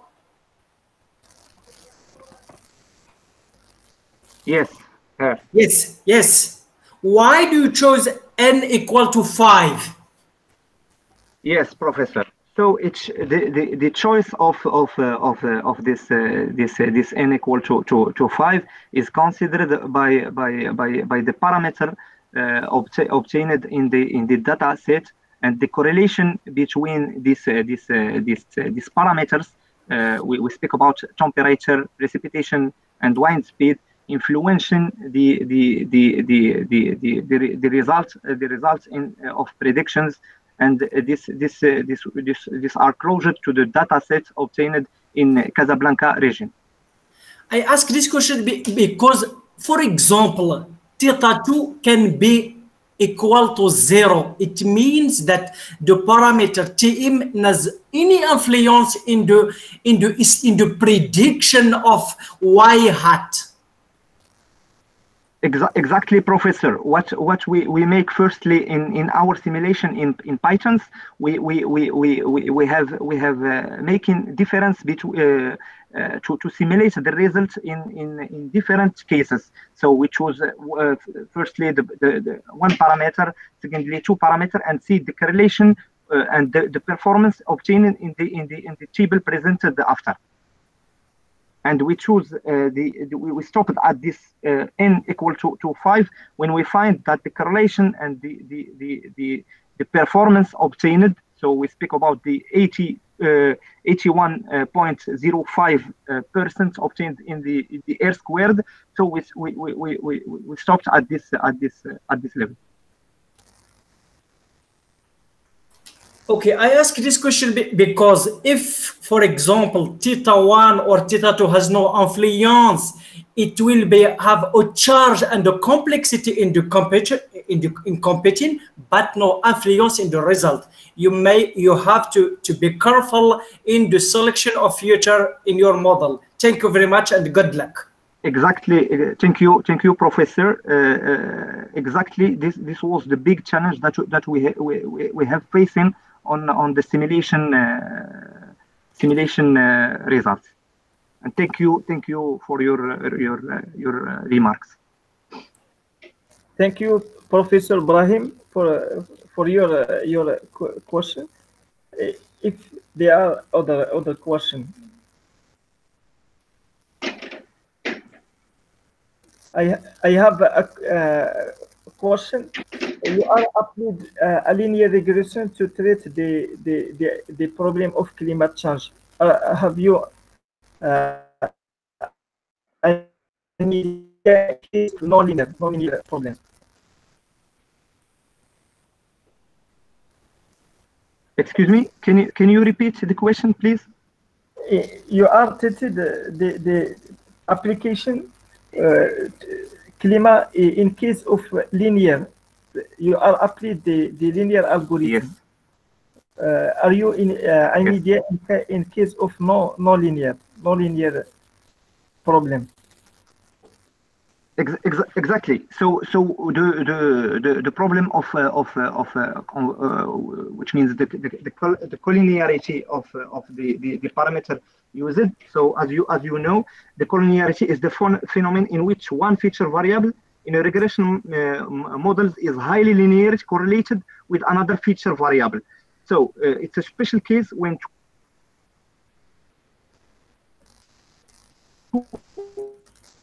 Mr.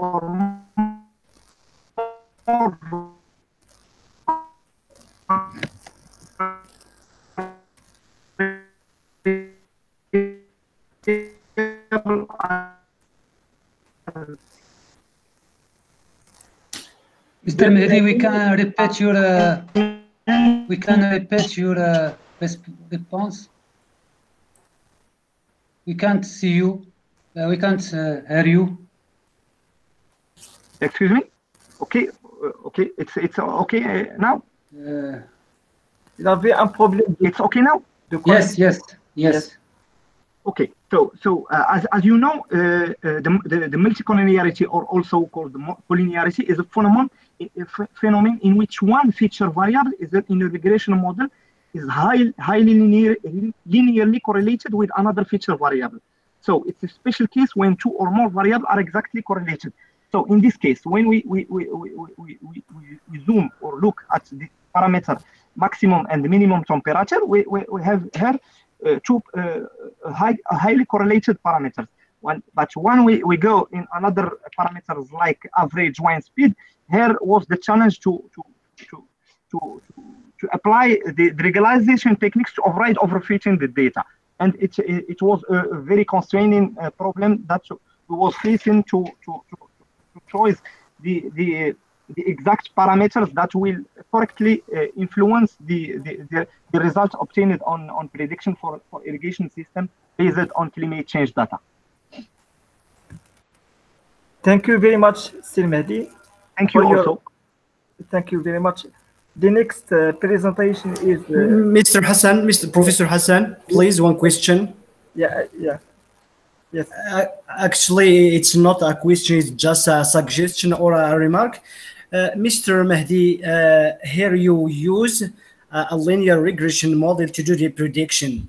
Uh, I- I would like to know if you if you didn't think about using neural network in order to do the, the same. I think if you use neural network to because neural network can do the same as you did with the linear regression model and i think the result and the accuracy of your model will be uh, good Uh, did you think about using neural network or no Yes, pro- professor. It, it, it, it will be a perspective of this of this work to to to to, to use the neural network and to challenge the, the to challenge the results obtained in in, in this regularization analysis using uh, linear regression and uh, and uh, in integrating other other parameter influencing the irrigation system. So your your remark will be will be for, highly considered in in the perspective work.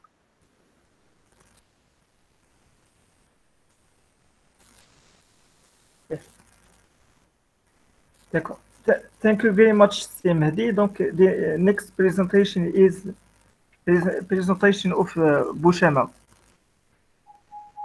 Uh, excuse me. Hello, everyone.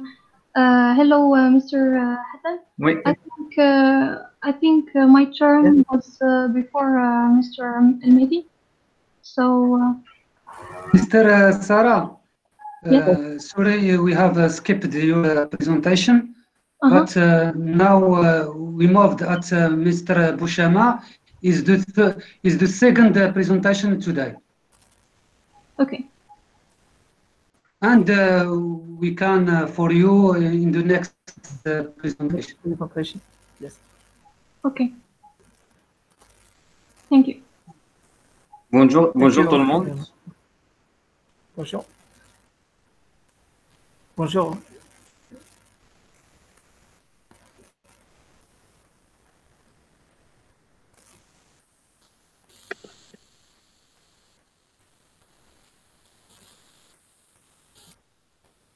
Vous recevez, vous recevez mon écran, s'il vous plaît?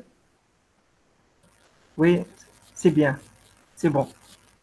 Ok, euh, bonjour tout le monde. D'abord, euh, je remercie euh, le comité organisateur de MITA, ainsi que cher modérateur, euh, ainsi que les, les conférenciers pour leur conférence assez bénéfique pour nos, nos domaines de recherche. Donc, l'intitulé de, notre, de, de, mon papier, c'est The Application of Data Mining Techniques in Employment of University Graduates, a Systematic Literature Review. ce travail-là été réalisé par, va être présenté par moi-même et supervisé par euh, mes encadrants Anis Momen et Younes Bouskri Idrissi. Euh, premièrement, on va présenter notre plan de travail. Donc, euh, en premier lieu, nous avons l'introduction. Deuxièmement, la problématique et objectifs. Euh, troisièmement, notre méthodologie de la méthodologie suivie. Et en quatrième, nous avons les discussions et la conclusion. D'abord, on va mettre l'accent sur l'état des lieux de l'employabilité au Maroc. En fait, l'enquête emploi HCP montre que depuis 2006, la population la plus active est celle ayant un, celle ayant un diplôme niveau supérieur, ce qui nous mène à conclure que les Marocains ont tendance à être bien instruits et avancés dans leurs études. Deuxièmement, lorsqu'on met l'accent sur le taux de chômage, on trouve que le taux de chômage, selon le diplôme et au niveau national, révèle la tendance d'avoir des niveaux d'éducation supérieure n'engendre pas positivement une bonne insertion au marché du travail. Cela est manifesté par le haut taux de chômage qui accroît significativement quand le niveau de diplôme augmente. Donc euh, maintenant, c'est pour, pour cela on va de, notre étude, on a choisi les techniques de data mining qui ont qui ont qui ont prouvé leurs efficacités dans la résolution de plusieurs problématiques. Et c'est quoi d'abord les techniques de data mining? Ce sont c'est l'ensemble des techniques utilisées pour euh, la découverte des données qui, qui visent à obtenir des effets bénéfiques euh, qui se cachent derrière les, les de, data, c'est-à-dire les données, pour atteindre des objectifs. Donc, c'est pour cela on trouve que les techniques de data mining, en premier lieu, se divisent en les techniques de vérification et les techniques de, découverte, qui se divisent à leur tour en techniques de description et en techniques de prédiction, qui peuvent être scindées à leur tour en méthode de classification et méthode de régression. Donc, la, comme problématique objectif de notre travail, on cherche les facteurs affectant l'employabilité de lauréat universitaire, comment les techniques de data mining peuvent aider afin de définir les profils des lauréats employables, quels sont les types de données des lauréats analysés par les techniques de data mining dans la littérature. Pour atteindre et trouver, euh, répondre à notre euh, objectif, nous avons choisi comme mots-clés dans notre recherche data mining, employment, university graduates. Et comme database de recherche, nous avons choisi comme les fameuses bases données indexées, à savoir i3 Explorer, Web of Science, revue imis.ima pour les, les recherches marocaines, Scopus, Springer et Science Direct, pour atteindre enfin 172 références. Et pour les champs retenus, donc, que nous avons retenus, ce sont les auteurs, les résumés, l'année de publication, type de référence, le journal de publication, l'éditeur et la base de données. Et pour euh, rassembler nos références, nous avons opté pour l'outil euh, logiciel Zotero. Après avoir collecté toutes nos bases de référence, nous les avons exportées en format RIS pour les analyser, pour les analyser ensuite par l'outil InVivo. Parmi les premiers résultats qu'on trouve, on trouve que le, nombre de, réf, références selon les bases de données scientifiques, euh, les, bases données, les trois premières bases de données avec les plus de références qui répondent à nos critères de recherche sont respectivement SIOS Direct, Scopus et avec des références de 58, 38 et 35 articles. Euh, comme vous voyez, le lignage du mot illustré a été obtenu après l'analyse des résumés et des références collectées. Les mots qui apparaissent au premier rang sont respectivement le data, le data, data mining et employment. La même chose a été est manifestée dans l'histogramme devant vous. On trouve toujours le data avec euh, une occurrence de 626, mining 363 et employment avec 319 occurrences. Et sur le top des, articles, journaux dans lesquels on a trouvé une, référence, on trouve E3 Access, la Revue marocaine des pensées contemporaines, critique économique, et etc. Et donc, euh, en premier lieu, nous avons choisi quelques papiers qui se trouvent au plot en tête des sujets de data mining. Euh, en premier lieu, c'était un papier euh, baptisé Predicting IT Employability Using Data Mining Techniques, euh, qui a utilisé comme technique de data mining euh, Logistic Regression, avec un résultat de précision de 68, 78 plutôt, 4, et la technique, la, la, la dataset manipulée est de taille 515 éléments. Et la, variable a expliqué, c'était le statut employability. Le deuxième papier, c'était Formalistic Modeling Based in Pattern Recognition Applied to Knowledge in the Human Talent Sector in, in Equator. Et comme la, la dataset euh, analysée est de, est de taille de 2 3, 373 675. Et comme technique de mining est choisie, c'est TK-means algorithm a priori. Et la variable à, visée par l'explication, c'était l'activité économique. Troisièmement, c'est Study on Data Mining with Decision Tree Algorithm in the Student Information Management System. Euh, et la taille du dataset est choisie, c'était 330 éléments euh, en utilisant des techniques de Decision Tree, notamment C4.5 algorithmes. Et ils analysent l'employabilité des lauréats. Euh, quatrième moment, c'est plutôt un nouvel multidimensional professional evaluation model euh, qui ont choisi comme, qui ont, qui ont proposé un modèle euh, utilisant le logistic regression pour la prédiction et decision tree pour la classification et qu'ils ont, ils ont comme, comme cible de, variable à expliquer, c'est le professionnalisme des lauréats. Et cinquièmement et dernièrement, c'est data mining for an employment prediction using Research Engine Data. Et pour euh, cela, comme méthode proposée dans nos modèles, c'est Neural Networks euh, et Support Vector Regression. Et la variable à expliquer, c'est le taux de chômage. Pour euh, les, les champs marqués comme not appliqué, c'est-à-dire on ne trouve pas des données concernant si de soit le dataset n'était pas spécifié ou bien la précision n'était pas spécifiée dans nos papiers analysés. Euh, on passe maintenant aux articles les mieux classés dans le sujet de l'employabilité. Le premier, c'était de, des auteurs Tommy Starrat et Predict Eriks en 2019. Et l'objectif de l'étude est la mise en place d'une plateforme de traçage de carrière pour, dont ils ont rassemblé les offres d'emploi en ligne afin d'acquérir des compétences et de les catégoriser à partir des données brutes. Euh, et c'est pour cela les les auteurs ont choisi la méthode de text mining euh, pour analyser et catégoriser les compétences euh, euh, récoltées.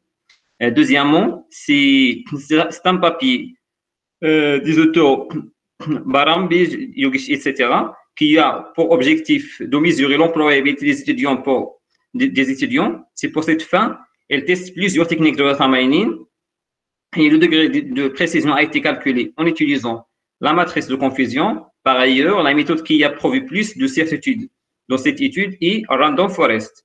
Et troisièmement, et, le papier qui a pour objectif euh, de, concevoir une application mobile nommée JobSense pour aider les demandeurs d'emploi et les coachs de carrière à explorer cette base de connaissances riche, qui est riche en fonctionnalités innovantes, adaptées aux utilisateurs pour avoir et pour avoir la base de connaissances, les auteurs explorer données des OPN, des OPN, à savoir LinkedIn, qui sont les Online Professional Networks, et les traiter via les techniques de deep learning. Finalement, nous avons fait une étude spécifique pour les papiers marocains qui traite la, cause de l'employability. Euh, le premier, c'est euh, les, chercheurs Morgi et Ngorj qui ont fait une étude dont l'objectif d'analyser les facteurs qui impactent l'insertion professionnelle des diplômés de l'enseignement supérieur, cela à travers une enquête menue sur un échantillon de 3994 diplômés. L'analyse qui a été faite via l'homme de durée montre que plusieurs facteurs favorisent l'accès au marché du travail, à savoir le suivi des études en sciences mathématiques et techniques en secondaire qualifiant, qui donnent accès à des formations sélectives. Ainsi, la maîtrise des langues apparaît comme un facteur déterminant dans les décisions d'embauche des entreprises. Le deuxième papier, c'est le papier de, des chercheurs Issabar et Saïd, qui ont choisi un échantillon de 700 diplômés qui ont décroché un emploi pour montrer que le soutien social au milieu professionnel par, le, par les supérieurs hiérarchiques ainsi que par les pairs influencent positivement l'employabilité des jeunes.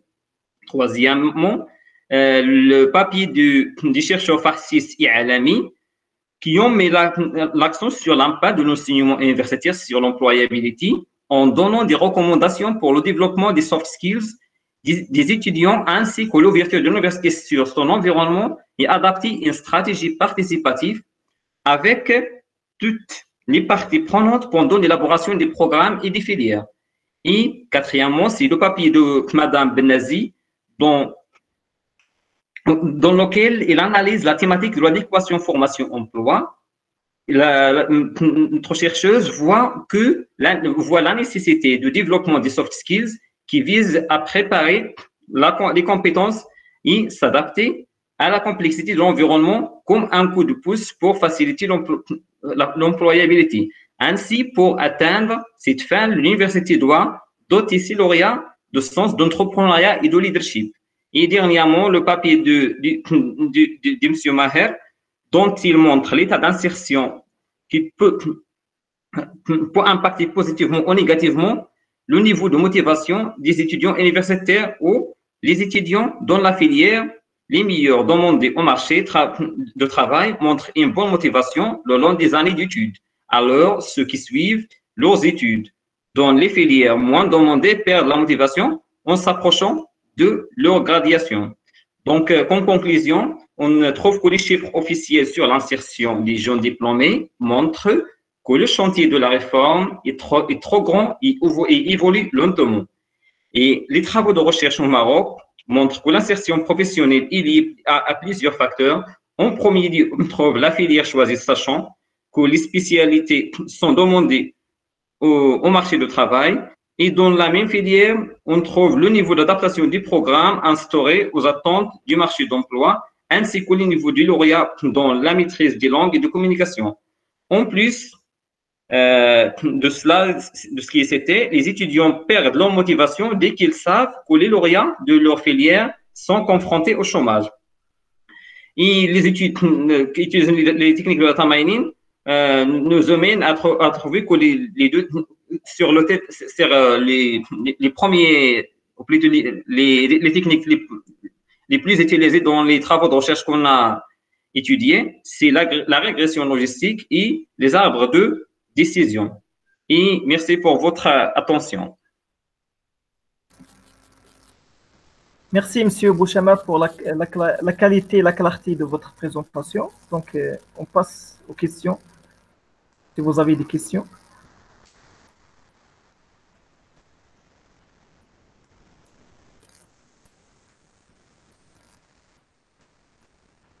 D'accord. Moi, j'ai une question concernant euh, les données sur lesquelles vous avez travaillé, est-ce qu'elles sont accessibles? Vous m'entendez? Les données sur lesquelles vous avez travaillé sont-ils accessibles?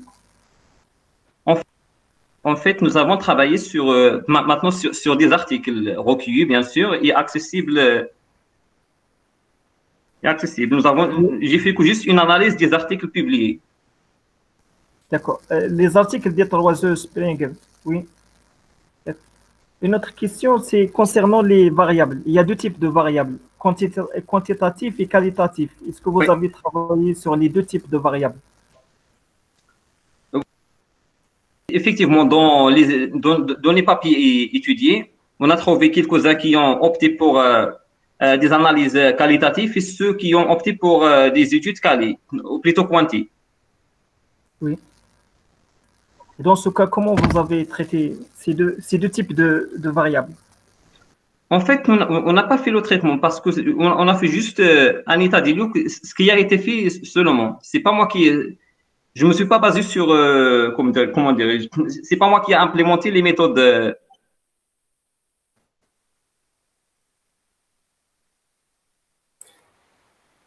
C'est Hassan. Oui, je ne sais pas ce que vous me comprenez, monsieur, monsieur Sil- Silkan.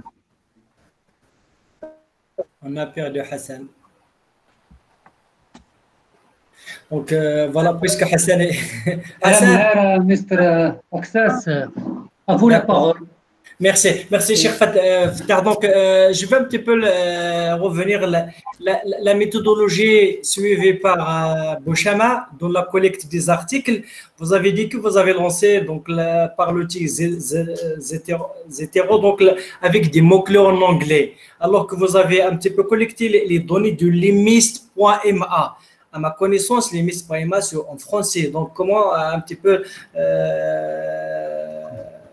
comment vous, vous avez pu résoudre le, problème? Ah, en fait, euh, pour les miss, j'ai oublié de, lister, j'ai travaillé en français, bien sûr. Mais lors de l'analyse sur InVivo, on a travaillé sur euh, les comment dirais-je, sur, euh, par exemple, pour euh, l'employ- l'employment et employability, on les affectait à une seule variable. Comme ça, pour euh, avoir la- euh, les mêmes, les, les articles sont catégorisés dans, dans- dans des mêmes catégories. Donc, pour la base de données IMIST, j'ai j'ai travaillé en français plutôt. D'accord. Merci. Il n'y a pas de souci. Je vous, je vous Donc, euh, on passe à la présentation suivante. Next presentation.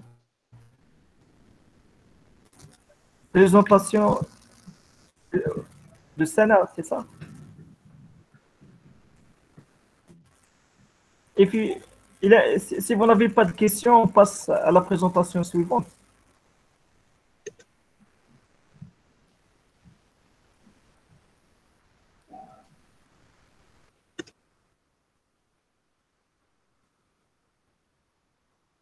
Ok, so, euh, euh, bonjour tout le monde. Euh, je peux commencer? Oui. oui, oui, oui, Sarah. Ok.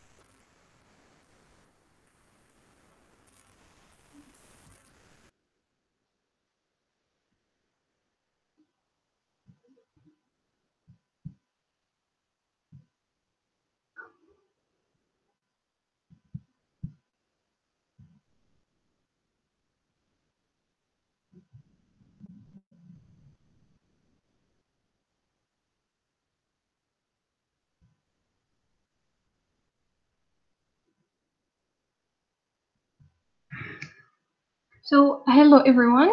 I'm uh, Sarah Benjeloun, uh, a big data engineer PhD student in my first year in uh, Mohammed bin Abdullah University uh, at the Seizure Laboratory. So, uh, I'm going to present to you my uh, first state of art uh, work entitled Big Data Processing, Batch Based Processing, and Stream Based Processing. To start, um, here is the plan. First, I'm going to introduce to you the big data topic in general and my subjects of study in particular. And after that, we will see an overview of the two processing types studied, uh, studied uh, namely batch-based and stream-based processing. In the next sec- section, we'll dive into each of them and finish with the comparison. And uh, finally, we'll conclude the presentation with a sum up and some perspectives.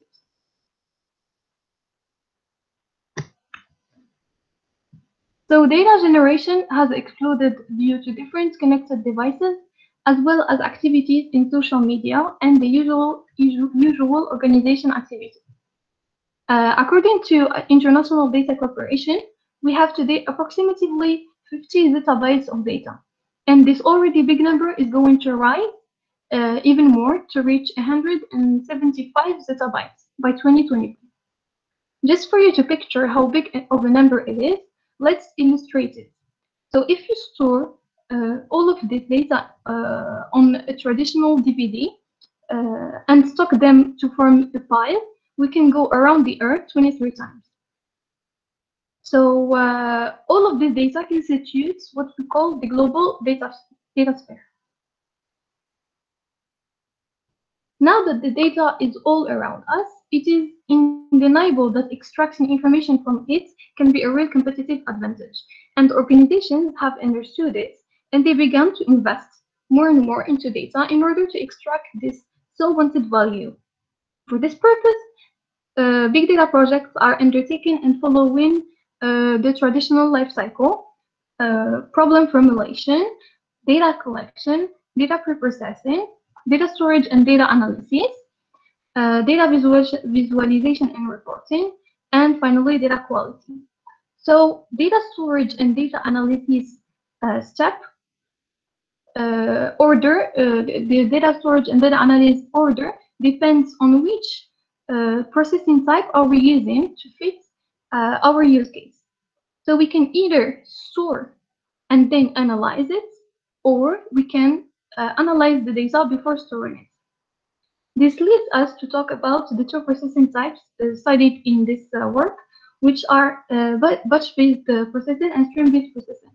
Well, in uh, batch processing, it is normal to store the data after its collection and then analyze it. While in streaming processing, the data is, is analyzed before before being stored.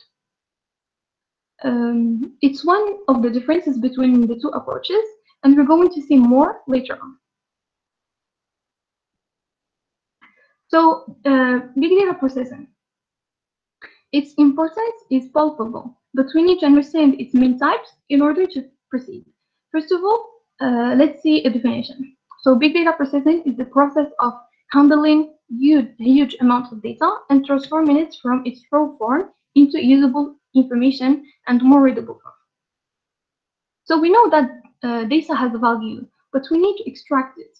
Either we are a company who wants to analyze its transactional data to improve our activity, or we are uh, in the marketing domain and we want to analyze the behavior of, of our customers in social media, or even a factory with a huge amount of uh, and the variety of uh, connected objects and sensors, and we want to analyze all the data collected in order to, uh, to build a dashboard and monitor everything. So in all of these cases, our objective is the same, uh, which is processing our data, but our assets and constraints are different. Which so uh, so which type are we choosing to achieve the value? First, let's understand the batch-based processing. Uh, it consists of the transformations done on huge chunks of data individually and separated by a period of time. It means that the data we want to analyze has already been stored over a period of time. For instance, addressing all the transactions performed by a financial firm over a month. Uh, briefly, batch processing handles the jobs that start and finish. The most famous paradigm for this type of processing is MapReduce. So MapReduce is a programming model that can be applied to a wide range of business use cases. It is designed uh, for processing large volumes of data in parallel by dividing them into a set of independent tasks. In essence, this paradigm uses the divide and conquer method. So the mapper first um, transforms the output, the input, the input, sorry, uh, into key value pairs and sorts the keys. Afterwards, the reducer merged the values into a single output based on the key. So between these two um, these two uh, steps of map and reduce, there is uh, normally a step of uh, shuffle and sort. Okay, now moving on to the stream-based processing. So stream-based processing um, so uh, this uh, this uh, the the continuous streams streams of data is high are, are high in velocity, and it is imperative to address this data differently since it requires fast acquisition and processing.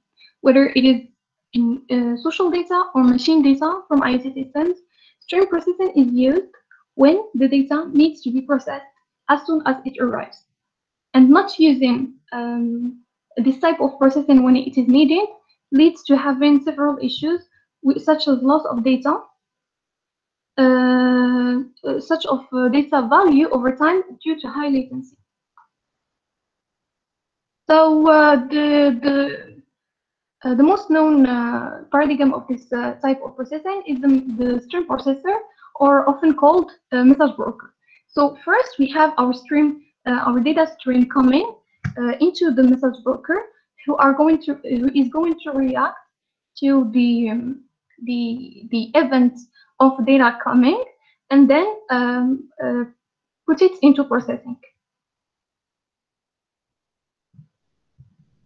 Now moving to the next session uh, when where we are going to compare these two types. Let's first uh, begin with a use case. So a company wants to analyze its daily transactional data, uh, for example, uh, contracts, sales, uh, shipping data, stored into a relational database for the purpose of building a, dash a dashboard that will be used in the daily decision-making meetings. So our, our first component of this use case is, of course, the huge data. So we have a large uh, amount of data since it is daily uh, transactional data stored. Uh, and the second component is stored over time, because here we have um, a daily transactional data that we want to process. So it is stored over time into a relational database. And the third component is high latency. Since we are using the results uh, each day in, uh, in decision-making meetings, so uh, we have, um, let's say, the overnight to process our uh, our data. So we can we we have here high latency uh, expectations. And finally, the last component is that the results of analysis is uh, are on uh, snapshots, which means that uh, the results are are of each day, but not in a continuous way. So here, this use case is tailored to be um, to use batch-based processing.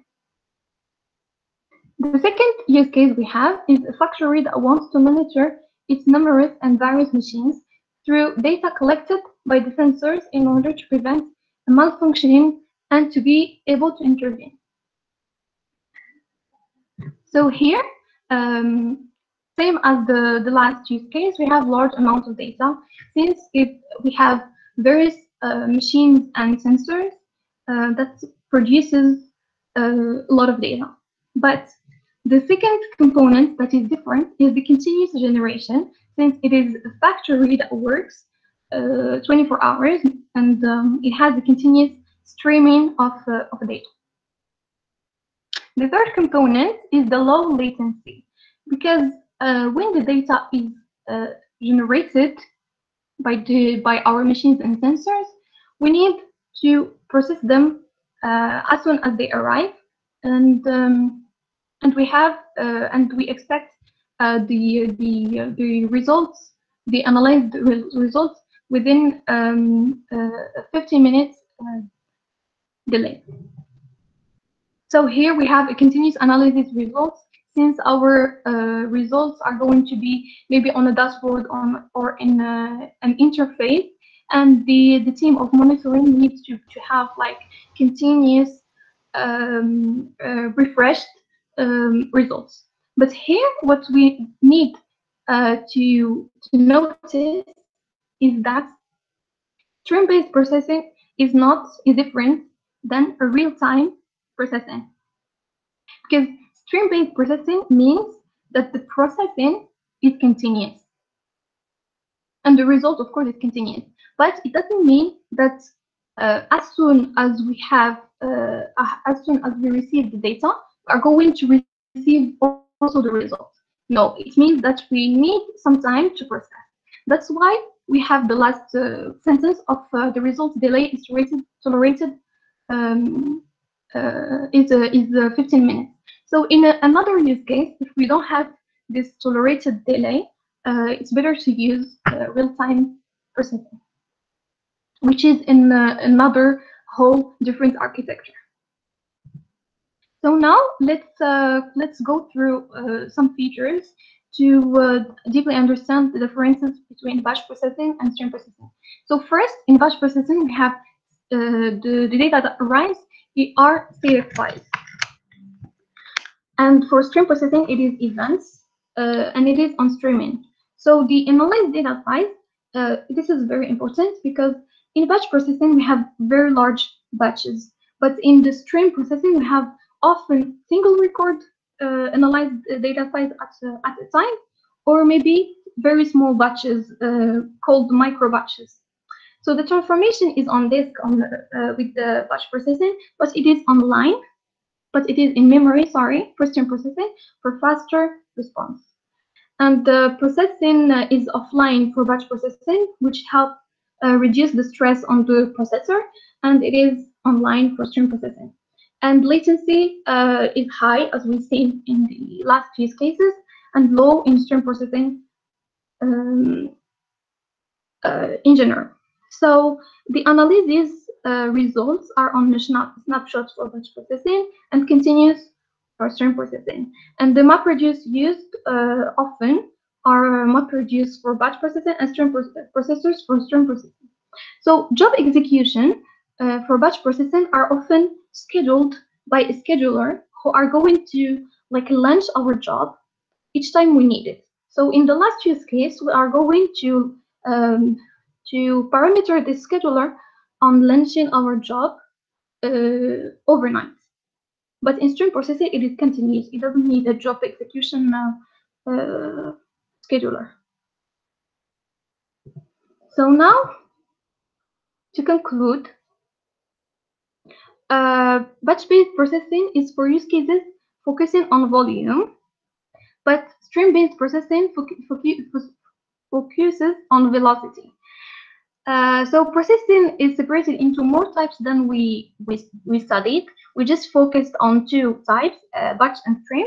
But in uh, in reality, there are a lot of authors that have uh, have uh, have studied real time, near real time, graph based, cyclic diagram graph based, and interactive but uh, we are going to our future in our future works we are going to dive into the other types uh, more specifically and study uh, and study the lambda architecture uh, as it is a combination of both batch and stream processing advantages uh, to to have a more complete system and architecture. So thank you for uh, your attention and welcome for your questions Madame Sarah, for your presentation claire, la présentation claire, précise et concise. Donc, euh, si vous avez des questions, you have questions. Yes, please. Yes, uh, c'est. Thank you, Sarah, for your presentation clear and uh, concise. Thank you. I will begin from your conclusion. Is there a difference between stream processing and real-time processing or only a terminology confused? Thank you. So uh, thank you for your question. Indeed, there is uh, a difference. So uh, as I said, uh, real-time processing means that we need our results in real time. So I mean by that, if we have um, um, if we have data coming in, in events coming, uh, we need the events being processed and the results given within uh, fractions of seconds. So it's it's real time. But in stream processing, it's the uh, the processing that is it is streaming. The processing does not stop; it is continuous. But uh, the result is going to have a little delay. So as we we've seen in this case, uh, the maximum result delay tolerated is 15 minutes. So if we didn't have the sentence, we are going maybe to uh, to uh, talk with our client and maybe uh, have uh, have a whole new architecture, and we have we have to use real time instead of stream streaming processing. Thank you. Thank you, Sibrahim. If you have questions. I have, I have one question, in, uh, in Mr. Ouais. Mr. Hassan. Oui, oui, Ustad Mohamed. Oui. Uh, in the first, uh, uh, thank you, um, Miss uh, Sarap, for your uh, presentation. It's clear and uh, very interesting. Thank you. Uh, I could uh, you give us uh, some more detail uh, on the tools and the arch- architecture to use uh, for such uh, a, pro- a problem. Um, um, do you need? Do you mean uh, the stream-based uh, processing? Conclusion, uh, yes. So uh, for this uh, use case, um, uh, we have a factory that needs uh, the, um, uh, the, uh, the the data to be uh, processed in streaming and to have a refreshed uh, dashboard in uh, in uh, with a result delay of uh, 15 minutes maximum. So uh, normally the architecture that's going to to be uh, uh, put into place is um, is uh, is going to use uh, Kafka topics and uh, consumers that are going to be uh, con- consumed by uh, uh, Python scripts. And this Python script uh, is um, is going to use um, um, this uh, this data and and analyze it and put it in uh, into HBase uh, HBase uh, for example uh, system. Uh, to to so it can be so it can be uh, used by a data lake architecture which is Hive or, or Impala. And then we can um, then we can see it in when then we can build a dashboard uh, tailored for this uh, data stored uh, for for uh, to see to see it for the end user. So I hope it is clear. Yes, uh, thank you for uh, your uh, response, uh, which uh, I wish you good luck uh, in your uh, search career. Thank you. Thank you. Thank you very much, Prof. Mohammed. I have a question about uh, in-step the data visualization. If uh, if you have uh, an idea about the algorithm, is it to view and interpret the result in in the in big data, the step the data visualization and uh, reporting. So here, If you have, uh, yeah, yes. visualization of of uh, data, high high dimension, multi-dimension. So normally in this uh, in this uh, type of- Multi-dimension. Okay, so so usually in these types of use cases, we we use um, uh, some tools uh, such as uh, Tableau and uh, Power BI, or uh, also ClickView, uh, for uh, for um, for uh, connecting directly to, to our data lake. So remember when uh, when I, I answered the, the first question, it wa- I, I said that um, that uh, our our data is going to be stored into HBase, uh, HBase, and um, and we can uh, consume it from Hive and Impala. So all these tools are going to connect directly to our data lake via via uh, direct direct uh, direct uh, link, and it's going to uh, consume this data, and we can build our dashboard. There there are uh, uh, BI BI uh, specialists who can uh, build this dashboard for us. Yes. Thank you very much, Ms. Sarah. Okay, the next presentation Thank you. is. uh, thank you. Yeah, on passe à la présentation suivante. Si vous n'avez pas de questions, merci, merci beaucoup. Merci, merci à vous. Oui. Donc, uh, the next presentation is Abdelhaq Fadili. كاين كاين عبد الحق ف... عبد الحق فضيلي Sinon, euh, Anis, Anis Oui, bonjour, vous m'entendez? Oui, oui. D'accord. Bonjour, c'est Anis. Bonjour. Donc, euh, une présentation.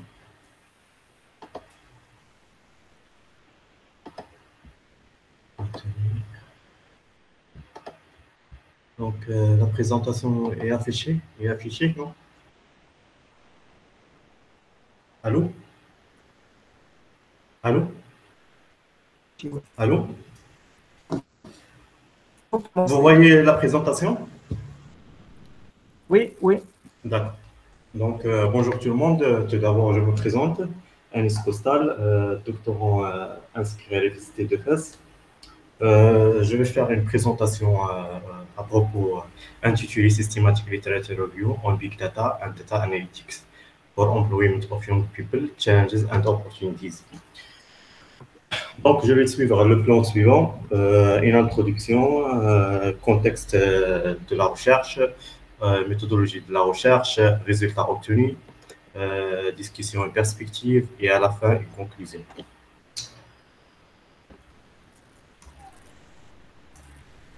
Donc, euh, pour, euh, comme, euh, introduction, pour notre, notre sujet de recherche, il est constitué de deux termes qui sont importants. Nous avons l'employabilité et le big data.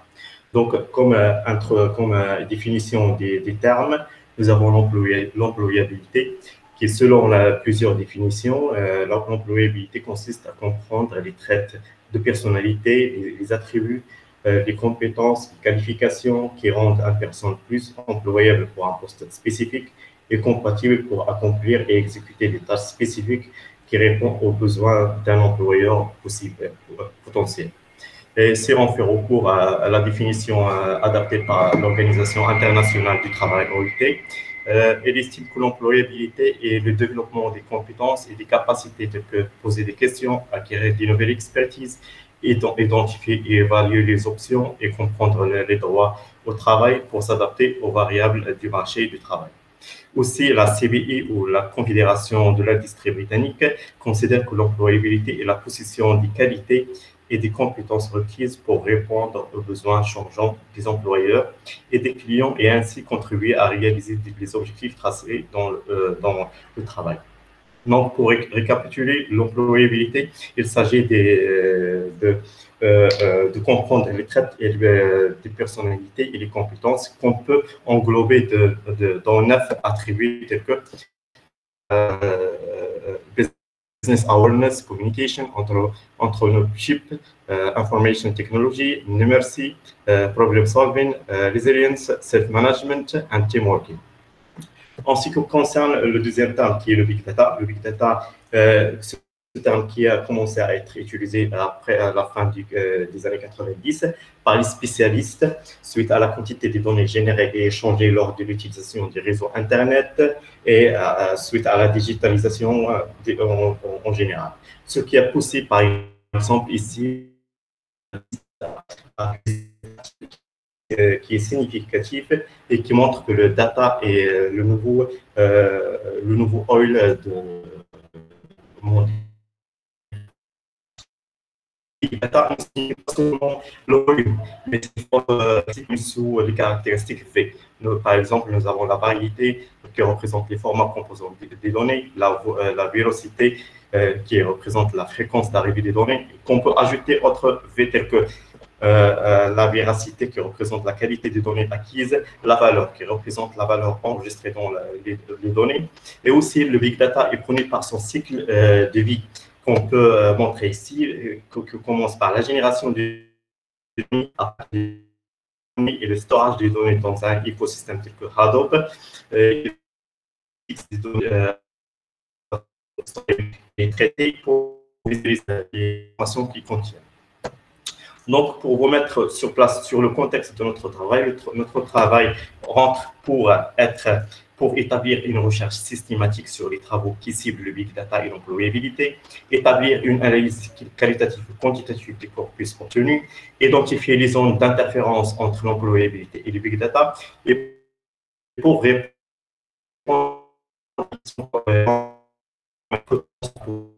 dynamiser et faciliter et booster l'intégration des jeunes dans le marché du travail et quelles sont les architectures, les écosystèmes développés pour atteindre et pour répondre aux questions déjà citées. Donc, pour, vous, pour vous mettre en vue de, de, notre contexte, on a fait appel à des, statistiques numériques telles que le nombre d'internautes au Maroc qui, qui ont euh, de, 22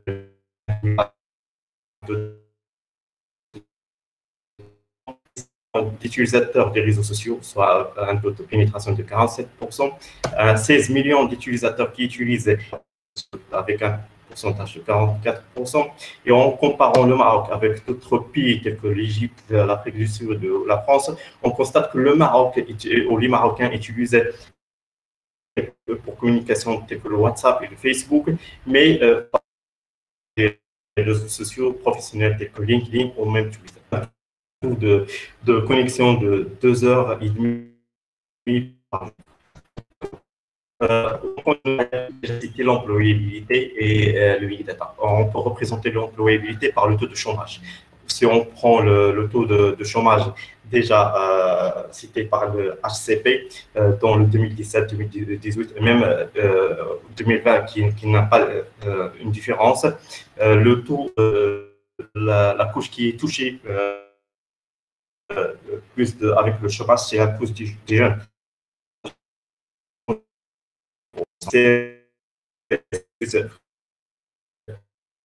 Fréquemment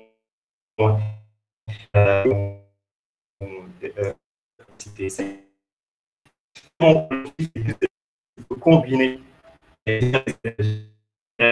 couches données qui constituent les veilles de Big Data et en s'appuyant sur des techniques, euh, des techniques de euh, machine learning, deep learning, euh, intelligence artificielle pour construire et pour à la fin avoir un modèle qui nous donne des, attributs, des behaviors, des personnalités, des compétences sur les, utilisateurs, sur les candidats et en créant une, image globale sur l'employabilité de cette couche.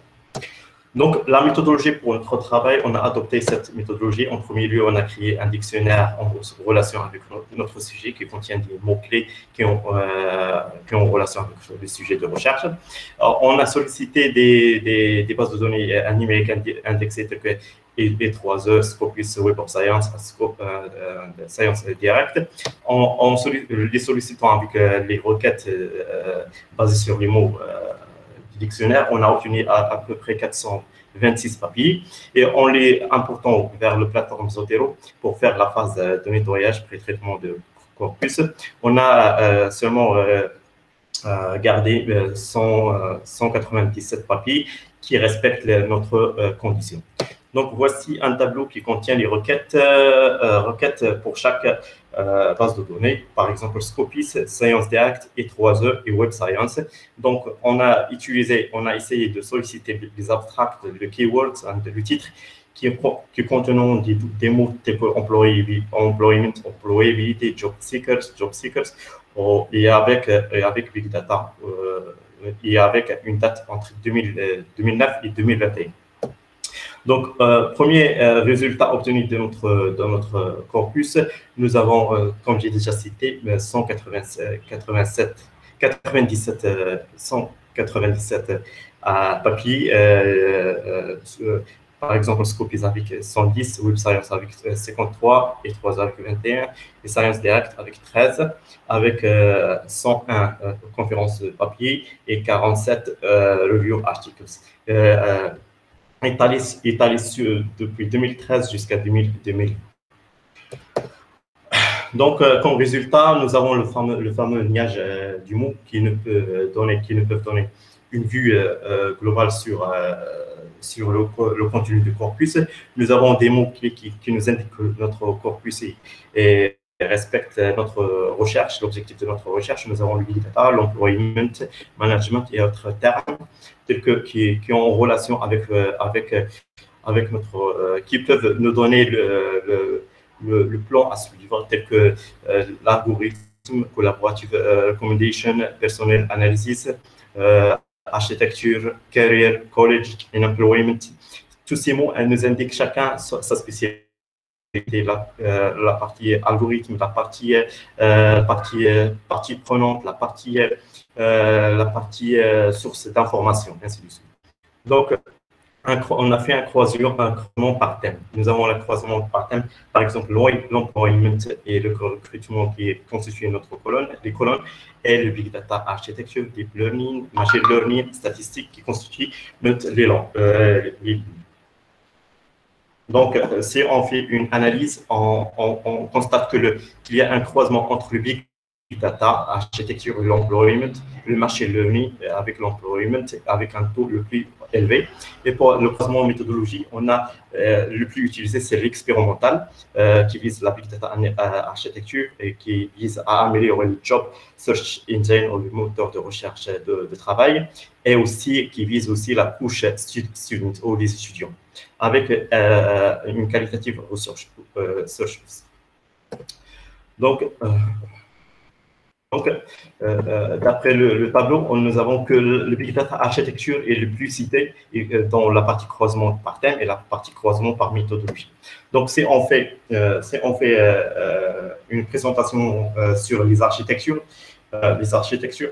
Donc, on a trois modèles, trois, on a choisi trois types d'architecture. La première qui est présentée par M. Sobe et Zeti, qui est cette, euh, architecture proposée a été fragmentée en sept phases et montre une vie d'abstraction sur chaque phase avec sa correspondance sur l'écosystème de la mise en œuvre. Euh, ici, c'est le Adobe écosystème. Cependant, la faiblesse de cette, euh, cette le point faible de cette architecture, c'est qu'il est, euh, sa généralité qui peut être mise en œuvre dans de nombreux domaines à côté du euh, contexte de l'employabilité. D'autre part, la couche d'acteurs n'a pas été mentionnée. Enfin, et enfin, la couche source de données n'a qu'un seul type de source représentée avec la base de données MySQL. Et comme on sait tous, l'une des principes caractéristiques de Big Data, c'est l'hétérogénéité des données euh, en entrée.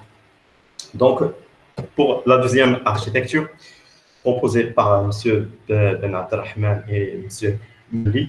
L'architecture, l'auteur a séparé chaque couche avec l'introduction de la couche de source de données, comprenant une variété de sources d'informations, euh, la possibilité qui est donnée, une possibilité euh, et la flexibilité en termes de caractéristiques de, données supportées, ajoutant également des détails sur la phase d'analyse avec l'adoption de l'analyse et de recommandations hybrides, combinant la recommandation collaborative et euh, la, recommandation et filtrage basé sur le contenu. Sélectionnons qui sélectionne des éléments en fonction de, des similitudes entre la, la, description du contenu et l'une des préférences des utilisateurs par LinkedIn. Donc, euh, la troisième architecture qui est plus développée, cette architecture proposée est clairement séparée et chaque couche euh, chaque couche est différente, euh, euh, différente avec des catégories, d'événements pour répondre, pour rendre le système plus interactif avec les utilisateurs et construire une information explicite sur le contexte d'utilisation en détectant leur satisfaction, leur négligence et sur les éléments proposés et basé sur une arbre d'expansion et en développant un algorithme ETDC qui, qui a pour objectif observer le contexte le contexte est recommandé un élément à un utilisateur en fonction du contexte actuel et ainsi que les informations euh, historiques de, chaque utilisateur. De chaque utilisateur, le système aussi extrait des récompenses, des, euh, des, euh, des, comportements en basant sur les clics naturels de l'utilisateur. Donc, depuis les trois architectures, on peut euh, avoir une idée que euh, les architectures se tournent sur trois couches. On a la couche source de données qui contient toutes les sources de données possibles qui peuvent alimenter les caractéristiques 3D du Big Data. La couche analytique, cette couche qui est le noyau principal de chaque framework et la pièce innovante. Cette couche vise à construire un algorithme intelligent qui a la capacité d'extraire des informations utiles euh, depuis les données d'entrée et de donner des prédictions et des recommandations aux parties prenantes liées au sujet de l'employabilité. Et à la fin, la couche euh, euh, visualisation, cette couche représente l'interface, un tableau de bord par exemple, afin de donner au système plus d'interactivité avec les acteurs.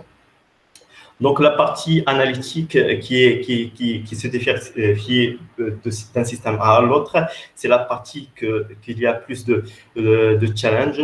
Par exemple, on a quatre articles pour vous donner de quoi il s'agit. Première, première euh, euh, la majorité de euh, ces algorithmes se basent sur la, la, recommandation, la, soit recommandation collaborative ou filtering, content-based filtering. Euh, premier cas, par exemple, Help Me, help me Find a Job, euh, l'auteur cherche à construire un système de recommandation hybride en se basant sur la théorie de graphe avec le, Node and Edge comme, comme data. Et, comme data de test, il s'est basé sur la base de données de Career Builder en utilisant un écosystème euh, Hadoop pour, euh, pour euh, storer les données.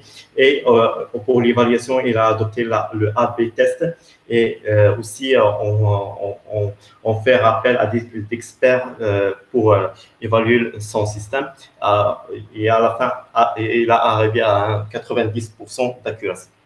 Le deuxième, le deuxième article, euh, euh, le big data, on, sait tout ce que le big data euh, qui concerne l'employabilité et surtout les systèmes de recrutement contient une quantité importante de données, ce qui implique une complexité au niveau de traitement de, traitement de données.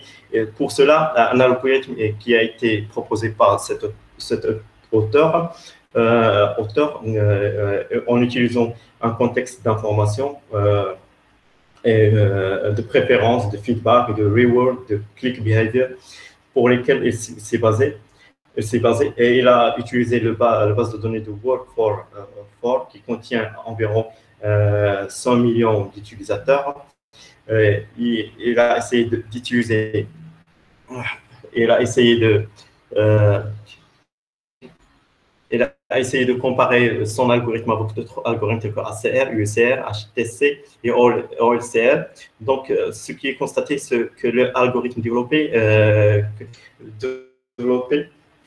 euh, performe bien quand le nombre d'instances dépasse de 500 000 euh, instances et le regret de son algorithme est mieux que, que ACR avec 52% et 78% avec le OCR ce procès. Donc, euh, euh, un autre algorithme, c'est la, combinaison, euh, la combinaison Content-Based Collaborative and Filtering for Job Recommendation. l'objectif, l'objectif, c'est L'objectif, l'objectif de, de, cet article est de, diminuer les, les, les, faux positifs recommendations. Les faux positifs recommendations on sait tous qu'il y a parfois des recommandations qui ne euh, qui, sont pas adéquates à la recherche, mais qui s'affichent. Donc, l'objectif, c'est de diminuer ce, ce, euh, faux euh, positif, recommendation. Donc, donc, comme résultat, le FPR, le FPR, le faux positif ratio, a tellement diminué par rapport aux, aux algorithmes traditionnels euh, entre 0,04 euh, vers au maximum 0,13. en dépendant des variables euh, alpha et bêta qui, qui, qui, qui est en relation avec la précision et le recal, recal du système. Donc, la dernière, le dernier article, il, il, il essaye de, de ne pas de recommander des jobs vers vers les utilisateurs, mais bien, mais autre, il essaye de, de, recommander des compétences à développer pour chaque utilisateur en se basant sur un, oui? Pardon, CNF, vous avez 10 minutes pour présenter votre travail, donc essayez de, de gérer le donc, temps. Euh, donc, ça, ça me reste bien Juste une remarque. Donc, euh, il, me reste, il me reste deux slides, deux slides au maximum. Vous m'entendez? Donc, euh, la discussion et la perspective. Euh, donc, euh, d'après les architectures développées, on a, essayé de, proposer, une architecture adéquate pour futures recherches qui visent les étudiants, par exemple, de l'université de Knetra. Donc, nous avons euh, la couche de stakeholder qui contient, par exemple, les, professeurs, les étudiants, et ainsi de suite. Et la phase de génération des données qui contient potentielles sources de données, donc les systèmes d'éducation, e-learning, les, les, réseaux sociaux, euh, et ainsi de suite. On peut créer à la fin des données qui sont utiles, euh, des données générées, pour à la fin arriver à une visualisation, visualisation des, euh, des informations utiles. Et à la fin, aussi un, un, un modèle euh, n'est pas définitif, mais à, améliorer afin de, de, de répondre à l'employabilité en utilisant un contexte de learning, par exemple dans une université que de connaître. Et merci. D'accord, c'est Monsieur Anas, Anis, pardon, merci beaucoup pour votre présentation. Donc, euh, on passe aux questions, si vous avez des questions.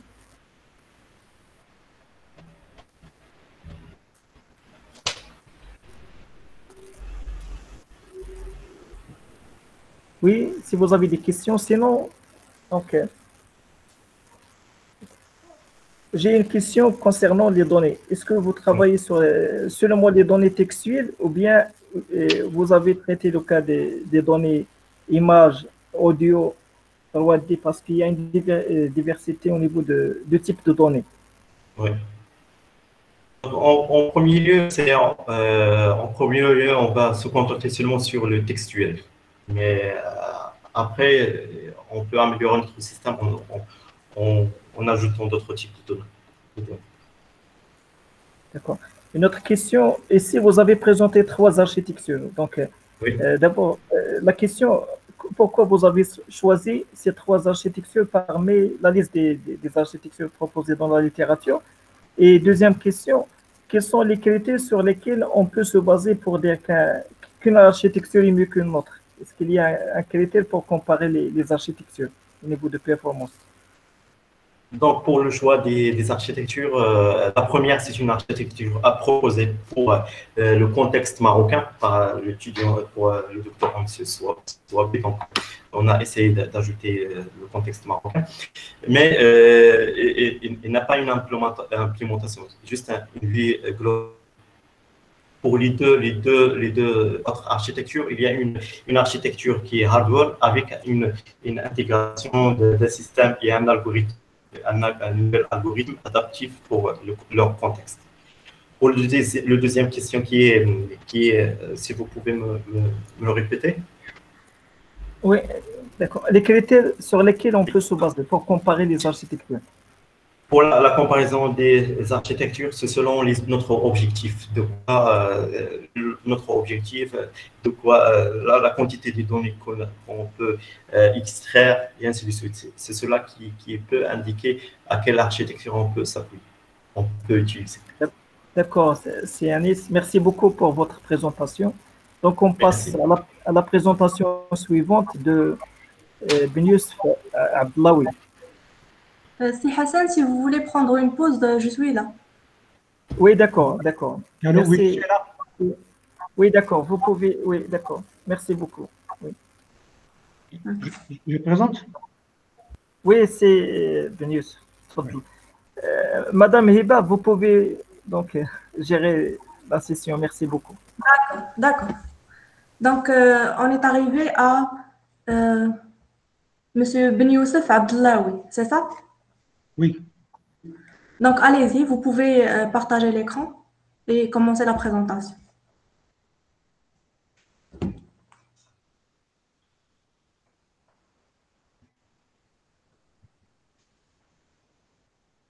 Vous voyez la présentation? Oui.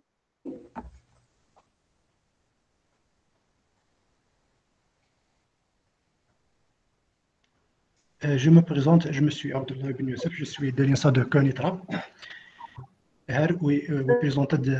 Euh, on ne voit pas les euh, Désolé, mais on ne voit pas les slides.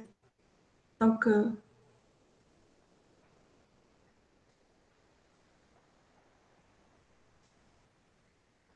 Donc, Oui. essayez de repartager, s'il vous plaît.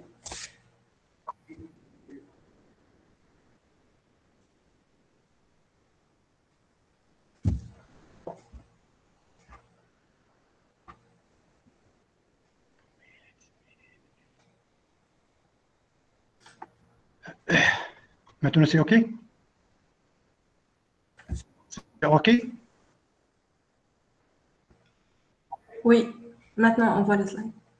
Bonjour, je me présente, je suis Abdullah Ben Youssef, je suis de l'INSA de Créatois. Here uh, uh, we presented uh, our, uh, our paper, Face Detection, Emotion Recognition and Student Engagement a Systemic Review. Tout d'abord, avant de commencer, euh, nous prenons l'occasion pour euh, tous les participants et, et- et, euh, les participants de cette euh, conférence. Donc, euh, our, our outline is introduction, research methodology, results, discussion, and, and conclusion. The higher education in Morocco faces many challenges and restrictions such as overcrowded classes, poor supervision, dropout of school, quality of education. This creates new horizons for students to study and gain knowledge such as uh, distance learning in this time as uh, COVID-19, online training, massive open online courses, and virtual campus. This heavy activity is not at the center of the majority of students due to their level of acquisition and skills. This issue poses many problems to, to teachers, for example, eva- evaluation, feedback of students, commitment, and knowledge of their emotional state. In this respect, face recognition can determine the emotional state, deduce the student engagement. The objective of, of this article is to present a literature review on the work what was carried out on the detection of students' emotion during our courses.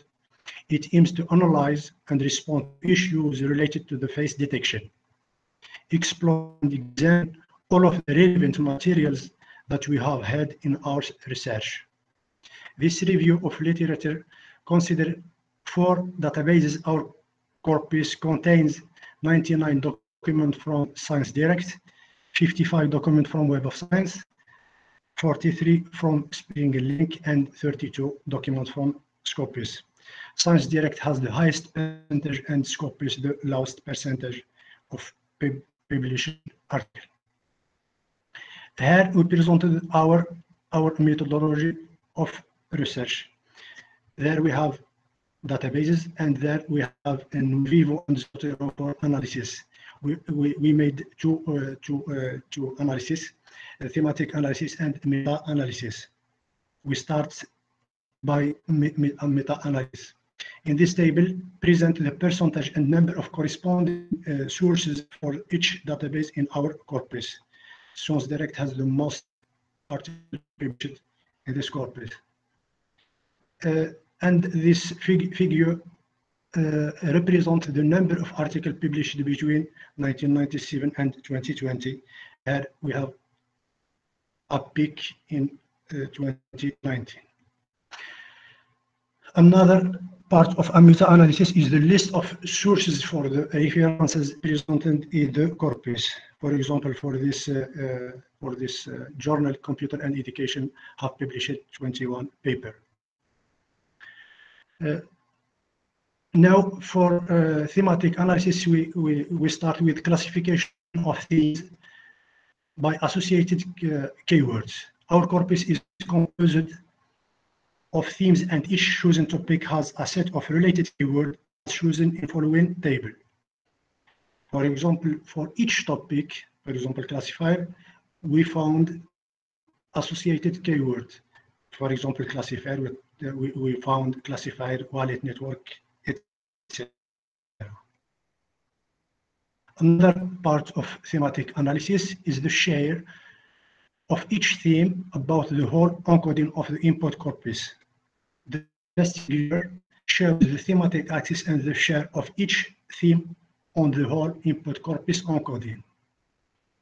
For example, for this uh, figure, uh, for student engagement, we have the high percentage. And another import, important part of thematic analysis is the distance between themes within corpus. Here we have the root of our corpus.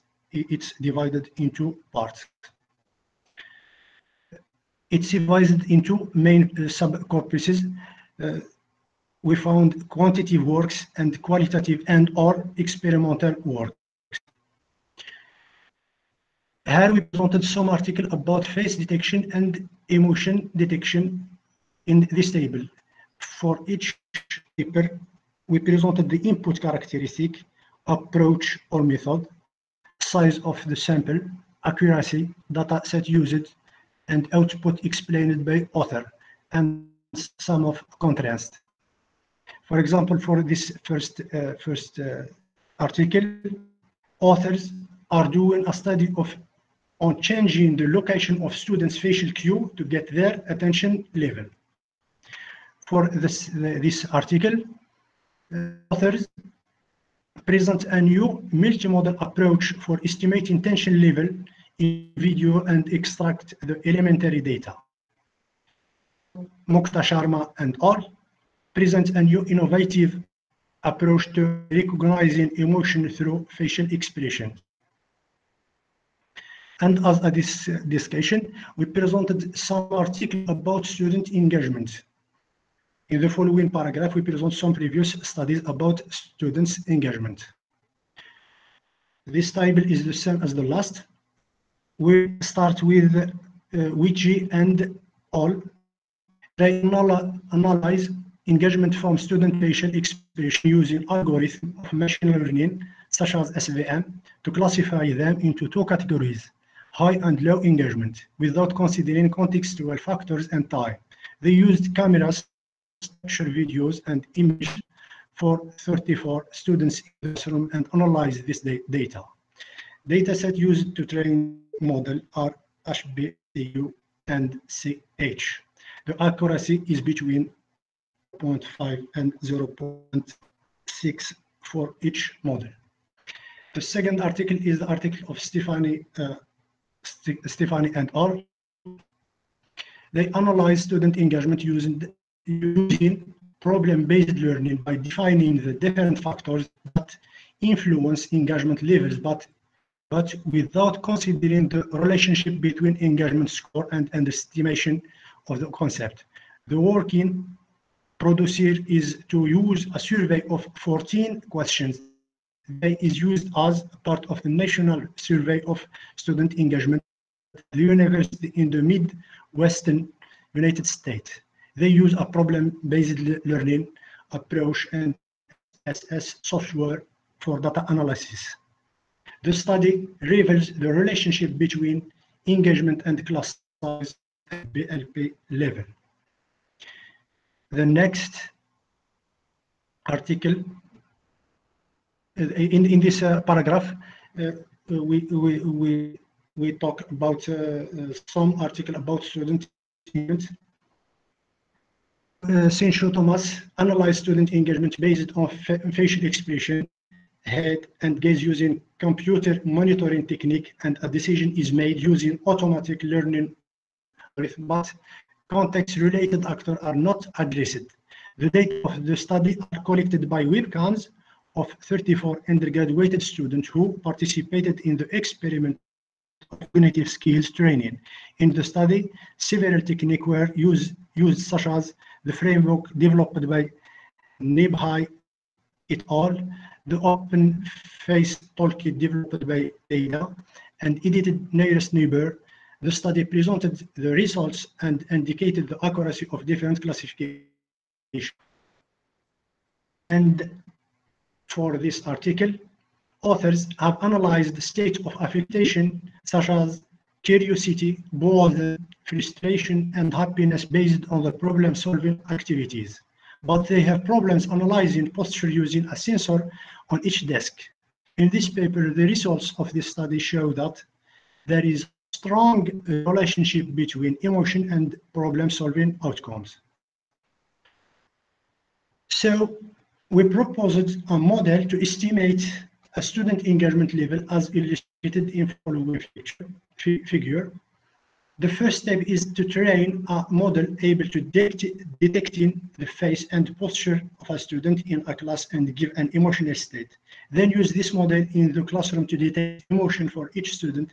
This step helps the teacher to decide if any person needs help.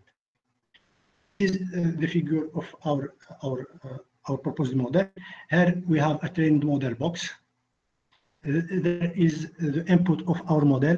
Here we do doing the face detection and here we we estimate the emotion detection and level engagement here is part of uh, the making decision by teacher and a conclusion the de detection of face is a very is a very vast field of study it has several applications in computer vision the contrasts are numerous we cite the image quality and resources required in terms of processing CPU, GPU, and TPU. So it remains a challenge for distance learning to understand and emotional states of the student and to contribute to improving their school curriculum. Thank you for your uh, thank you for your attention. Thank you, Sibin Yusuf. Uh, are there any questions?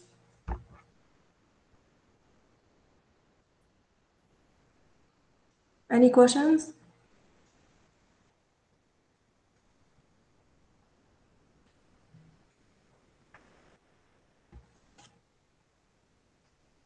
Okay, so so um, this was a, ve a, very interesting work. Uh, it would be very useful to have both face detection and emotion detection tools integrated to an online uh, classroom, for example.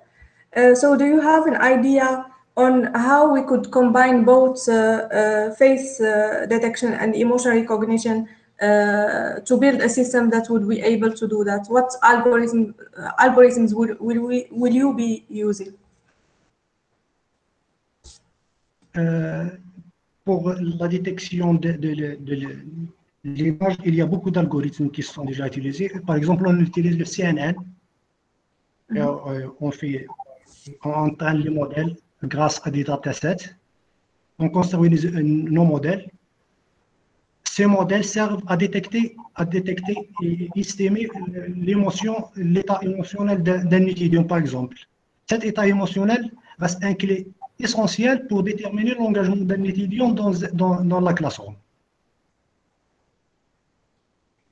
Donc, tu vas utiliser un CNN pour, pour faire la, la reconnaissance de l'émotion. Oui. À travers quoi? À travers les datasets. On, on, choisit un dataset pour l'entraînement et on, on, applique, on, on, fait les tests dans le dataset et on euh, évalue et, et, et valide euh, avec les euh, collectés dans la, la classroom, la classroom des étudiants. Donc, est-ce que vous allez utiliser des, donc, par exemple, la reconnaissance faciale euh, pour détecter l'émotion donc là, est-ce qu'il y a déjà des datasets qui, sont, qui existent pour faire ça? Oui. Oui, oui, oui, il existe déjà beaucoup de, de datasets. Je ne dis pas beaucoup, mais il, il existe. D'accord. Est-ce qu'il y a d'autres questions? Euh, S'il vous plaît. S'il vous plaît? Si vous me permettez Oui, allez Merci, professeur Hiba. Merci, Si Abdelawi, pour euh, la présentation. J'aimerais bien, bien sûr, parler sur la discussion que vous avez entamée avec euh, le professeur Hiba. Donc, concernant, euh, s'il vous plaît, la détection, donc on a bien sûr plusieurs algorithmes permettant de détecter le visage, comme par exemple les méthodes de machine learning utilisées, basées sur euh, le cascade ou bien basées sur le Gabor, ainsi de suite, ou bien le deep learning. Donc, euh, la méthode la plus fréquemment utilisée, il y a, ce n'est pas le CNN dans sa forme euh, standard ou bien classique, mais c'est le MTCNN. Le MTCNN pourra, d'accord, euh, détecter, d'accord, Ah. le, les visages euh, d'une manière euh, très performante. Concernant la reconnaissance, bien sûr, la reconna- on a la reconnaissance des émotions et la reconnaissance des visages. Bien sûr, il y a une très grande différence entre les deux. La reconnaissance, euh, il s'inscrit dans le cadre biométrique, D'accord? Donc, vous pouvez bien sûr faire une reconnaissance des visages. Mais lorsqu'on parle des reconnaissances des émotions, donc selon Ekman, et bien sûr, on a six, d'une manière générale, six, six émotions universelles, ou bien sept. Avec sept, on parle de neutralité. D'accord? D'accord, c'est l'état neutre. Je parle des six émotions, d'accord, euh, normalement établies par Ekman.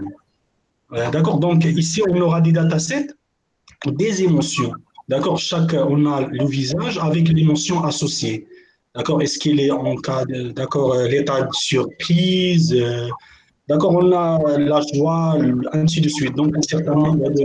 Mais la reconnaissance, la reconnaissance du visage, donc dans le cadre de, de, de, de biométrique, ça veut dire on a des architectures permettant de faire cette reconnaissance, à savoir le FaceNet, Gaussian, le Gaussian Face, le Face ID, donc les grandes ou bien les plus performantes architectures permettant de faire la reconnaissance proprement dit dans le cadre biométrique. Mais dans le cadre, comme j'avais déjà mentionné, les, bien sûr, euh, de, de, la reconnaissance des émotions, donc on a bien sûr un certain nombre d'architectures, que ce soit de machine learning ou bien de deep learning. Voilà, merci bien pour votre... Merci bien, merci bien pour votre conseil. Merci. Euh, merci, professeur Hiba. Merci à vous, euh, professeur Jamal Rifi. Euh, donc, euh, est-ce qu'il y a d'autres questions pour M. Ben Youssef? Je pense qu'on a déjà dépassé le temps. Donc, euh, on passe à la, la, la prochaine présentation par Ahmed Rmaïda. Oui, salam alaikum. Merci, au revoir. D'accord. salam alaikum. Merci, professeur Riba. Je peux commencer. Avant de commencer, euh, je vais partager mon écran. Pour, euh, pour le volume, c'est OK? Pour le son, vous m'entendez clair? Oui, c'est bon. OK. OK. Euh, si Ben Youssef, si vous, si vous voulez bien euh, couper le micro. Oui, oui.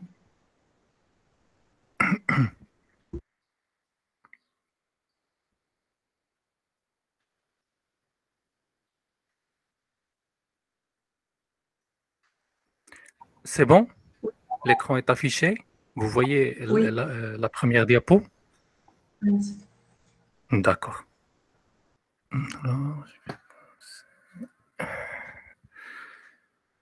So, uh, greeting to all. Uh, we are pleased to be among you today and to present our work in uh, this first edition of the Mediterranean Conference on uh, Information Technology and its Application.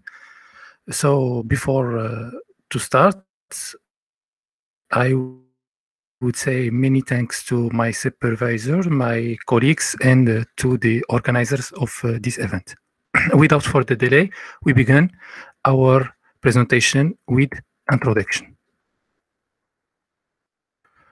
Since the way of 2000, deep learning algorithms have attracted immense spread attention and have uh, outperformed many uh, many alternative machine learning algorithms in uh, multiple im- important applications. Nowadays, they are becoming a remarkably active area and uh, being introduced in many scientific fields such as computer, computerized personality analysis, which is uh, our scope of uh, uh, research here.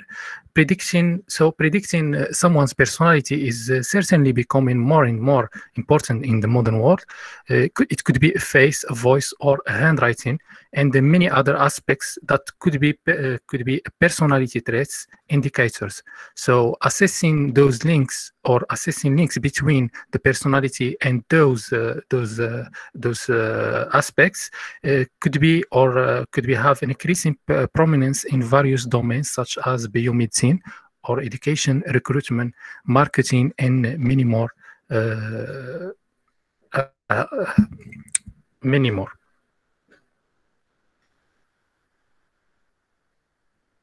So we will uh, here in this paper we we have uh, we we present a comparative study of personality recognition based on handwriting and uh, with the use of deep learning approaches in technique. Uh, we will begin with the uh, with the background study of some of, uh, the background studies. So going through the literature, we noticed that the number of works published in the field of computerized personality detection is growing large interest in the last couple of years. There are several surveys and review study that focuses on deep learning approaches for personality detection.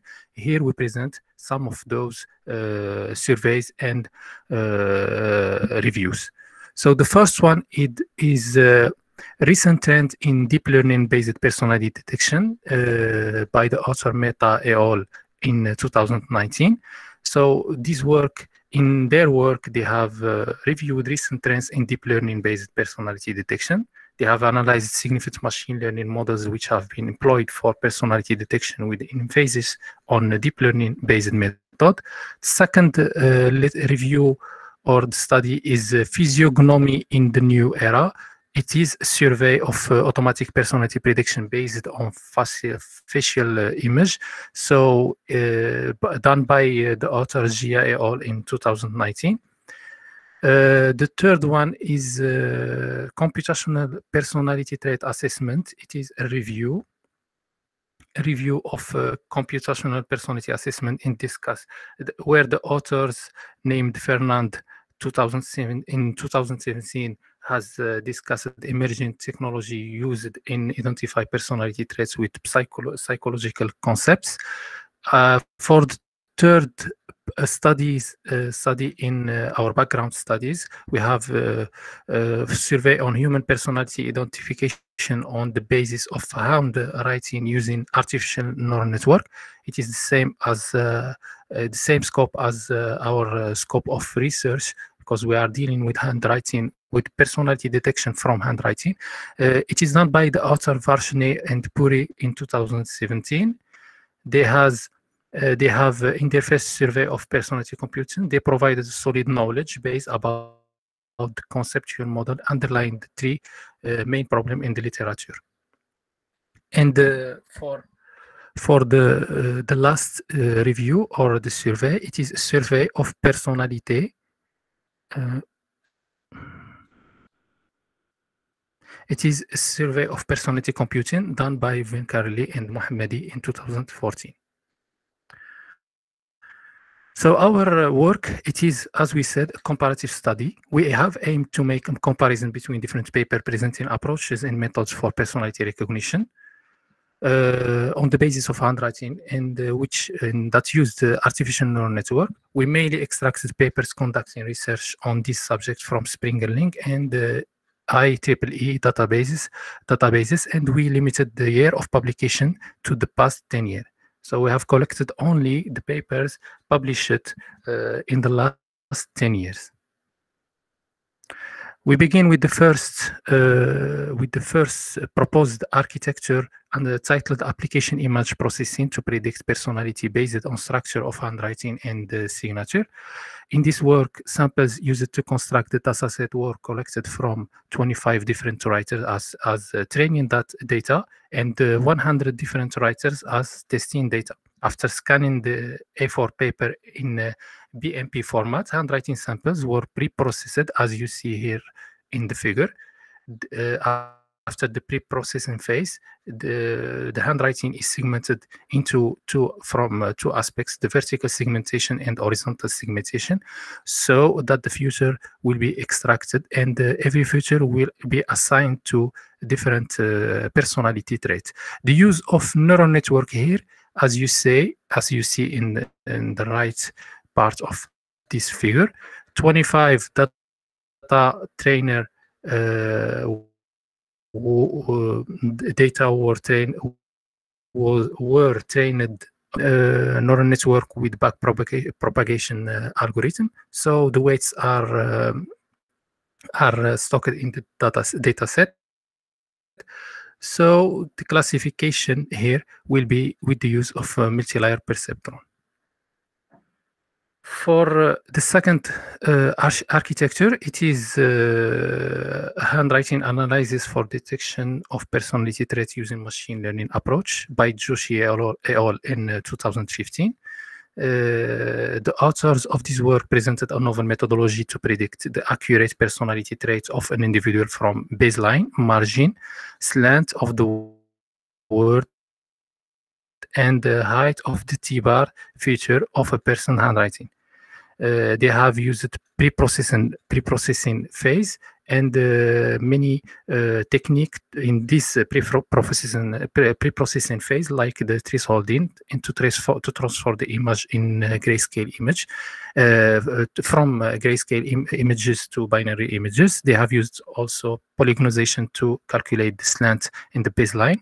And template matching to single out all the lowercase t and to compare it with different templates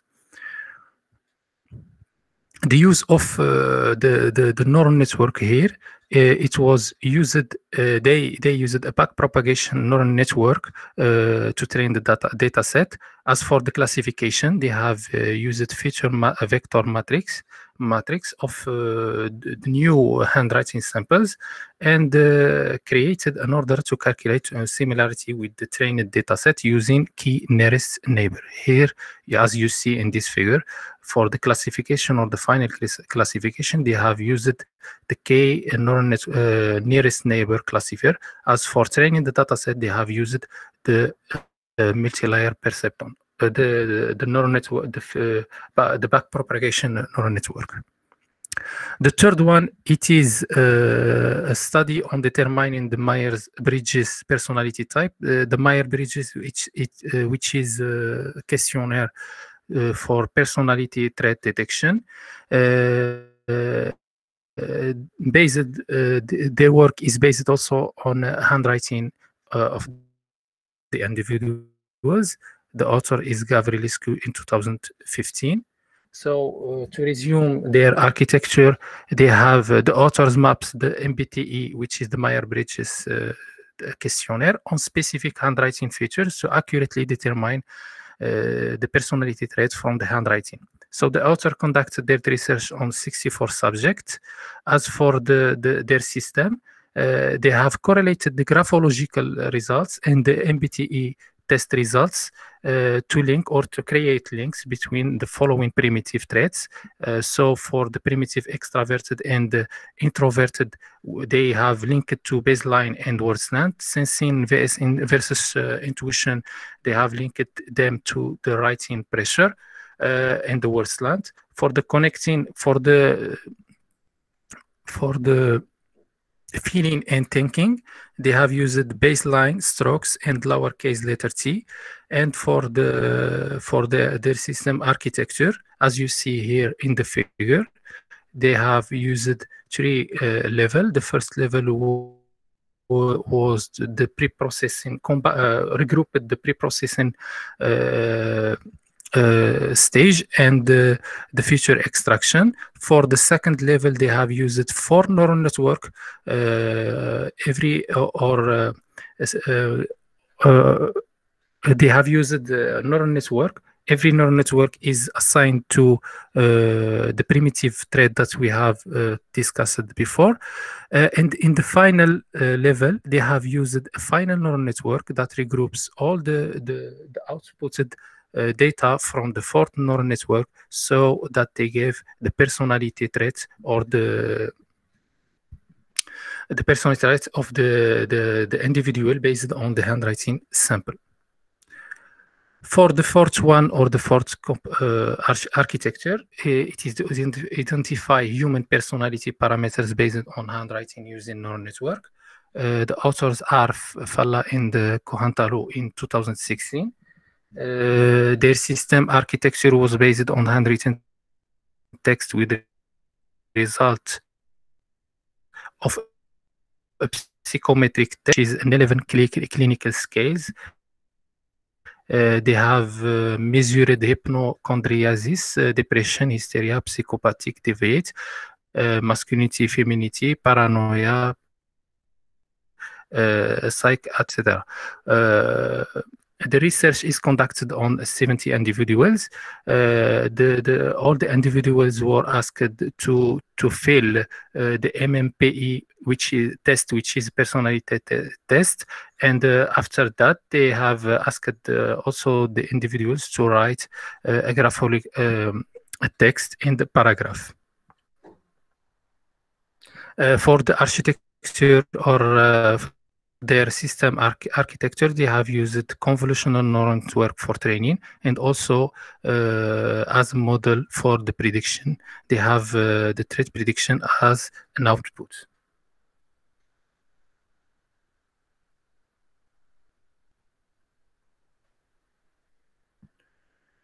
So uh, we have discussed five or described five uh, personality trait detection on the basis of uh, handwriting samples.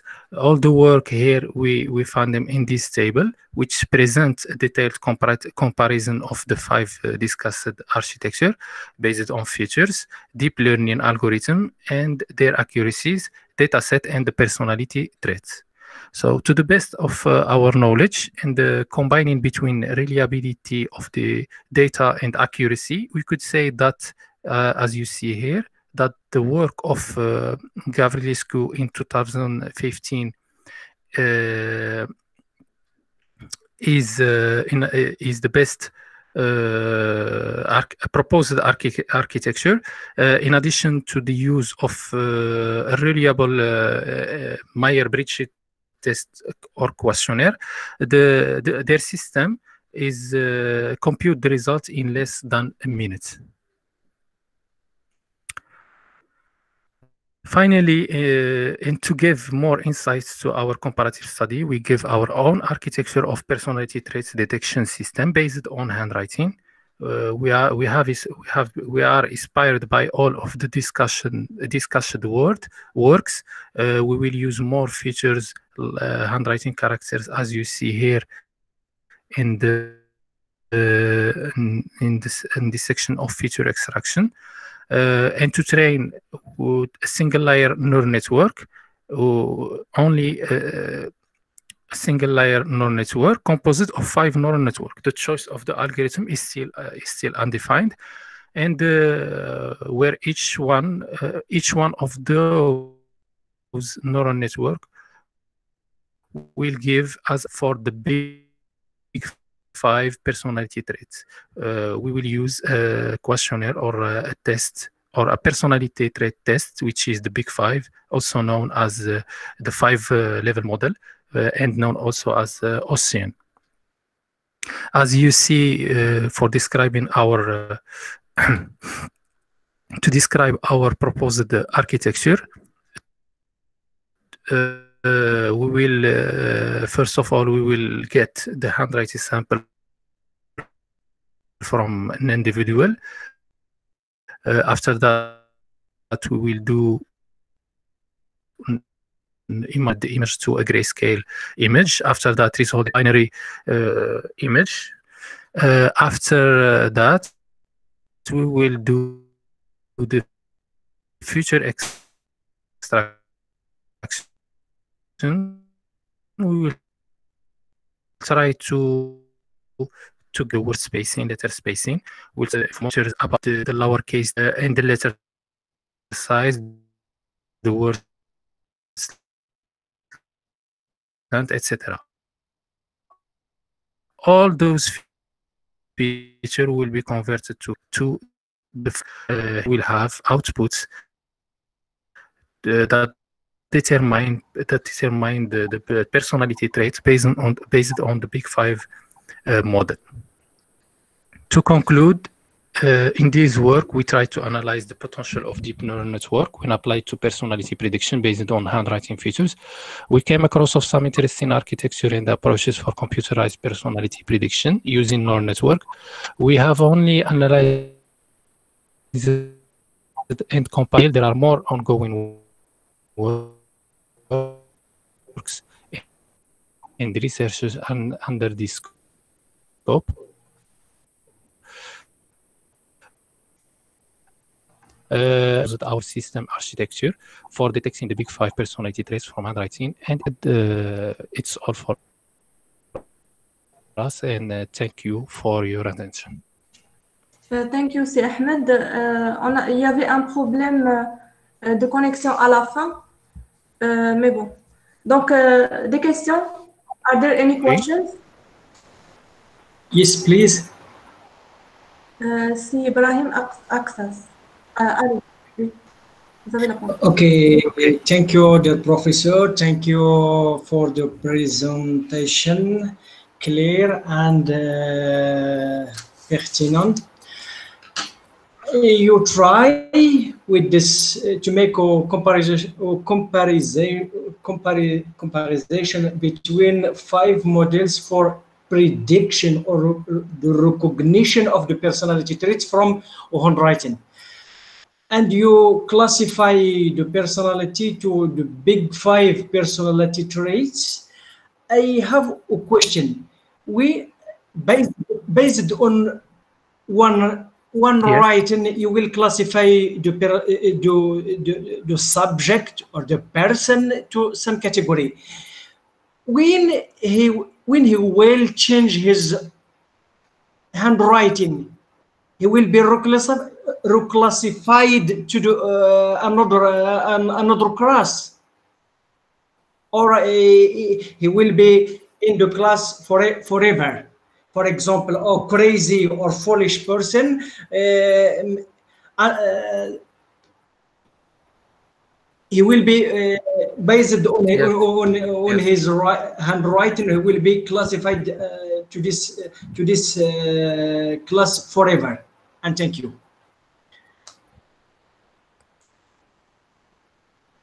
did you understand Yes. uh, Yeah, yes, yeah, I understand your question, Mr. Ibrahim. Thank you. It is uh, really uh, um, uh, for to answer your question. We could say that uh, estimating uh, someone's personality on the basis of uh, handwriting, it is really a difficult uh, matter. So, and uh, uh, like you said, uh, in every time we try to, it is in the literature, it is said in the literature, uh, every time we try to to to estimate the personality on the basis of handwriting, we could have more than results. Like you said, we could classify a person as uh, as uh, an open person in the first time. After that, we take his handwriting and we could uh, find that it is a closed person, not open, not uh, an open person. Uh, still, in this, uh, still with that said, in this. In those five papers that we have discussed, I think in the, the work of uh, Falla in uh, in 2016, uh, with uh, they used clinical scales from MMPTS, and they have uh, asked the individuals to give two times or three times they, their uh, handwriting samples during a two months period, and uh, they have taken in consideration the the the psychological uh, aspects of the person. Yeah. Uh, uh, uh, which uh, mean that uh, they have yani, uh, assured that uh, the person wasn't angry when he's uh, when uh, he was trying to to to to hand uh, to give his handwriting or uh, something like that. So it is a difficult matter as uh, as I said before, but we intend to to go through this uh, and uh, try to to look it from different uh, uh, aspects. thank you Uh, are there any other questions?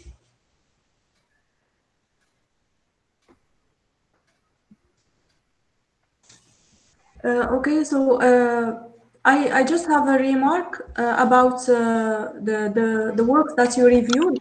One work was the, uh, was from the from uh, 13, uh, uh, 2013. So this is kind of an old work. Normally, when you do a review, try to uh, look into the last five years. And there was only one approach uh, uh, that used CNNs. Maybe you should look into more uh, papers that use this this approach to see if uh, what uh, what approach is better using uh, CNN architecture or uh, uh, neural network in MLP?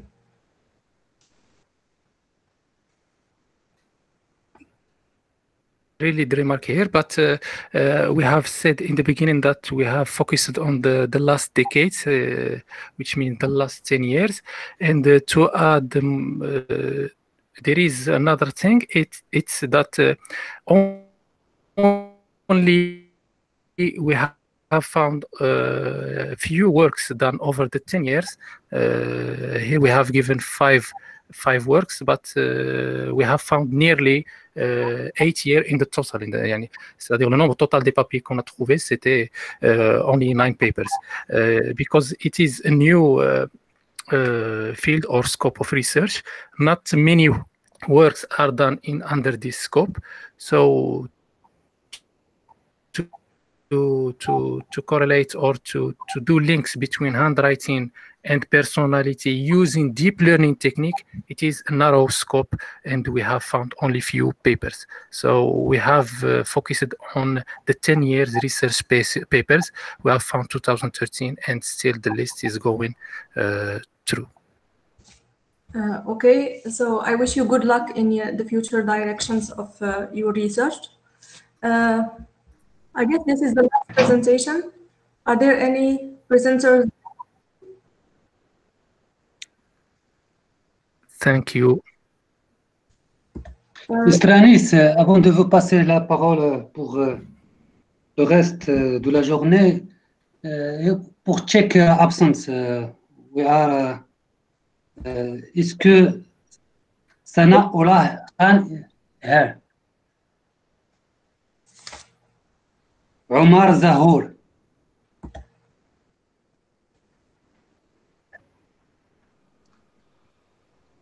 Yes. Oui. Donc, vous pouvez commencer parce que, Okay. non, Monsieur Anis, on a d'autres euh, présentations. Donc, euh, Attends, je ne sais pas ce que je. s'il te plaît, s'il vous plaît, vous avez 10 minutes pour euh, Oui. la totalité de votre travail.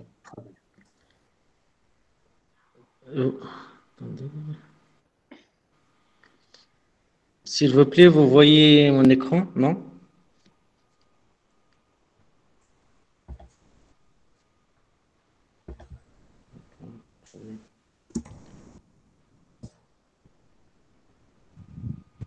Non, monsieur. euh, Il y a un problème parce que j'ai un problème sur mon PC, mais euh, j'utilise mon portable. euh, Est-ce que vous voyez, s'il vous plaît, non?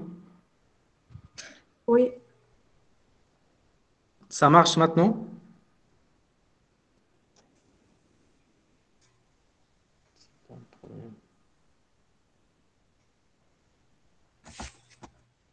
Euh, c'est Omar euh, Zavour? Ah, c'est bien. Oui. Ça marche? Oui, vous pouvez commencer. Ok. Donc, euh, merci beaucoup. Je suis très désolé parce que ce matin-là, j'ai un problème au niveau de mon PC. Donc, euh, pour notre, je vous présente, je suis un étudiant doctorant à la faculté des sciences biomédiques, Université Hassan II. Donc, notre euh, la, la- présentation intitulée Classification automatique des questions d'orientation scolaire et professionnelle à l'aide des algorithmes de l'apprentissage automatique, étude, une étude comparative.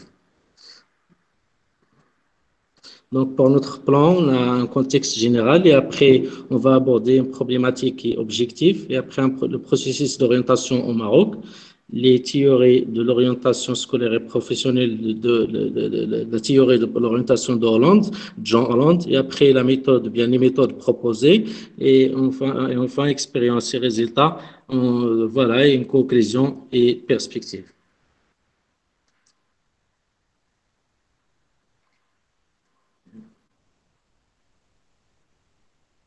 Pardon, donc avec euh, l'évolution que connaît le, le- monde du travail, l'orientation scolaire et professionnelle est devenue une nécessité pour les jeunes employeurs, pour les étudiants, euh, pour les élèves aussi. Autrement dit, choisir une formation ou un métier implique au préalable d'être bien informé.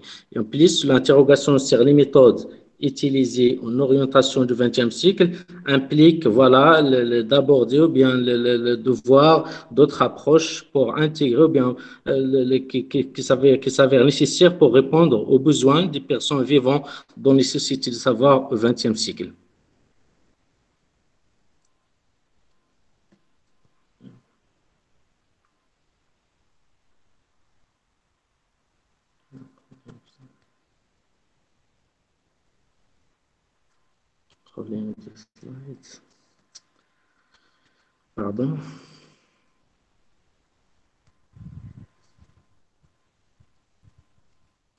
Donc, la problématique, notre travail de recherche traite la problématique de l'orientation scolaire et professionnelle et nous souhaitons d'avoir, bien, de mettre en place un système informatique de e-orientation qui sera fondé sur une analyse approfondie des facteurs liés à l'orientation scolaire et professionnelle des étudiants. Donc, en répondant aux trois questions, comment d'abord, comment peut-on détecter les préférences d'utilisateurs? Deuxièmement, comment peut-on modéliser ces préférences? Troisièmement, comment peut-on intégrer ces préférences dans un système de e-orientation? Donc, le processus actif de l'orientation au Maroc, à vrai dire, selon une étude de Ali Hassan, il n'y a pas un, il a pas un véritable processus, bien un vrai processus d'orientation au Maroc. On sait très bien que l'orientation au Maroc se commence déjà en troisième année du collège en se basant sur les, sur facteurs académiques. Ça veut dire, d'après les notes, on peut s'orienter les étudiants vers, une, voilà, vers une, une branche sciences mathématiques, par exemple. Si l'étudiant est très bien en maths, donc il sera orienté vers les sciences mathématiques, ce n'est pas très bien en maths, il, sera orienté vers voilà, d'autres branches des sciences humaines. Donc, la théorie de John Holland, selon cette théorie, il existe six types, six grands types, six grands types de personnalités. En distinguant le réaliste, ça veut dire qu'il est à l'aise dans le concret, le manuel, le plein air et l'inventaire voilà l'investigateur, une personnalité qui voilà investigateur qui est à l'aise dans la solution de problèmes, la logique et les sciences, une personnalité qui est voilà, l'artistique, qui est à l'aise dans la création artistique, tout ce qui est imaginaire et tout ce qui est, tout ce qui est nouveauté. Ben, une personnalité sociale qui est à l'aise dans le rapport humain, le contact, l'écoute, la coopération, et l'entrepreneur qui est à l'aise dans le leadership, l'appréciation et la direction. Et aussi, et aussi enfin, le conventionnel, celui qui est à l'aise dans l'ordre, la routine, la précision. Donc voilà quelques métiers qui adaptent. Par exemple, si on prend un, enseignant, c'est voilà un enseignant, c'est voilà c'est un c'est une personne qui a une personnalité voilà c'est une personne sociale. Mais on prend par exemple l'électricien, c'est une personne qui est le type dominant de cette personnalité d'un électricien, c'est le réaliste. Voilà et ainsi de suite pour les autres pour les autres métiers.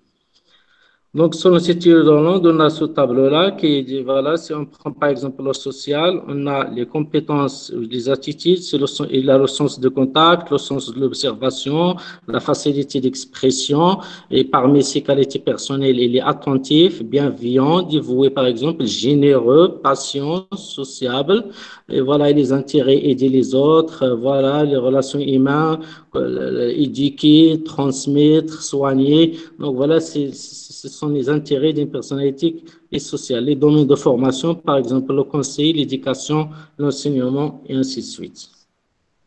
Selon toujours la théorie, selon Hollande. Voilà.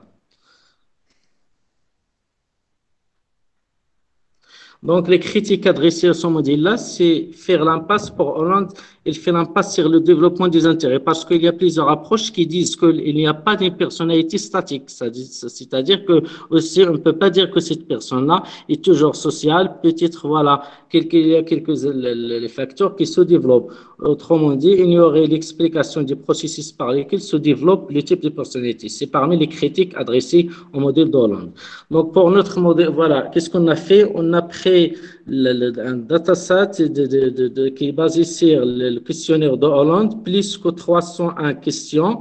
Voilà, on a utilisé, on, veut utiliser, pour adapter, bien, pour avoir, pour générer automatiquement des questionnaires d'orientation scolaire professionnelle, qu'est-ce qu'on a fait? On a besoin de faire une classification et de développer aussi ce dataset pour que, pour que, doit être, pour que sera être adapté euh, au Maroc. On peut ajouter des autres questions, mais avant de ça, on a besoin de faire une classification. On a utilisé quatre algorithmes, multiclass décision forest, les arbres de décision, multiclass décision jungle, aussi les régressions logistiques et aussi, euh, aussi les réseaux de neurones multiclass. Donc, pour l'ensemble de données, comme, comme j'ai dit, est divisé en deux séries, telles que les données d'entraînement et les données de test. La classification effectuée par, l'algorithme, à chaque fois on utilise un algorithme, on a utilisé l'utile Studio Azure Email, Studio Azure Email, utilisé dans notre modèle et basé sur les connaissances acquises par les données d'apprentissage au cours du processus d'apprentissage.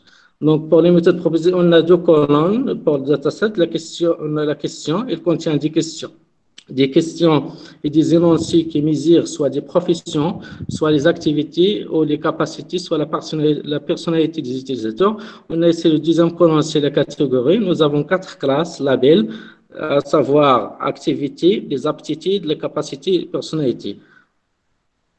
Donc, les expériences, les étapes d'expérience, on fait d'abord l'importation de l'ensemble de données et après le pré-traitement et la préparation de l'ensemble de données, l'ingénierie des fonctionnalités, le fractionner des données et des paramètres et après notre modèle et après le score et l'évaluation Donc, voici un schéma parce que normalement, on a Email, je ne peux pas avoir un seul schéma, donc on a division du schéma. Euh, voilà, comme vous voyez, orientation data, notre dataset, et après on cycle colons, et après le pré-traitement des données, et après on peut faire la fragmentation, en utilisant, voilà, pour ici, c'est multiclass neural network, comme vous voyez à gauche, c'est notre algorithme, et à chaque fois, je change ici l'algorithme, voilà, par les, les, les, trois autres. Donc, enfin, voilà, on a un score modèle, et après, évaluation de notre modèle, ça veut dire les, valeurs de précision, les valeurs de précision et la matrice de confusion. Comme vous voyez ici, les résultats des deux, premiers algorithmes, la, décision, le forest, voilà, la décision forest et la décision jungle sont les mêmes, sont presque les mêmes, oui, les mêmes, mais après, suivi par la régression logistique, au niveau de la précision générale, ou vers l'accuracy, mais les meilleurs résultats, comme vous voyez, c'est pour l'algorithme des réseaux de neurones. Donc voilà les, les, les, les, matrices de confusion pour les, multiclasses décision forest. Vous voyez, voilà la classe actuelle, voilà euh, en relation avec la classe euh, prédictive, voilà. Donc voilà les, les, les, les, trop positifs, les trop négatifs, les fausses positifs, les fausses négatifs. Voilà, donc la même chose pour la deuxième. Vous voyez très bien, voilà, ce sont les mêmes pour les multiclasses, pardon, pour les multiclasses décision forest et les multiclasses décision jungle, ce n'est même la, matrice de confusion. Mais voilà pour la régression logistique. Omar, Oui. Euh, il vous reste euh, une minute pour euh, finir la présentation. Oui, d'accord, monsieur, d'accord. Donc voilà pour les, les, les réseaux de neurones on a des bons résultats par rapport aux autres. Donc, la discussion qu'on peut voir, c'est ce qu'on a les résultats obtenus par l'algorithme, l'algorithme de neurones sont, très, sont, mieux que les, que les, par l'algorithme de régression logistique. Cela nous montre que le meilleur algorithme à utiliser l'algorithme de réseau de neurones multiclasse. Donc, pour la conclusion de notre travail, nous avons défini et appliqué les quatre algorithmes d'apprentissage automatique. Voilà pour la classification de texte. Nous concluons que le réseau de neurones fonctionne mieux que les trois autres. Nous avons constaté que la méthode supervisée donne une très bonne précision. Cette méthode peut également être utilisée pour générer automatiquement des questionnaires d'orientation scolaire et professionnelle en connaissant à l'avance la classe de nouvelles questions proposées. Et pour les perspectives, l'émergence d'une nouvelle approche de classification multi-étiquette appelée en utilisant la méthode BERT. Et après, comme une deuxième perspective, c'est l'élaboration d'un chatbot de e-orientation. Voilà quelques références et merci beaucoup pour votre attention.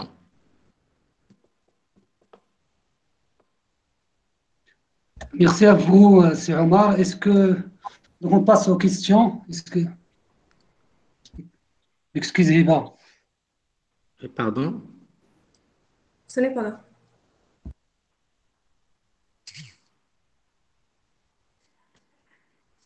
Euh, pardon?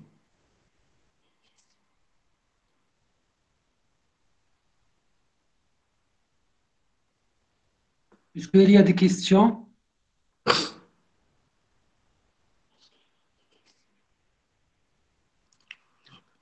C'est pas de question, donc euh, je veux remercier M. Ammar pour votre présentation claire et Merci. pertinente. Merci Donc, beaucoup. euh, Merci. donc, je passe pour appeler le dernier. C'est, il est là, donc c'est Abdelhaq Fadili. Est-ce que vous êtes là, M. Abdelhaq? Donc, euh, non, donc. euh, enfin, pour euh, clôture de cette présentation, donc,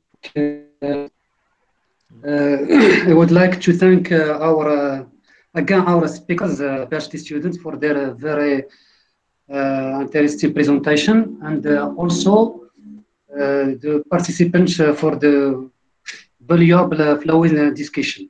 In the last, I would like Euh, to congratulate. Uh, yes. Professeur, professeur Mohamed Fatah, nous avons Ah. avec nous euh, professeur euh, Shriat, un spécialiste en psychologie qui, qui souhaiterait intervenir dans, par rapport à, à l'intervention du, euh, du de monsieur, monsieur Amar. Ah, Voilà, donc, euh, à vous la parole, Monsieur Abdelilah Shariat.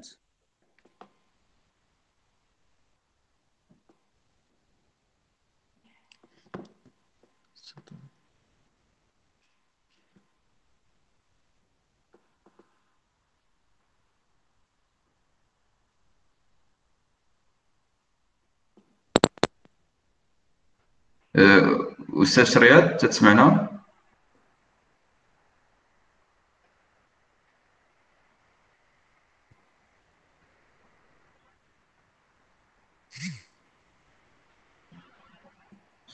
أستاذ شريات؟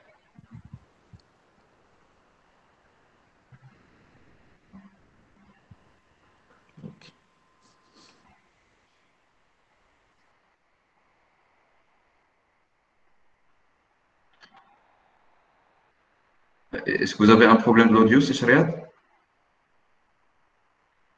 ما تسمعوكش حنا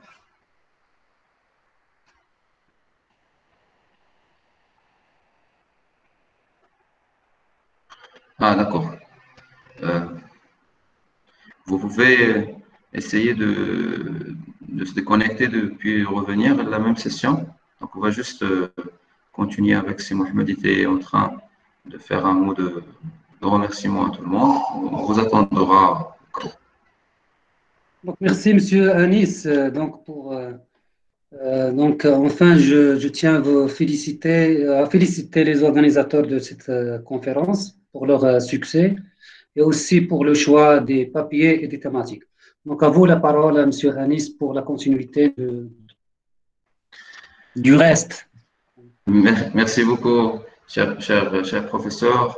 Euh, tout d'abord, je tiens à remercier euh, et à féliciter à Annie euh, euh, très, très chaleureusement le- l'effort déployé par l'ensemble des modérateurs des différentes sessions. Donc, c'est cet, événement qui a été fait, organisé à distance, comme, si c'était en présentiel, juste, le hic de la connexion et de l'Internet.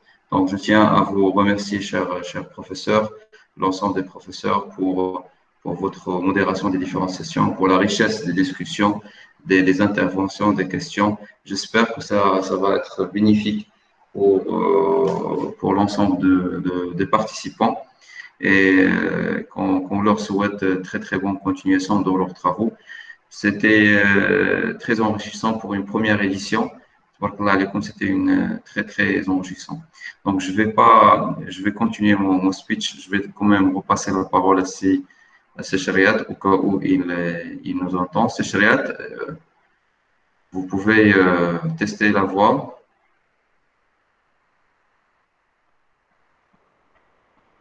Ustaz Shariat.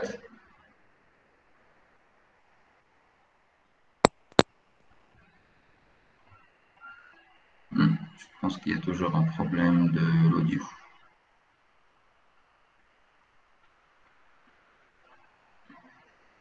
C'est dommage.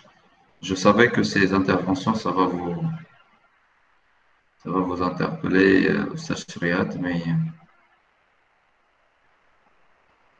circonstances. au cas où il y a une question particulière ou, bien un rebondi particulier, vous pouvez faire, euh, vous pouvez le noter sur le, chat. On le transmettra à Sir Omar et s'il a une réponse ou quelque chose. Parce que j'avais, une question à Sir Omar, mais je n'ai pas osé, étant donné que ce n'est pas forcément la spécialité. Hmm. Malheureusement, malheureusement, c'est. Donc, si vous, avez une, intervention particulière, vous pouvez utiliser le, chat et on pourra le, le lire à Sir Omar ou lui-même, il va le, Je ne sais pas, est-ce que c'est la seule théorie qui existe pour tout ce qui est la théorie de Hollande, tout ce qui est personnalité? Ça, Je pense que ça, ça vaut.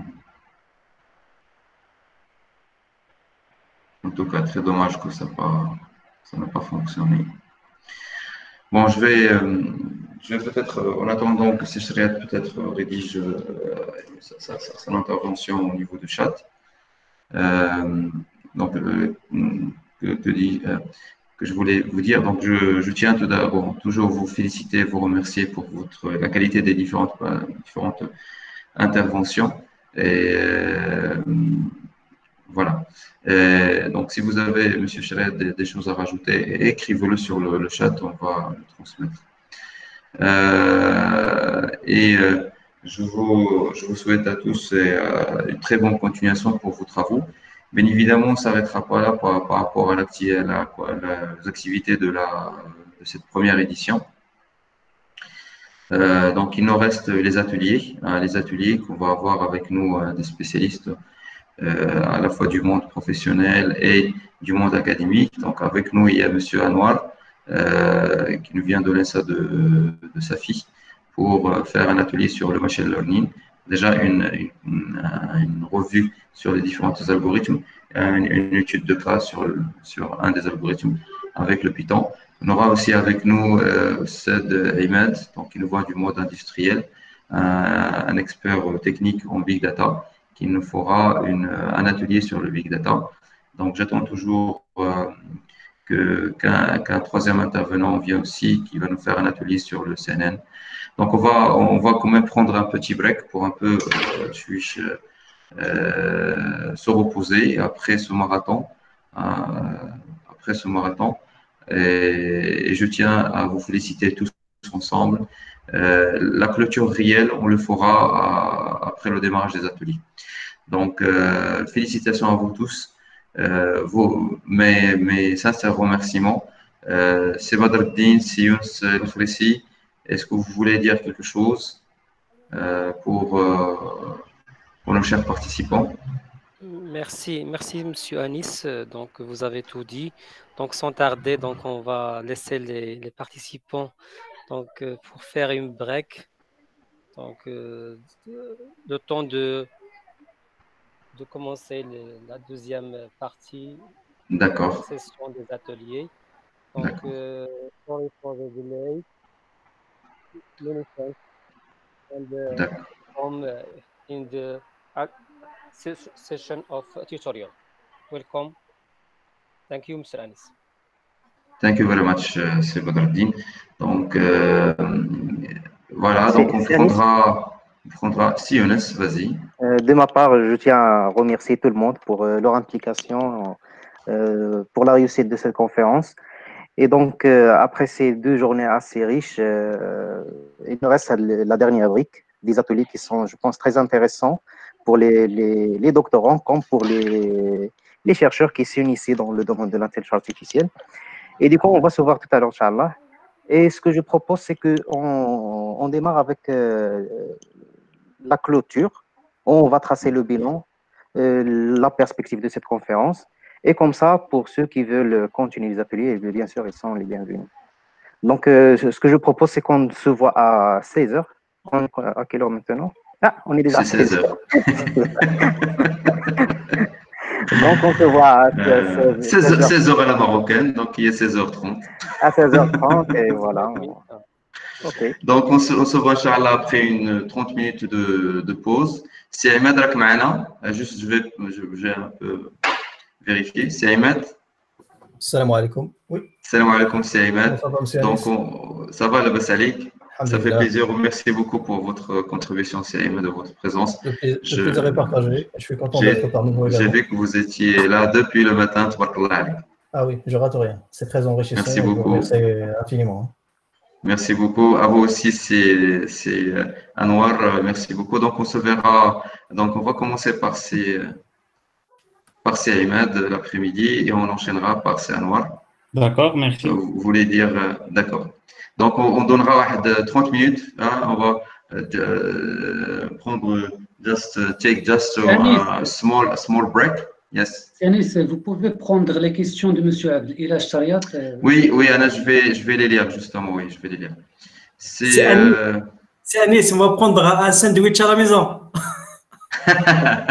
en attendant de se voir à, à fin sur la Rachidia, Inch'Allah. Inch'Allah. Bon, c'est une conférence qui est organisée entre, euh, moi je dirais, euh, entre copains et amis. hein. Non, C'est-à-dire, non, c'est- ça, beaucoup, plus ça. hein. C'est pour le break, le temps de break. C'est- C'est c'est 30 minutes, c'est juste, juste. C'est juste, juste là, le temps de prendre un petit sandwich et revenir, Inch'Allah. Donc, je vais juste lire euh, ce qu'a dit Sishriat euh, pour Sir Omar. Donc, euh, justement, par rapport à, la théorie Hollande, je pense que c'est une théorie apparemment qui, selon M. Shariat, c'est, qui est ancienne. Donc, je pense qu'on se donnera peut-être un, autre rendez-vous pour en parler, étant donné que j'ai vu pas mal de contributions lors de cette conférence et qui touchent à des spécialités autres que l'informatique forcément. Euh, que ce soit l'éducation dans son sens large, que ce soit l'éducation à distance, que ce soit l'orientation, que ce soit la personnalité, que ce soit euh, d'autres aspects qui forcément un spécialiste ou des spécialistes de ce domaine vont certainement nous éclairer de plus. Donc dommage que Céciliat ne, ne va pas pouvoir parler, mais c'est Omar, vous avez lu euh, les remarques des Céciliat, vous pouvez en bénéficier certainement. Donc, on, se de- rendez-vous d'ici 30 minutes pour ne pas trop perdre du temps. Donc, à 16h30, Inch'Allah, dans la même salle, uh, same room, we will start uh, with the, the, the other tutorials. The beginning uh, for uh, big data and uh, after avec uh, with machine learning, Inch'Allah. Donc, euh, euh, d'ici 30 minutes, Inch'Allah. Merci beaucoup.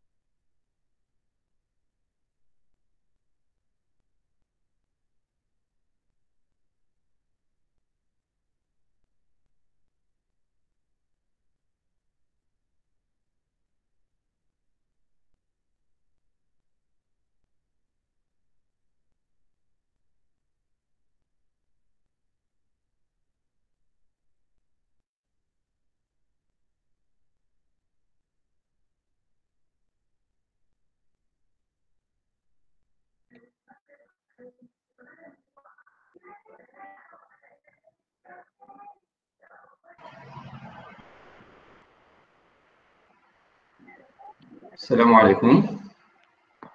وعليكم السلام سانيس Good afternoon. السلام عليكم. Everybody. مرحبا بكم. نسيف في زازي صباح عليك vous allez bien لاباس عليك ما عرفتش شكون اللي تيهضر معايا ما كنت بسكول ما بين لي زيكرون ما عرفتش شكون اللي تيهضر معايا أيوة. الله يحفظك اخي انيس ش- شكرا صافا ميرسي. الله يحفظك آه، الحمد ميرسي لله. بوكو آه، استاذ Enfin, استاذ خالد فيزازي euh, que vous allez euh, aussi euh, présider ou modérer cette, cette euh, session des ateliers. Merci beaucoup à Merci. Sadi pour la disponibilité du scope. merci merci سي انيس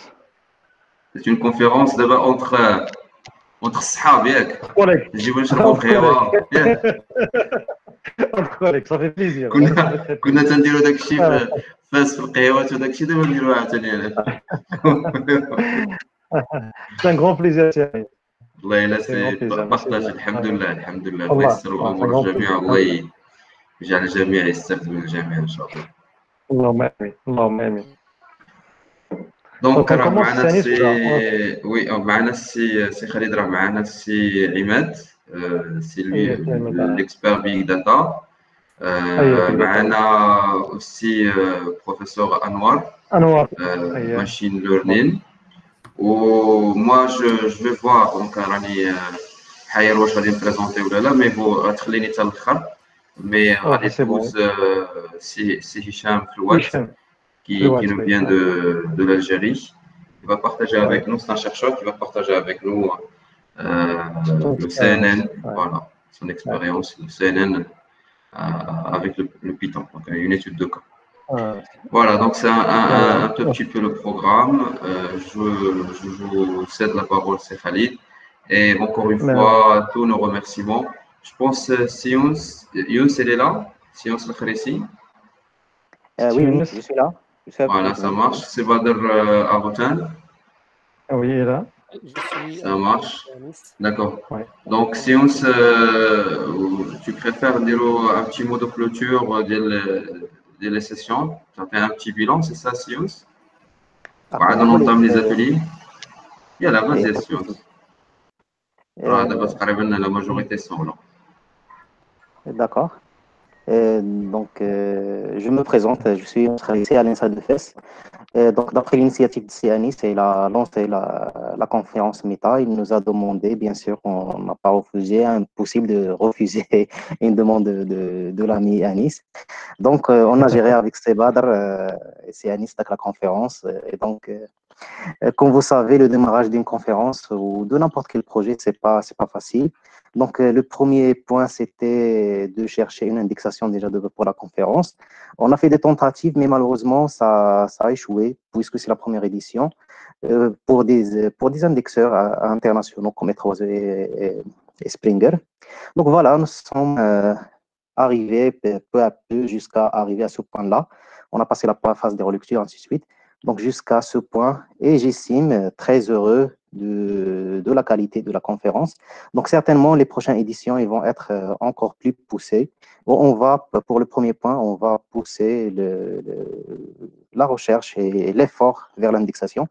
Donc du coup, pour cette conférence, euh, je fais partie également de, de la commission de gestion de la conférence internationale euh, sur les Wireless Technologies Embedded and euh, Intelligent System, FS, WITS. Et donc, j'ai vu avec les, collègues pourquoi ne pas créer un track pour euh, métaconférence dans WITS. Donc, euh, la, réponse était positive à 100%. Et donc, euh, à l'issue de, la conférence, apparemment, les sessions elles sont maintenant clôturées pour MITA. Il reste que les ateliers. On va faire un- un- une, réunion. Donc, déjà, le, les, les responsables de session, ils nous ont donné le- leur évaluation des papiers. Et du coup, pour la conférence 8, c'est la part de, de, on va réserver, comme j'ai dit, un track pour cette euh, conférence. Donc, on va inviter bientôt euh, les meilleurs papiers sélectionnés de MITA. Euh, je ne peux pas estimer le, le nombre, mais apparemment, on va inviter en, gros, c'est une première euh, estimation, 15 papiers les mieux classés, les mieux reviewés. On a déjà les rapports de, la première révision, euh, déjà les rapports également du- des tiers de session. Et donc, ces 15 papiers, on va les inviter à soumettre leurs travaux à WITS pour une deuxième relecture, bien sûr, pour s'adapter aux, exigences de, la conférence. Euh, pour enfin sélectionner, je pense, on verra, à ce moment-là. Donc là, je ne peux pas euh, vraiment énoncer des chiffres. Et donc ça, c'est- la part, on va dire, de, de l'indexation. Donc c'est tout ce que je peux dire sur euh, la relation de Meta avec WIDS. Et, comme euh, résumé final, donc je suis très très heureux de, de collaborer avec euh, cher euh, ami Anis, que je le connais dès, dès notre petit âge. On se connaît à, à partir de, de, de 98, من ايامات الفوت 98 من ايامات et الفوت آه، تلعبوا الفوت avec euh, تيس دابا هاد لي دكتور وهاد هاد هاد هاد صحاب حنا ما كناش تنلعبوا رحنا كنا حتى حنا تنلعبوا نقشبوا نقصروا Ouais, ouais, la, la, la, la, la vie est courte, ou ça, vraiment, c'est le temps. Il, هذاك est- الشيء اللي كاين هذاك الشيء اللي كاين et Ça il fait ne plaisir à dépasse Science, pas. ouais, ça fait Et plaisir. voilà, donc, euh, تبارك on الله a عليك vécu تبارك pas الله mal de عليك choses ensemble, on va continuer, Inch'Allah, à الحمد collaborer لله sans, الحمد لله sans الحمد problème. لله Et donc, الحمد لله euh, je, je cède la parole à Anis. ميرسي بوكو سي سي بدر Ah, الدين مرحبا. Oui, c'est Anis. Euh, bon, à mon tour, Anaya, je... اشنو ما تعاود ما تعاودلهمش على داك الشيء المعقوده اللي كنا تنمشيو لا ناكلو انا وياك لا المعقوده لا وداك لا الشيء هذيك هذيك خصها شوية de الوقت donc euh, pour être bref euh, je veux ju- juste dire un mot de remerciement donc euh, je tiens à remercier nos invités conférenciers voilà donc ils ont fait donc un bon travail avec leur précieuse collaboration Euh, donc je pense à monsieur Mohamed monsieur madame Xenia Naideronova Moulay Abdelwahed Sabri Abdelhamid Fadel monsieur Greta Driss, Moulay Atman Abou Tafail, Monsieur Imad Tahi et Monsieur Anwar également. Je, je ne peux pas oublier nos chers collègues du comité scientifique et les chairs des sessions. Donc, euh, c'est un engagement, donc ils ont assuré l'engagement, ils ont fait un travail remarquable euh, pour la réussite de cette conférence. Et bien sûr, les doctorants, les chercheurs, que je leur souhaite une bonne continuation dans leur projet de recherche. Euh, je les félicite également pour les présentations qui étaient très, très euh, intéressantes et on a beaucoup appris ces 12 jours-là. Et enfin, mes remerciements à tous les membres de l'équipe organisatrice, à vous, Monsieur Anis, un plaisir de travailler avec vous et avec Monsieur le Khalissi, avec Monsieur Aitmadi et avec toute l'équipe organisatrice. Je tiens également donc à remercier tous les participants et je veux leur dire à très bientôt, pourquoi pas la, la deuxième édition de MITA 2021, Inch'Allah. Merci à vous tous et Inch'Allah, on se verra Inch'Allah bientôt dans les meilleures conditions, Inch'Allah. Merci. à- Merci beaucoup, c'est Badr. Shukran jazilan, c'est Badr. Euh, donc, euh, aussi, encore une fois, mes, mes remerciements à tout le monde. Donc, juste un petit euh, bilan de cette, de cette première, première édition. Vous l'avez vu, les slides au départ, on avait à peu près 56 soumissions de, en tout, pour tout. Donc, euh, à, la clôture des, différentes sessions, nous avons produit, alhamdoulilah, euh, à peu près euh, 52 euh, présentations, 52 communications. C'est-à-dire il y avait à peu près euh, trois ou quatre euh, absences, en tout pour tout. En plus de ça, il y avait la présence de l'ensemble des speakers, sans exception. Donc, nous avons pu réaliser et produire l'ensemble des, conférences prévues dans le programme. Donc, nous, on est euh, donc presque, on a, réalisé tout ce qu'il faut en termes de programmation. Donc, juste un point donc, pour compléter euh, l'initiative euh, de CIUNES. Donc, euh, j'ai été aussi ravi d'assister aux différentes sessions de communication et en particulier la session où, là où ça m'intéressait le plus parce que j'ai choisi, euh, ça va, je ne vais pas être le seul, mais j'ai fait une première sélection pour les travaux qui vont être euh, proposés à, à la prochaine édition du journal marocain sur euh, la recherche quantitative et qualitative, Moroccan Journal of Quantitative and Qualitative Research, qui est aussi une initiative entre collègues et copains en quelque sorte, pour travailler, pour valoriser euh, beaucoup plus les travaux terrain, hein, les travaux terrain qui contextuels, donc du contexte marocain, et des travaux terrain, enquête euh, avec des, des études d'enquête, avec des études, hein, des interviews quantitatifs ou qualitatifs, qui touchent aux différents aspects, que ce soit les sciences humaines ou les sciences sociales, que ce soit aussi les sciences dures, mais que avec bien sûr, c'est un travail terrain. Donc j'ai choisi trois, trois, trois propositions, trois papiers qui vont, qui vont être, euh, dont, dont, on va inviter les auteurs pour soumettre les, les articles, le, format étendu de leurs travaux. Donc, euh, je tiens à les féliciter. Donc, je vais juste euh, citer les, les intitulés de leurs travaux, juste pour, pour, pour, un peu s'ils sont là. Donc, déjà, je vois Sehmed Sayad, donc il est là. Donc, vos travaux Sehmed Sayad ont été sélectionnés pour le prochain numéro de MGQR. Il y a aussi, euh, merci beaucoup à Ahmed, c'est très intéressant le travail que vous avez fait. Euh, donc, bien évidemment, on continuera la, discussion, on va dire, purement scientifique sur le contenu euh, de vos travaux. Il y a aussi les travaux de l'auteur intitulés Les facteurs organisationnels explicatifs de, de, l'instauration de la technologie digitale au sein de l'entreprise. de notre, notre cher collègue de la FSGES. Euh, il y a aussi le travail euh, de l'auteur euh, intitulé Supply Chain Services and Information Technology, an Ethnography Approach to Just Work Out. Donc ça, c'est le troisième travail qui a été aussi sélectionné pour le prochain numéro MGQR. L'ensemble des autres travaux, donc on va quand même les soumettre. Donc on, l'a déjà soumis euh, auprès de Springer pour avoir leur avis et opinion par rapport euh, à la publication dans le cadre du, du Book Series. Donc, on attend la réponse. Donc, je pense qu'on va recevoir bientôt leur retour. Et euh, s'ils sélectionnent des travaux, on, les communiquera, bien évidemment. S'il y a une décision définitive sur l'ensemble des travaux, on, les communiquera après l'événement, Inch'Allah. Donc, euh, je vous remercie tous et je cède la parole rapidement à C. Khalid Fizazi pour modérer euh, euh, cette session des ateliers. Merci. Merci, Sianis. Donc, à mon tour, je ne vais pas commencer avant de présenter mes félicitations à tout l'ensemble de, l'équipe qui a vraiment veillé à la réussite de cette conférence.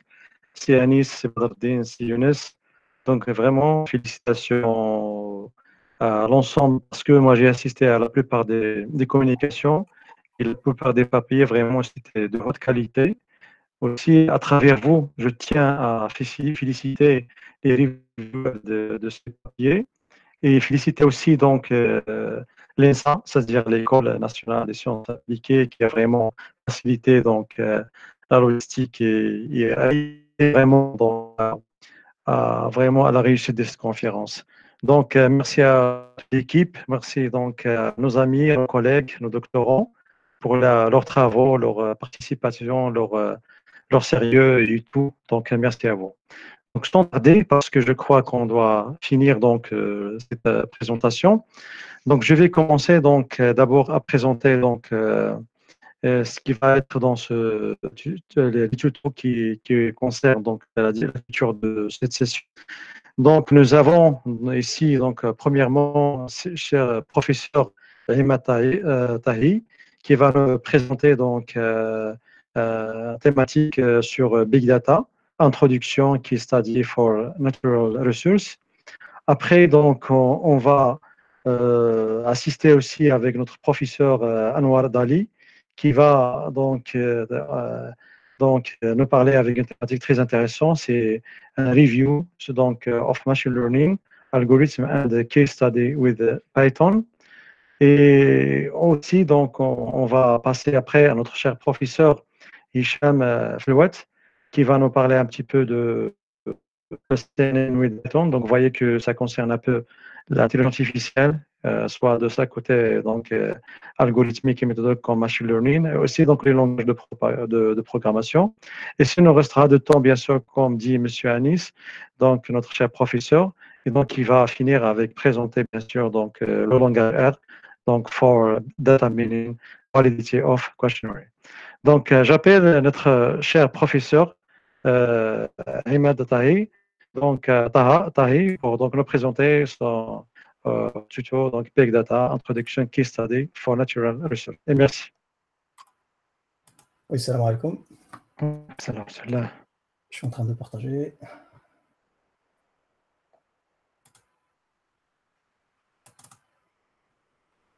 Alors, est-ce que vous arrivez à voir mon partage? Oui. très bien. Super. Oui, c'est bon. Donc, merci beaucoup, euh, professeur El Fezazi. Merci à Euh, tout d'abord, donc, je remercie euh, le professeur Anis Moumen pour son invitation, donc, ainsi que son collaborateur Jamal El Hassan pour sa collaboration avec moi. Ensuite, donc, je remercie également le- les modérateurs qui ont veillé sur le bon déroulement de cette conférence. Donc, merci infiniment à vous. Et je tiens aussi juste, euh, entre guillemets, s'il vous plaît, de, de passer un grand salam alaikum à mon ancien professeur que j'ai perdu de vue depuis 15 ans et que j'ai vu passer dans cette magnifique conférence par hasard. C'est M. Mashkour Mustafa de Agadir. Voilà. Et sans tarder, je commence par me présenter. Donc, je suis Ayman Tahi, formateur architecte Data et Analytics indépendant. Donc, je suis le fondateur de la société Luni IT qui est spécialisée dans la formation distancielle e-learning et en présentiel. Je fais aussi de l'expertise et du conseil auprès des entreprises. Donc, euh, encore une fois, je suis avec vous pour ce MITA 2020. J'espère que ça ne va pas s'arrêter là. Et c'était vraiment très enrichissant. Donc, je continue sans trop tarder par le sujet que je vais vous présenter. Donc, je vais vous présenter une petite introduction au Big Data, pour les l'initiation. Est-ce que vous m'entendez toujours? Allô? Oui, monsieur Thaïs. Ok, bon. super, super. J'entends des fois des gling gling, donc je sais, je crois, je sais pas si C'est moi qui a décroché. D'accord, ok, merci. Donc euh, voilà, donc on va voir euh, ensuite euh, deux études de cas. Donc je vais vous faire une étude de cas d'un fichier que j'ai reçu qui traite le sujet des ressources naturelles des eaux marocaines, et je vais vous faire un petit cas d'étude de streaming avec Twitter. Donc, ce qu'on va voir ensemble, donc on va voir ce que c'est que le big data déjà dans un premier temps. Pourquoi on utilise le big data aujourd'hui? Quelle évolution avec le big data? Les freins de la mise en place du big data, les acteurs du big data, l'écosystème du big data, et je vais vous présenter un outil Apache Spark. Et avec cet outil, on va mettre nos études de cas. Donc, euh, on va commencer par présenter ce que c'est que le big data. Donc, comme vous le savez tous, aujourd'hui, on est en train de vivre une, expl- une explosion de la quantité des données, sachant qu'on est juste toujours en phase 4G. Donc, la 5G, quand elle va arriver, euh, je pense que ça va aller encore plus vite qu'avant. On a aujourd'hui le partage des données un peu partout en réseau. On a aussi la recherche des données. Donc, on a pas mal de données aujourd'hui et donc il nous faudra des mécanismes pour faire des recherches plus rapides, pour accéder à nos informations le plus rapidement possible. Le stockage aussi des données, donc quand on parle bien évidemment recherche, partage et tout ça, donc il faut ces données-là, il faut déjà qu'on les sauvegarde quelque part. Comment? Les traitements des flux des données. Et au- aujourd'hui, quand on parle big data, donc on a tendance à parler mégadonnées et données massives. Mais la question qu'il faut se poser, est-ce que le big data aujourd'hui, c'est équivalent à la volumétrie de données? Donc quand on dit big data, est-ce que c'est le volume des données? Donc la réponse est faux. Le big data, ce n'est pas parce que c'est big et data que ça parle que de la volumétrie. Il n'y a pas que ça. Ce n'est pas faux en même temps, mais il n'y a pas que ça. C'est pour cela qu'on va revoir ensemble les règles de 3V. Donc j'ai vu certains de nos chers collaborateurs qui ont passé cette, euh, rapidement par rapport à ces règles de V. Donc la règle 3V, donc on a la règle de la volumétrie. Donc évidemment, il nous faudra de la volumétrie des données. Donc on n'est pas en train de traiter un fichier de 10 kilooctets. Ensuite, on a la variété. Donc quand on parle variété des données, c'est-à-dire quand on parle fichier, il n'y a pas que le fichier texte, on a des fichiers XML, JSON, Parquet, Avro. Aujourd'hui, on a beaucoup de différents types de fichiers euh, textuels. En plus de ça, on n'a pas, quand on parle variété de données, c'est données avec un grand D. Donc on a aussi l'audio, on a de la vidéo et on a de l'image, ainsi de suite. La troisième règle V, c'est la vélocité. Donc c'est la fréquence avec laquelle des données ils arrivent.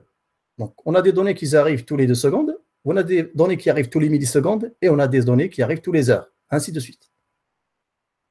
On ajoute à ça deux règles V qui sont apparues. Il y en a d'autres en plus qui sont apparues. Mais, donc là, on va parler de cinq, les cinq règles V les plus connues. Après, il y en a encore d'autres. Donc il y a la véracité, c'est tout simplement, ça concerne plus les gens qui sont en train de, de vivre euh, leur vie quotidienne sur des projets à chiffrer, à gagner des projets, à faire répondre à des appels d'offres et tout ça. Donc là, c'est là où il faudra qu'ils fassent attention. C'est grâce à cette règle-là qu'ils ont dit stop, on est en train de chiffrer n'importe quoi, ça nous coûte plus cher, notre projet tombe à l'eau. Pourquoi? Parce qu'on n'a pas cet vecteur de véracité. Donc, les données que nos clients ils souhaitent, par exemple, euh, étudier, ou même nos chercheurs, bien évidemment, il faudra qu'on s'assure qu'il y a une qualité derrière par rapport à nos études. Donc, je vous donne juste un exemple simple. Aujourd'hui, on a des données, par exemple, qui circulent sur Facebook, des likes, des j'aime, etc., sur LinkedIn, etc. Donc, on aimerait bien étudier ces données-là. Donc, derrière, est-ce que les données qu'on va étudier, est-ce qu'ils sont déjà pas euh, envoyées avec un langage SMS, des fautes d'orthographe, des fautes grammaticales, ainsi de suite. Donc là, il faudra vraiment s'assurer que les données, dans un premier temps, ils ont été bien nettoyées. Ensuite, on a le dernier, le dernier V, c'est la valeur. Donc, la valeur, c'est tout simplement le résumé de tout ce qu'on a vu. Est-ce que, avec toutes ces règles-là, quand on va étudier notre cas, quand on va le traiter, est-ce que on va retirer de la valeur ou pas? Donc, si on ne va pas retirer de la valeur, ça veut dire qu'on va mettre du temps et de l'argent pour rien. Donc, il faut s'assurer qu'on va avoir une valeur derrière qui va nous permettre tout simplement de gagner de l'argent. Pourquoi utiliser le big data? Donc, le big data désigne un ensemble très volumineux de données qu'aucun outil classique de gestion de base de données ou de gestion de l'information ne peut manipuler convenablement. C'est la définition, on va dire, qui s'approche à la définition, pardon, générale. Exemple, environ 2,5 trillions d'octets de données chaque jour qui arrivent. Il faudra qu'on les traite, qu'on ait un résultat le même jour. Des informations provenant de sources diverses. Par exemple, des messages, de la vidéo, de l'information climatique, signaux GPS, transactions, transactions de données, euh, objets connectés, etc. Ce qu'il faut savoir aussi, c'est que quand, je parle vidéo et, et image, déjà la vidéo et l'image, c'est quasiment presque pareil. Quand on parle image et euh, par exemple euh, voix, il faut savoir qu'il y a deux manières de les traiter. Déjà d'une manière physique, ça veut dire la vidéo, on la prend telle qu'elle et on, essaie de stocker, de voir un petit peu juste son contenu physique. Et il y a aussi le traitement binaire, c'est-à-dire on récupère ce qu'il y a à l'intérieur de la vidéo en termes binaires et on essaie de faire d'appliquer des filtres ou autres. Donc la taille, comme on l'a dit, n'est pas l'unique caractéristique. Les flux de données continuent, donc c'est les big data streams. Donc quand on est sur du temps réel, on parle de data stream. Donc aujourd'hui, il n'y a plus personne qui veut jeter de la donnée. Donc ce qui nous a conduit aujourd'hui à des data lakes. J'ai entendu tout à l'heure le mot passé. Donc aujourd'hui, les gens, ils ne veulent plus perdre de la donnée, que ce soit des sociétés, que ce soit des, euh, organismes, etc. Donc toute la donnée aujourd'hui qui arrive, tout ce qu'on fait, c'est qu'on la stocke. On la stocke, on la stocke sans réfléchir, en format brut, tel qu'elle est. Et c'est demain, quand on aura besoin de la formation, de l'information, de l'étude de ces informations, c'est là où on va commencer un petit peu à fouiner partout et à récupérer ce qu'on veut de cette poubelle, on va dire ça comme ça. Donc on a une poubelle aujourd'hui, on va retirer ce qu'on veut, ce qui va nous aider à construire une valeur. Et on va le récupérer pour tout simplement l'étudier ou l'afficher dans des dashboards pour qu'il puisse aider nos décideurs, etc. La variété des, sources des données indépendantes nécessite l'intégration des données. L'hétérogénéité des données, souvent associée aux données non structurées, mais non exclusivement. Donc là, quand on parle données, la plupart des données qui sont traitées dans le terme big data, c'est vraiment des données non structurées. Et on peut traiter de la donnée structurée aussi, parce qu'il y en a qui, essaient un petit peu de faire euh, distinction. Euh, comme la plupart qui disent ah, la BI sera remplacée du jour au lendemain par du big data. Ça, c'est faux. Hein. Déjà, je vous le dis de suite, c'est pas possible. Donc, on aura toujours des données structurées et on aura toujours des données non structurées. Et c'est grâce aux données non structurées que des fois, on récupère des données structurées, la plupart du temps même. Difficulté de traiter et de produire de la masse de données chaque jour. Donc, on reste toujours sur les problématiques et pourquoi on utilise le big data. Hein. Donc, les informations sont produites en temps réel aujourd'hui. On a des problèmes d'optimisation, surtout des bases de données classiques aujourd'hui. Donc, aujourd'hui, on le voit tous, hein, une base de données qui est déjà mal modélisée, elle arrive à, à ses limites, sans parler de la volumétrie qu'on va et réinjecter dedans. Donc, déjà, quand on va parler big data, les bases de données classiques, ne sont pas prêtes pour les, accueillir toutes ces données, hein, surtout quand on reçoit des gigas ou des teraoctets chaque jour. Le traitement des données non structurées, c'est ce qu'on avait dit juste avant. Je continue. Donc là, je vais vous donner un petit scénario juste pour euh, éclaircir un petit peu tout ça. C'est un diagramme que j'ai réalisé moi-même, que j'essaie de, tout simplement de. J'ai trouvé un, petit scénario, on va dire, pour euh, faire comprendre tout ça. Donc, euh, soit disant que je suis, euh, il y a un client d'une agence de voyage qui m'a, qui m'appelle et qui me demande, par exemple, il me dit voilà, j'ai j'ai pas mal d'avions aujourd'hui avec pas mal de passagers. par exemple, je vous donne un scénario. J'ai tout simplement un avion qui décolle à 8 heures et il arrive à midi. Et durant le vol, moi, ce que je veux, c'est avoir, c'est avoir de jolis dashboards, tout simplement pour le suivre, pour voir ce qui se passe, etc. Donc là, il me dit bah, je veux connaître euh, la vitesse de l'avion par rapport euh, au vent. Je veux avoir un petit peu euh, sa géolocalisation.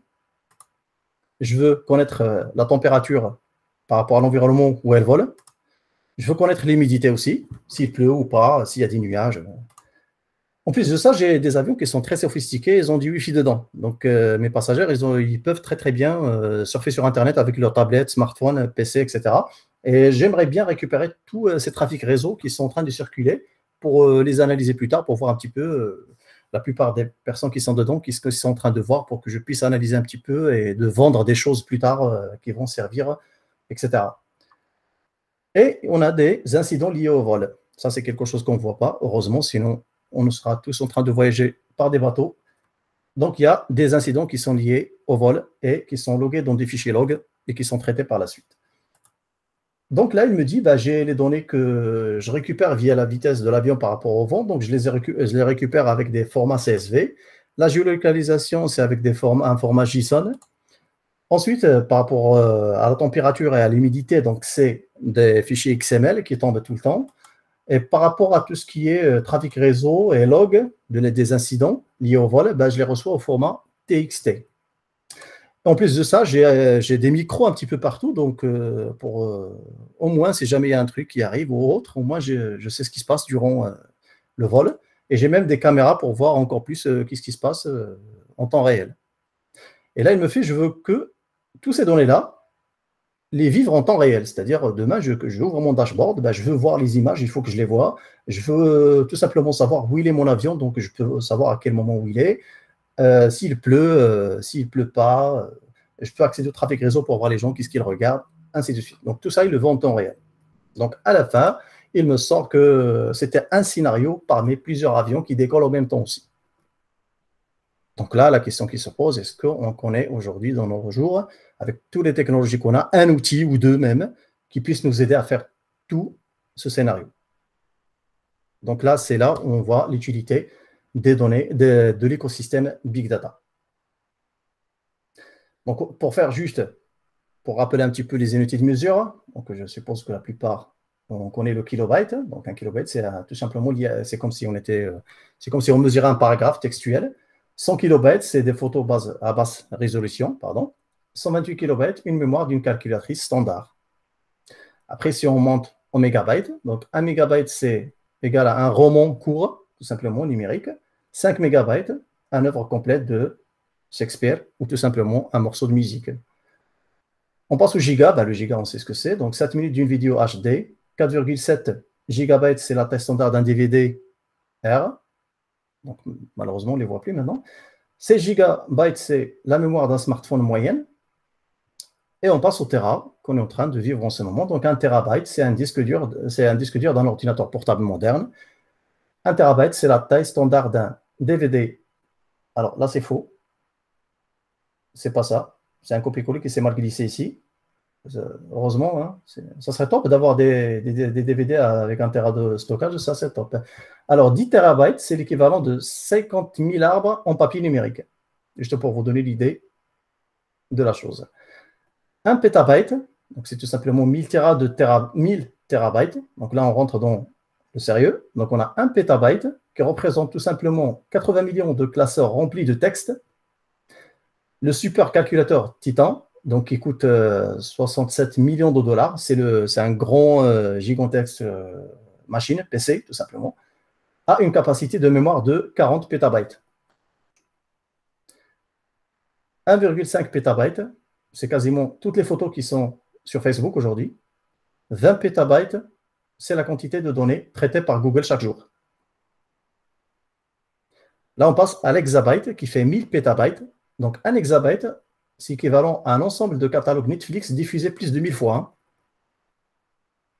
C'est comme si on reprenait tous les films, on les regardait euh, 1000 fois chacun. 5 exabytes, tous les mots jamais prononcés par l'humanité. C'est juste pour vous illustrer. Ça ne veut pas dire qu'on n'est pas en train de les analyser. On est, on est sur ces chiffres-là. hein. Aujourd'hui, on est sur ces données-là et on les analyse. Mais juste pour vous dire à quoi ça correspond, pour voir un petit peu euh, l'illustration de, la mesure des données. Donc, 1 zettabyte, c'est égal à 1000 exabytes. Et 1 zettabyte est égal à, chaque jour, en moyenne, environ 500 milliards de tweets sont tweetés sur Twitter. Si ces données sont stockées, il faudra environ 100 ans, un siècle, pour égaler un zeta-octet de données. Et donc, un, zeta-octet, un zettabyte pardon, est égal à 250 billions de DVD. En utilisant la technologie aujourd'hui, un disque dur zettabyte, si on prend un disque dur qui fait 1 zettabyte, par exemple, on a, essayé de le construire, on va dire ça comme ça, on va avoir la taille de l'Antarctique, tout simplement. Je vous ai mis un petit peu. euh, Ça dépasse déjà la, la taille des États-Unis, hein, de la surface euh, des États-Unis. Alors, on passe au. C'est le dernier, je vous rassure. hein. On n'ira pas plus loin. Donc, le yottabyte est égal à 1000 zettabytes. Donc, un yottabyte, c'est la taille du World Wide Web. Il faudrait environ 11 000 milliards d'années pour télécharger un fichier yottabyte à partir d'Internet à l'aide d'une bande à haute puissante. Donc, Juste pour illustrer un petit peu la chose. Si on a un fichier aujourd'hui qui fait 1 yottabyte et qu'on clique dessus pour le télécharger, il nous faudra quand même 11 000 milliards d'années. En utilisant la technologie aujourd'hui, un disque dur du yottabyte couvrirait la surface de la Terre 23 fois. Donc voilà pour illustrer un petit peu les unités de mesure, sachant qu'aujourd'hui, on peut traiter ces données-là, bien évidemment, avec le partage, avec la distribution, avec les clusters, avec les data centers, etc. Quelle évolution avec le big data? Donc, qu'est-ce qu'on a gagné avec le big data aujourd'hui et quelles sont les évolutions qu'on est en train de vivre avec? Donc, déjà, il y a la progression de framework Hadoop. Donc, Hadoop, c'est tout simplement un framework qui est gratuit. C'est grâce à ce framework qui nous permet de faire du stockage euh, par euh, ce qu'on appelle un HDFS, c'est un file system, tout simplement. C'est comme une base de données, on va dire, qui est scalable, c'est-à-dire qui peut être distribuée, sans rentrer dans les détails. Et aujourd'hui, ça nous permet de récupérer des données à forte volumétrie. Donc, ça nous a, ça nous a permis aussi une réduction du coût d'analyse des données. Il y a eu l'apparition aussi des systèmes de gestion de base de données non SQL. Ça nous a fait évoluer la sécurité des données et le stockage des données dans le cloud. Donc aujourd'hui, tous les métiers qu'on est en train de voir, ça tourne autour de la data. Dès qu'on a vraiment pas mal de stockage de données, on crée des métiers. Ça, c'est sûr. Les freins de la mise en place du big data. Et oui, malheureusement, c'est le coût, la manque de, le manque de compétences. Donc aujourd'hui, on n'a pas de, de ressources. Moi, je, je vis à, Toulouse, en France. Je peux vous dire, la plupart des sociétés euh, avec qui j'ai travaillé, ils ont toujours ce manque, en fait. Il a pas de. On n'a pas de ressources, des gens qui font du. euh, qui, qui ont des. Soi-disant, même quand on cherche une personne avec deux ans d'expérience en big data, eh ben, on ne trouve pas, tout simplement. On essaie de faire migrer les profils data scientists vers des, à travailler dans des écosystèmes big data. Et tout simplement, c'est tout ce qu'on a aujourd'hui. Donc, manque de visibilité sur les opportunités, difficile de quantifier le ROI des investissements big data. La collecte de données doit surpasser les canaux traditionnels. Les données sont non structurées, nécessitent de compétences pour les traiter. Le gain de la mise en place du big data. Anticipation des enjeux, des enjeux stratégiques liés à une meilleure utilisation des données internes et externes, diversité des données collectées et des canaux de collecte, adoption d'une nouvelle technologie d'exploitation de la donnée. Sachant que c'est quelque chose qui change chaque jour. Il faudra vraiment être à jour, surtout avec les outils avec lesquels on traite les sujets big data. On a certains acteurs euh, du big data. Donc, on a les, acteurs historiques des solutions IT, comme HP, Oracle, IBM, SAP. SAP. Par exemple, aujourd'hui, c'est vrai que si on va chez Oracle, on leur dit voilà, on a un problème aujourd'hui, donc euh, on a un sujet. On aimerait bien que vous nous aidiez à développer notre euh, système avec euh, un écosystème big data. Oracle, ils sont capables aujourd'hui de le faire. avec tous les outils qu'ils ont. Bien évidemment, ils ont intégré Hadoop à leur, euh, à leur logiciel. Ils peuvent le faire. Le seul problème, c'est que Oracle, aujourd'hui, il va nous traiter une solution de A à Z. On va travailler avec pendant un an, deux ans, trois ans. Demain, si on revient les voir pour leur dire, euh, voilà, excusez-nous, donc c'était tout simplement pour un cahier de charge pour que vous puissiez encore améliorer notre système actuel que vous nous avez construit. Oracle, là, il vous dit, attendez, je crois qu'on ne s'est pas bien compris, mais nous, on, ne va pas suivre votre euh, évolution par rapport à ce qu'on vient de vous faire. Ce qu'on va faire, c'est qu'on va faire tout de A à Z encore une fois. Et là, ça va être encore plus cher. Donc, figure parmi les principaux acteurs du Big Data, on a aussi IBM avec euh, Big Insight Enterprise. On a Microsoft aussi, donc qui privilégie l'utilisation du framework Hadoop avec Windows Azure et Windows Server. On a aussi Amazon avec AWS, Amazon Web Services, et Elastic MapReduce EMR. On a aussi des spécialistes des solutions Big Data. Donc, je cite les, les ESN, les SS2I, donc Capgemini, Accenture, EMC, Mapper, Teradata, Sopra Steria et Atos. Les distributions majeures aujourd'hui qu'on a, donc Hadoop est le framework logiciel open source au cœur de la révolution du Big Data. Donc, il y a tout qui tourne autour d'Hadoop aujourd'hui. Il est sorti en 2011, donc c'est une solution pour le stockage, parce qu'on va revenir après, en fait, pour la partie MapReduce, c'est la partie traitement de Hadoop, qui, est un petit peu, qui commence un petit peu à, mourir, tout simplement, pour faire bref. On va voir pourquoi. L'analyse des données, qui permet de l'analyse des données avec des distributions aussi commerciales. On a qui sont gratuits, pas beaucoup malheureusement, et tous les autres, ils sont payants. Donc, on a la première distribution qui est Cloudera. Donc, Cloudera a été le premier fournisseur à proposer Hadoop en tant que package et continue à être le leader de l'industrie en ce moment même. Donc Cloudera CDH avec des composants open source, comme Hadoop euh, et le reste, qu'on va aller voir tout à l'heure. Premier à proposer SQL for Hadoop avec son moteur de recherche Impala. Donc, c'est-à-dire tout simplement, on est en train de passer des données euh, en, en HDFS. Derrière, pour les récupérer ces données-là, on n'est pas, sur un système de gestion de base de données, donc on ne peut pas utiliser de l'SQL. Il faut utiliser, euh, donc là, avec euh, Cloudera CDH, on a un Eclipse dans lequel on utilise du Java, tout simplement, pour récupérer des données avec des maps reduce, etc. Ensuite, donc, ils ont pensé à mettre en place un outil qui permet tout simplement d'interroger ces données-là, qui sont dans HDFS, c'est-à-dire sa base de stockage, et on peut récupérer ces données-là avec du langage SQL qu'on a l'habitude d'utiliser dans les systèmes de gestion de base de données relationnels classiques. La sécurité les interfaces pour l'intégration avec des applications tierces. Donc là, vous avez un petit peu le, à, quoi, ça ressemble Cloudera Manager. Donc ici, on a tous les, petits outils. Hein. Donc on voit ici euh, Impala qui est là, par exemple, on vient de citer, Hive qui fait à peu près la même chose. Donc on peut faire du SQL directement avec ces deux outils. On va voir Spark qui est ici aussi. On va voir à quoi ça correspond tout à l'heure. Et là, on, peut très très bien suivre un petit peu ce qui se passe dans nos clusters, dans nos serveurs, tout simplement.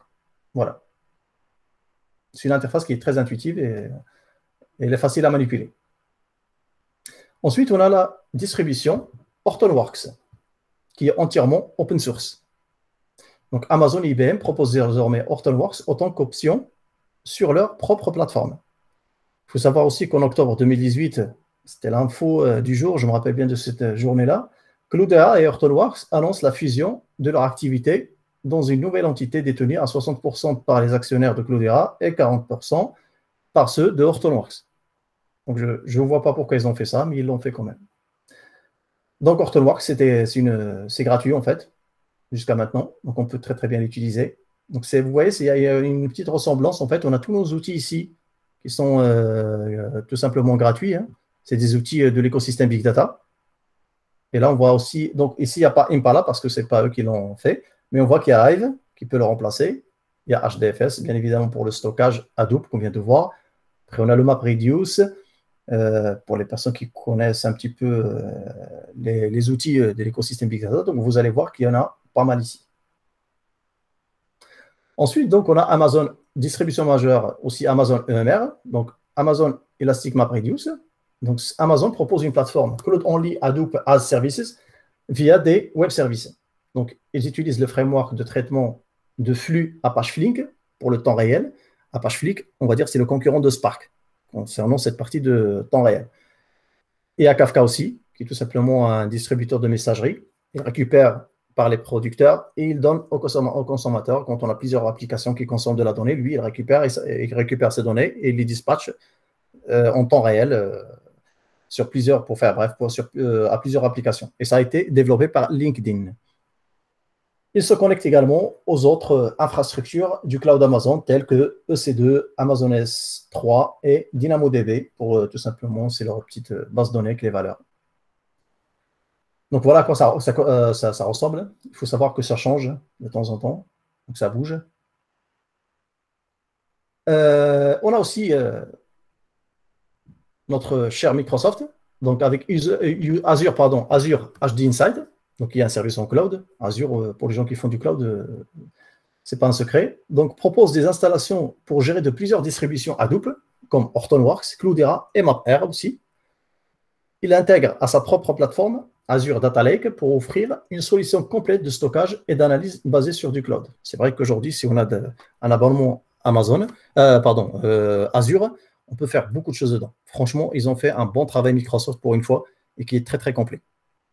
Fournit des services cloud comme Spark, Hive, Kafka et Storm. Storm, c'est un, framework euh, de programmation distribuée, pareil que Spark. Donc voilà à quoi ça correspond. Hein. C'est vraiment très très euh, simple à, créer beaucoup de choses dedans. Franchement, ils ont, ils ont fait un bon truc. Azure, euh, c'est vraiment une réussite. Il y a MapR aussi. Donc, comme Hortonworks et Cloudera, MapR est un fournisseur d'accès sur les plateformes plutôt qu'un fournisseur de services gérés comme Amazon ou Microsoft. Donc, MapR, MapR intègre son propre système de base de données qui s'appelle MapR-DB. Donc, selon MapR, il est 4 à 7 fois plus rapide que la base de données Hadoop, ce qui était normal à l'époque parce qu'on n'avait pas Spark. Pig, il arrivait à ce moment-là. Donc, eux, ils avaient fait quelque chose euh, Hadoop, ils avaient HDFS. HDFS est très long avec son MapReduce. Mais MapR, à ce moment-là, ils ont trouvé euh, la solution pour rendre, leur stockage et le traitement des données avec le, et le traitement pardon, euh, des données plus rapide 4 à 7 fois que Hadoop. Donc, en raison de sa puissance et de sa rapidité, MapR est souvent considéré comme un bon choix pour le plus grand projet Big Data. Mais plus maintenant. Hein. Ça, c'était vraiment au début. Enfin, quand on dit au début, c'est vraiment il n'y a pas longtemps aussi. Hein. Ensuite, on va voir l'écosystème du Big Data. Donc, on va voir ce que c'est que les systèmes de fichiers, les bases de données non SQL, les bases new SQL, l'intégration de données, les outils qui nous permettent de faire l'intégration de données, pardon, les outils qui nous aident à faire de la programmation distribuée, le machine learning, la visualisation et la sécurité. Donc, pour les systèmes de fichiers, on a Hadoop HDFS.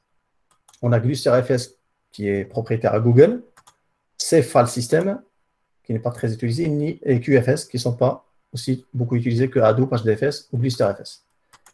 On a les bases de données NoSQL. Donc, on a quatre catégories en fait des bases de données NoSQL. Donc, MongoDB, c'est une base de données qui est orientée document, c'est-à-dire on insère des documents dedans. Et les documents, ils sont au format JSON. Ensuite, on a HBase, qui est tout simplement une base de données NoSQL orientée colonne. On appelle aussi colonne family. C'est-à-dire, on récupère les tables. Si on prend un modèle relationnel, eh ben, on casse les jointures et on met tout dans une table. Voilà comment ça se passe. Il n'y a pas de jointure dedans.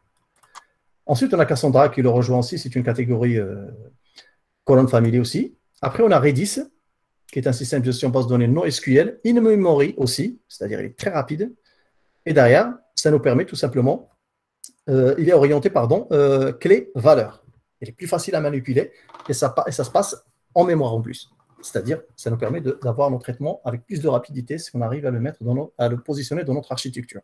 Pour les gens qui cherchent de la performance, je vous le conseille fortement si vous voulez le combiner avec de l'HDFS ou autre. D'ailleurs, il y en a carrément qu'ils ont laissé actuellement, ils sont en train de réfléchir sur des solutions et ils veulent tout simplement laisser tomber Hadoop HDFS pour le remplacer avec Redis. Il y a le Neo4j qui est une base de données NoSQL orientée graph. Donc ça se base sur des nœuds et des arcs, sachant que les nœuds, cette fois-ci, ils contiennent des propriétés et les arcs aussi. Donc ça, on l'utilise plus sur, euh, dans les parties où on a comme les réseaux sociaux, euh, euh, comme les sites e-commerce, etc. Donc tout simplement, des fois, quand on rentre pour acheter quelque chose dans un site e-commerce, ils nous disent bah, tous, les, tous les acheteurs qui ont acheté ce produit, ils ont aussi acheté ça et ça et ça bizarrement, On trouve des fois euh, que ça match et on achète encore plus que ce qu'on devait acheter.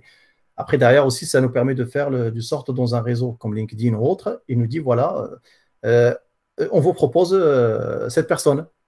Parce que tout simplement, ils ont remarqué que, vu qu'on connaît plusieurs personnes et on a cette personne en commun, eh ben, il nous dit, voilà, cette personne, ça pouvait euh, être un ancien ami à vous, avait- que vous n'avez pas vu depuis un bon moment. En tout cas, moi, ils m'ont jamais proposé notre cher euh, professeur euh, Mouchkor. Je suis toujours dans les réseaux sociaux. et on- Je vous ai jamais vu dedans. hein. Ça marche pas, leur truc, apparemment. Bon, c'était entre guillemets. Et on a Elasticsearch. Elasticsearch, aujourd'hui, c'est un moteur de recherche et qui fait également du stockage documents, à base de documents. Y a du JSON aussi. Et on utilise le langage curl pour tout simplement récupérer euh, et manipuler les données. Après, il y a un autre euh, outil qui lui ressemble, ça s'appelle Solaire aussi. On passe sur les bases de données NewSQL. Alors, il y en a qui confondent, confondent les bases de données NewSQL avec les bases de données NoSQL. Donc, Hive, ce n'est pas une base de données. hein. Ce n'est pas une base de données NoSQL.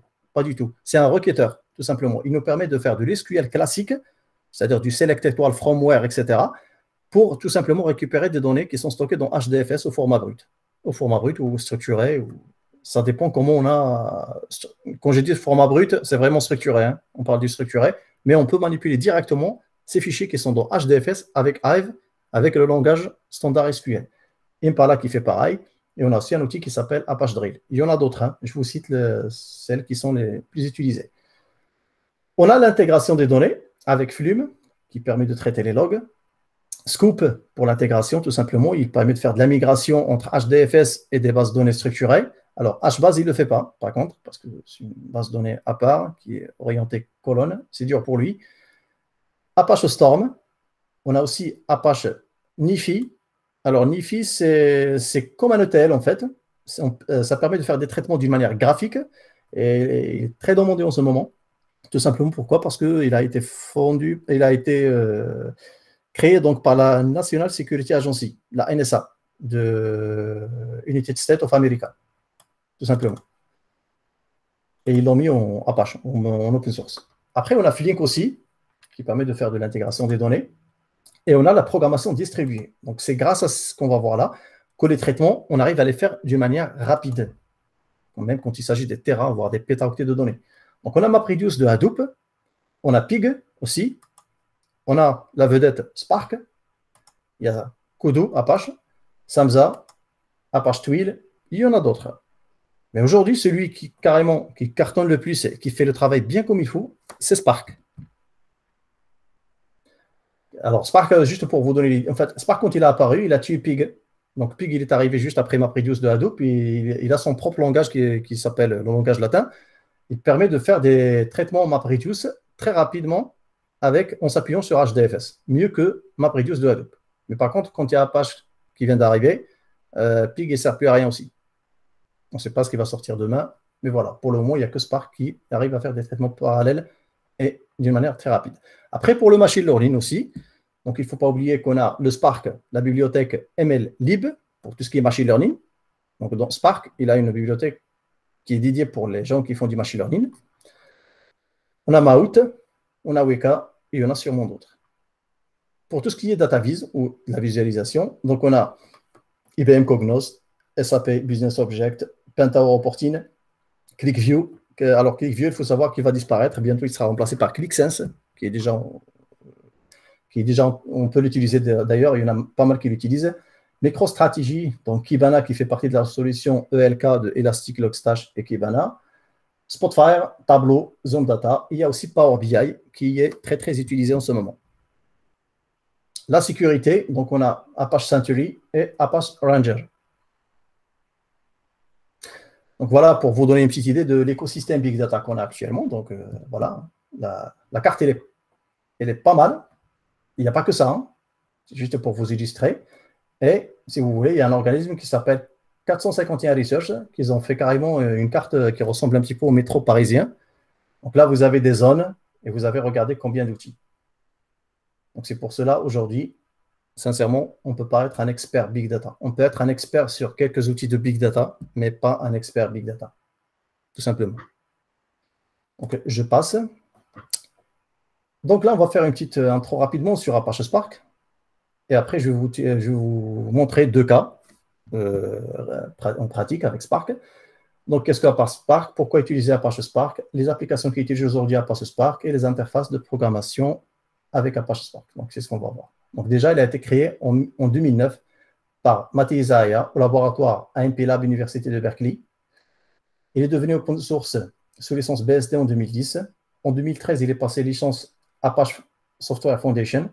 Et en 2014, il est passé ASF, donc Apache Software Foundation, Top Level Project, et qui a été maintenu toujours avec l'entreprise Databricks. Alors, l'entreprise Databricks, elle a été euh, tout simplement euh, créée par le créateur de Spark, qui est Matei Zaharia. Et en 2014, il a gagné le Daytona Greysoft. Alors, ça consiste en quoi? Tout simplement, si on fait la comparaison avec ce qu'ils ont fait à Hadoop par rapport à ce concours-là, euh, ils ont récupéré des fichiers tous les deux avec 100 teraoctets de données. Tout simplement, le but, c'était de trier ces fichiers de A à Z. Donc, Hadoop, ils ont utilisé 200, 2100 machines physiques. Spark, ils ont utilisé 206 machines virtuelles. C'est-à-dire, ils ont récupéré des machines, ils, ils les ont virtualisées, etc. Le temps de réponse était de 72 minutes pour Hadoop et 23 minutes pour Spark.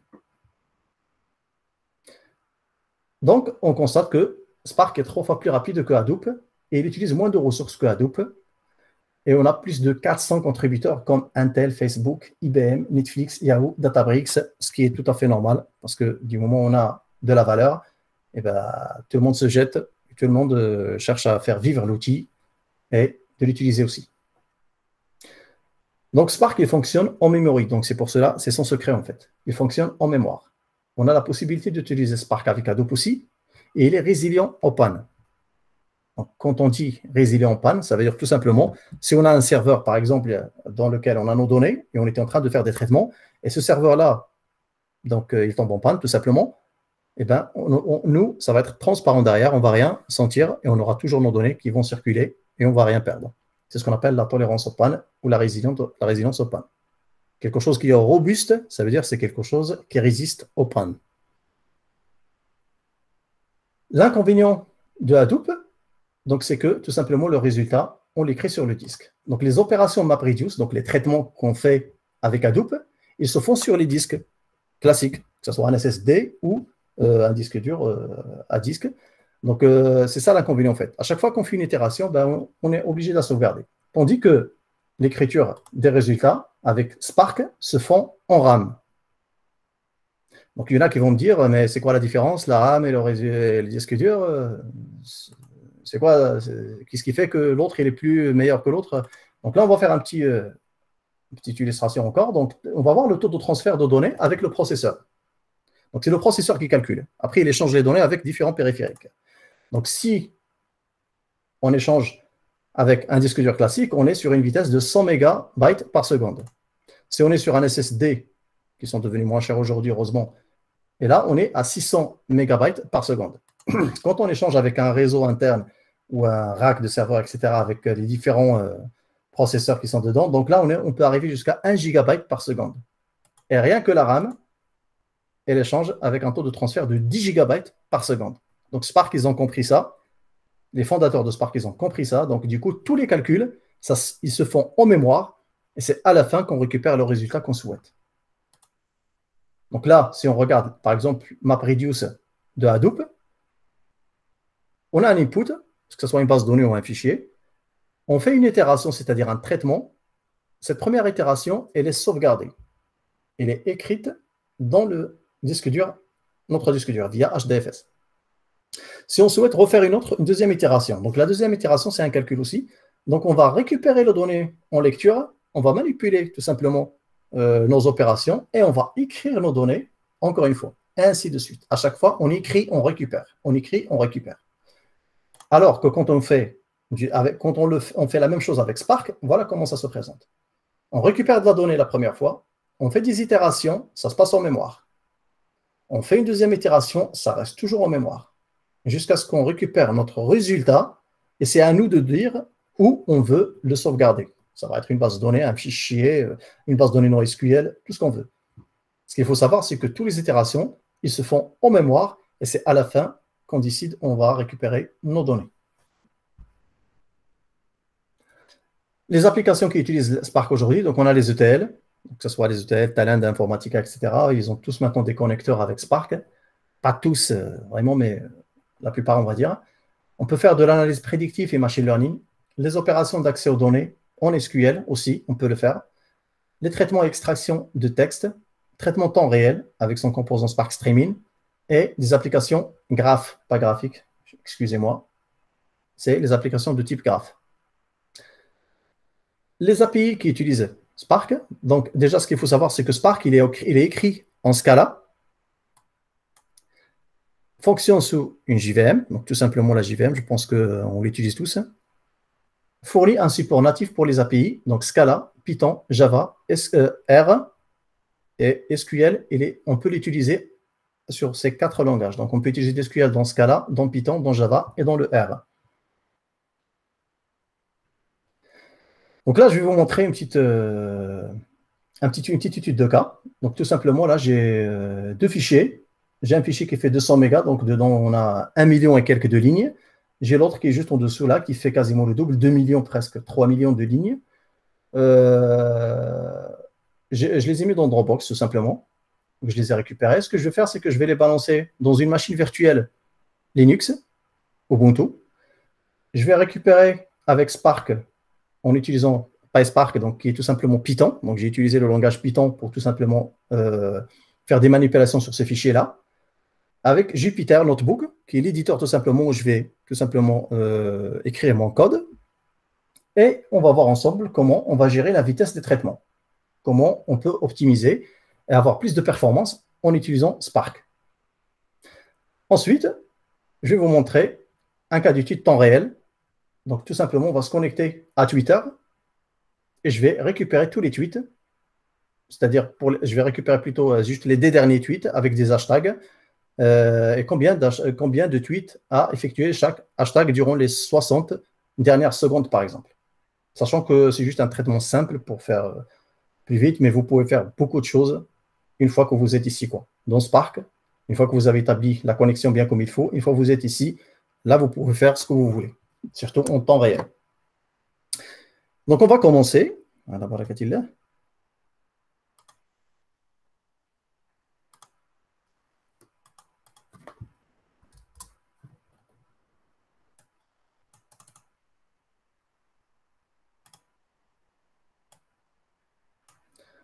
Donc, je ne sais, je sais pas si vous, si vous arrivez à voir euh, euh, Jupiter ici. Très, très bien, oui. Très bien, super, merci. Super, merci.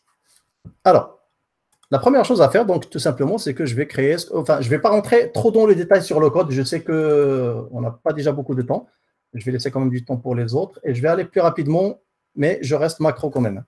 Alors, ce qu'on va faire là, donc là, j'ai créé tout simplement ce qu'on appelle une Spark Context. Donc pour travailler avec du Spark, il faut manipuler tout simplement une classe, il faut l'initialiser, il faut l'initier, pardon, il faut initier euh, notre classe pour construire notre objet que je vais nommer ici euh, Spark Context, sachant que ici, le Spark Context, il est déjà initié par, par le démarrage de mon PySpark. Donc pour les gens qui souhaitent encore savoir plus euh, sur ce que je viens de faire, euh, n'hésitez pas à me contacter plus tard. Euh, j'essaierai de, vous aider là-dessus. Je vous donnerai donc il n'y a pas de problème. Donc, la première chose, c'est que je vais, je vais tout simplement exécuter mon programme. Donc là, je suis en train de les exécuter. Quand vous voyez ici les chiffres qui sont établis, quand il y a une étoile ici, en fait, ça veut dire que c'est en cours. Quand il me donne un chiffre, ça veut dire que c'est fait. Donc là, je vais pointer sur le fichier qu'on a dit. Je vais vous le montrer pour le petit rappel. Je l'ai ici, là. Voilà. Donc, j'ai mon fichier qui est ici. Donc, ici, c'est le chemin Windows dans mon Dropbox. Il s'appelle RE valeur-bis. Il est là. Il fait 200 mégas et quelques, donc 1 million et quelques de lignes. Je vais récupérer ce fichier-là via Spark, sachant que entre Windows et la machine Ubuntu, j'ai fait un répertoire, j'ai construit un répertoire de partage qui est ici. Hein. Donc on le voit bien ici. c'est ce fichier-là que je suis en train de récupérer et qui pointe tout simplement sur mon répertoire de Windows. Pour cela que le chemin est un peu fait au format Linux. Donc j'exécute. Là, elle est en train de récupérer tout le fichier.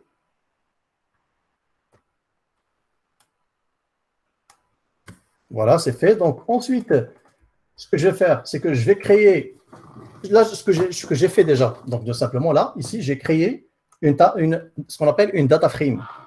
Donc la data frame dans Spark, quand on arrive à la créer, il faut que ça soit sur des données structurées. Donc là, en l'occurrence, c'est un fichier CSV avec un délimiteur sur du pipe. Donc peut-être des fois, on peut être sur des points-virgules ou, des, ou des, tout simplement des dièses ou autres.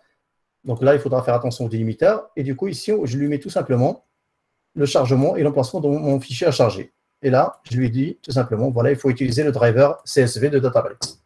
Donc, une fois que j'ai créé ma data frame, ici, à partir de ma data frame, je vais lui dire, je veux que tu me crées une table temporaire qui s'appelle ma table.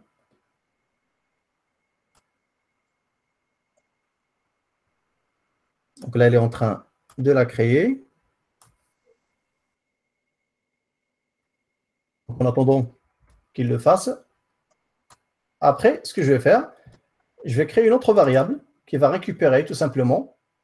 Regardez là, à ce moment-là, une fois que j'ai créé mon Creator Replace Global Temp View, qui s'appelle ma table, donc une fois que j'ai créé ma table, je peux directement appliquer le langage SQL. Pour les personnes qui aiment bien utiliser l'SQL comme moi.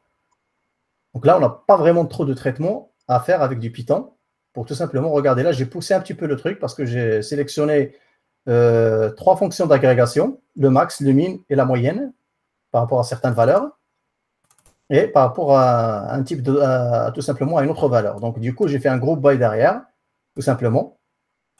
Et donc là, je vais utiliser, donc là, j'ai lancé la commande que je crée le résultat dans cette variable. Donc là, il m'a créé quand même une table distribuée. Hein. C'est une vraie table, mais elle est en mode distribué. Donc, pour connaître, il y en a qui vont me dire, euh, oui, c'est une variable, comment on peut voir la distribution dedans? Ce qui est tout à fait raison. Donc là, regardez, il y a une, euh, tout simplement un syntaxe qu'on peut utiliser.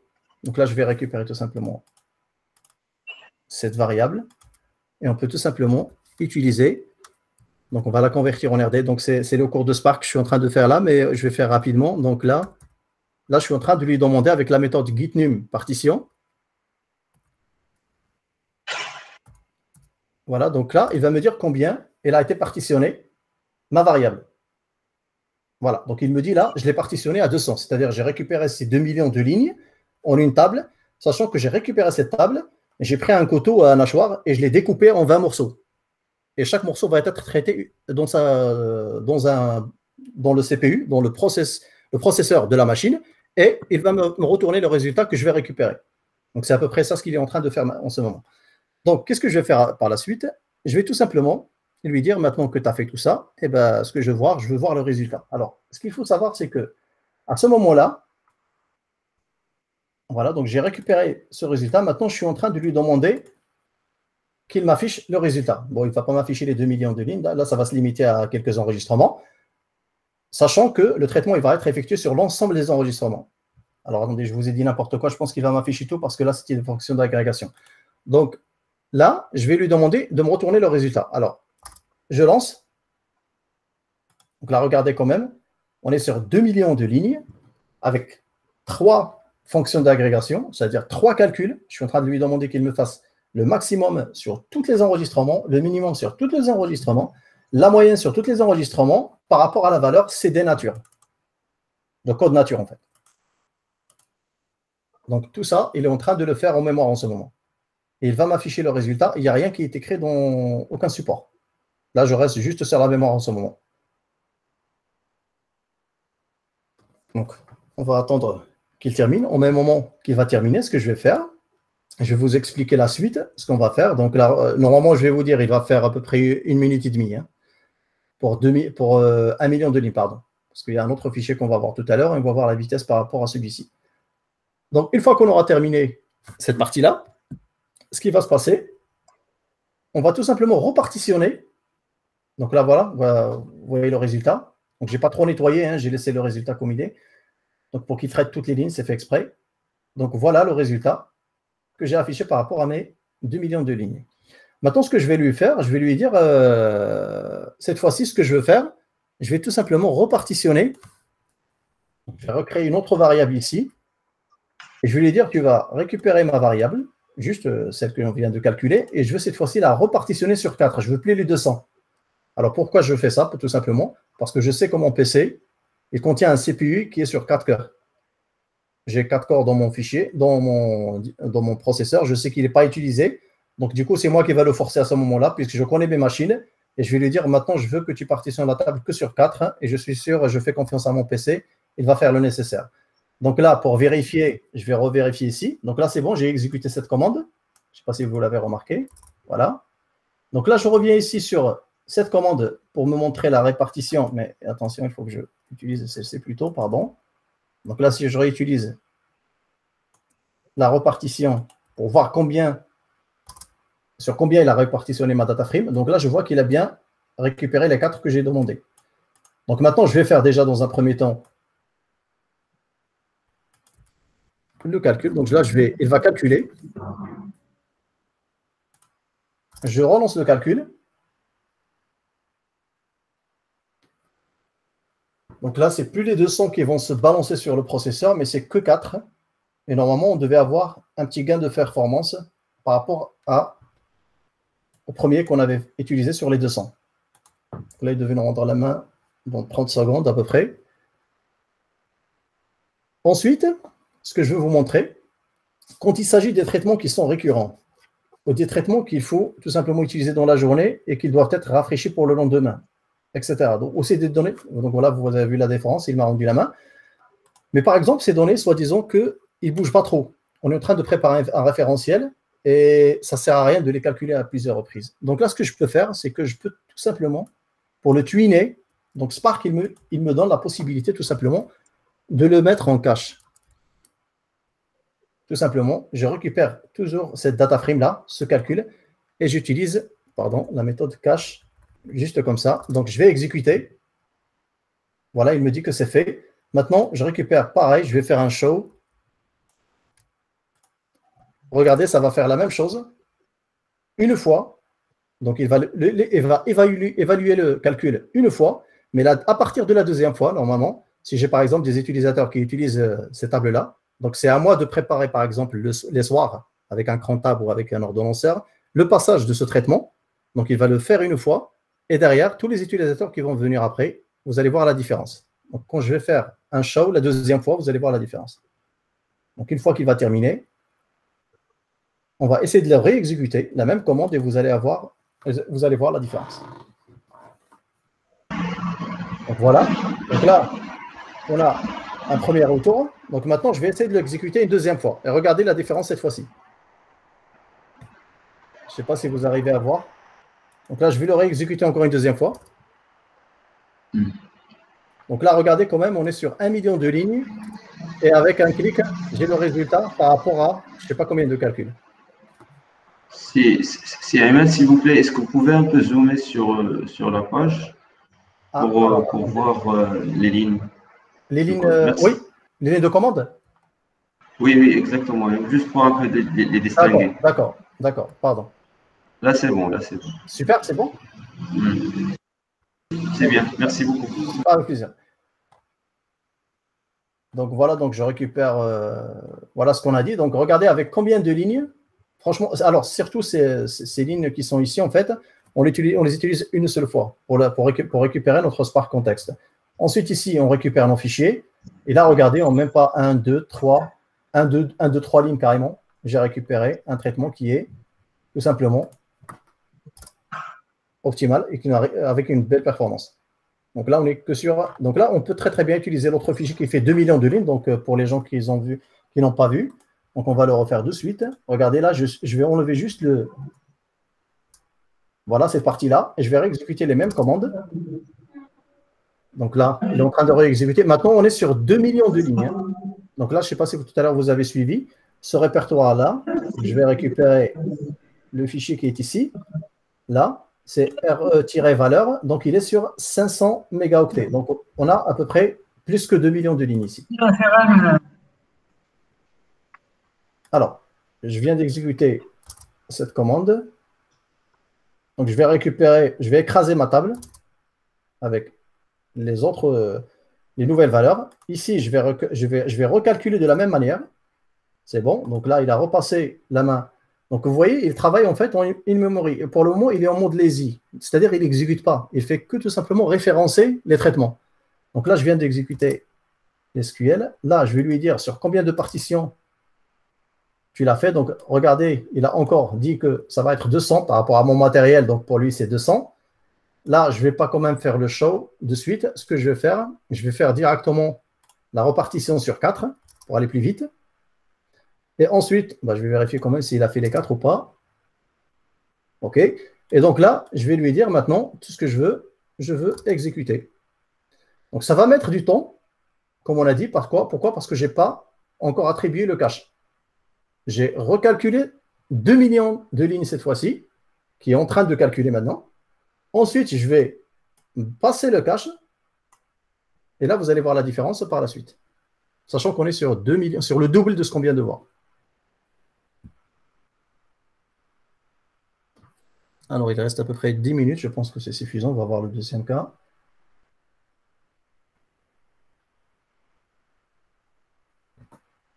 Voilà, donc là, vous avez vu la rapidité, donc euh, c'est quasi presque 1 million. Pour lui, c'est rien, 1 hein. million, 2 millions, 3 millions, jusqu'à même 10 millions, je pense que ça reste dans la même fourchette de traitement. Donc là, je vais faire le cache. C'est bon, il a calculé le cache. Je vais évaluer mon RDD, ma data frame, pardon.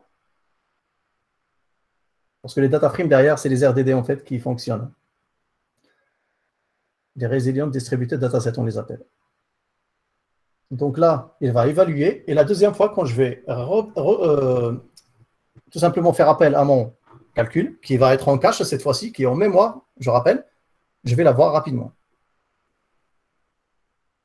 Donc généralement, quand c'est des euh, traitements qui sont sollicités de la même manière par des applications ou par même des utilisateurs, le mieux, c'est de passer ces traitements le soir quand il n'y a personne, et on ne fait que les passer une seule fois, et le lendemain, ils auront, ou bien par, par malchance, s'il y a quelqu'un qui arrive avant que le traitement il passe, ben, il va euh, juste patienter une fois et après, ça va être évalué. Donc là, regardez, je vais le balancer encore une deuxième fois.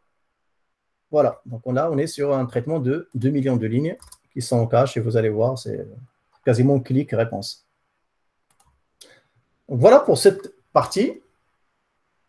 Je laisse de côté pour les questions plus tard. Donc là, je vais passer sur cette partie-là de streaming. Cette fois-ci, donc, euh, j'ai changé un petit peu. Donc là, on va, on va passer sur un traitement sur un autre outil, un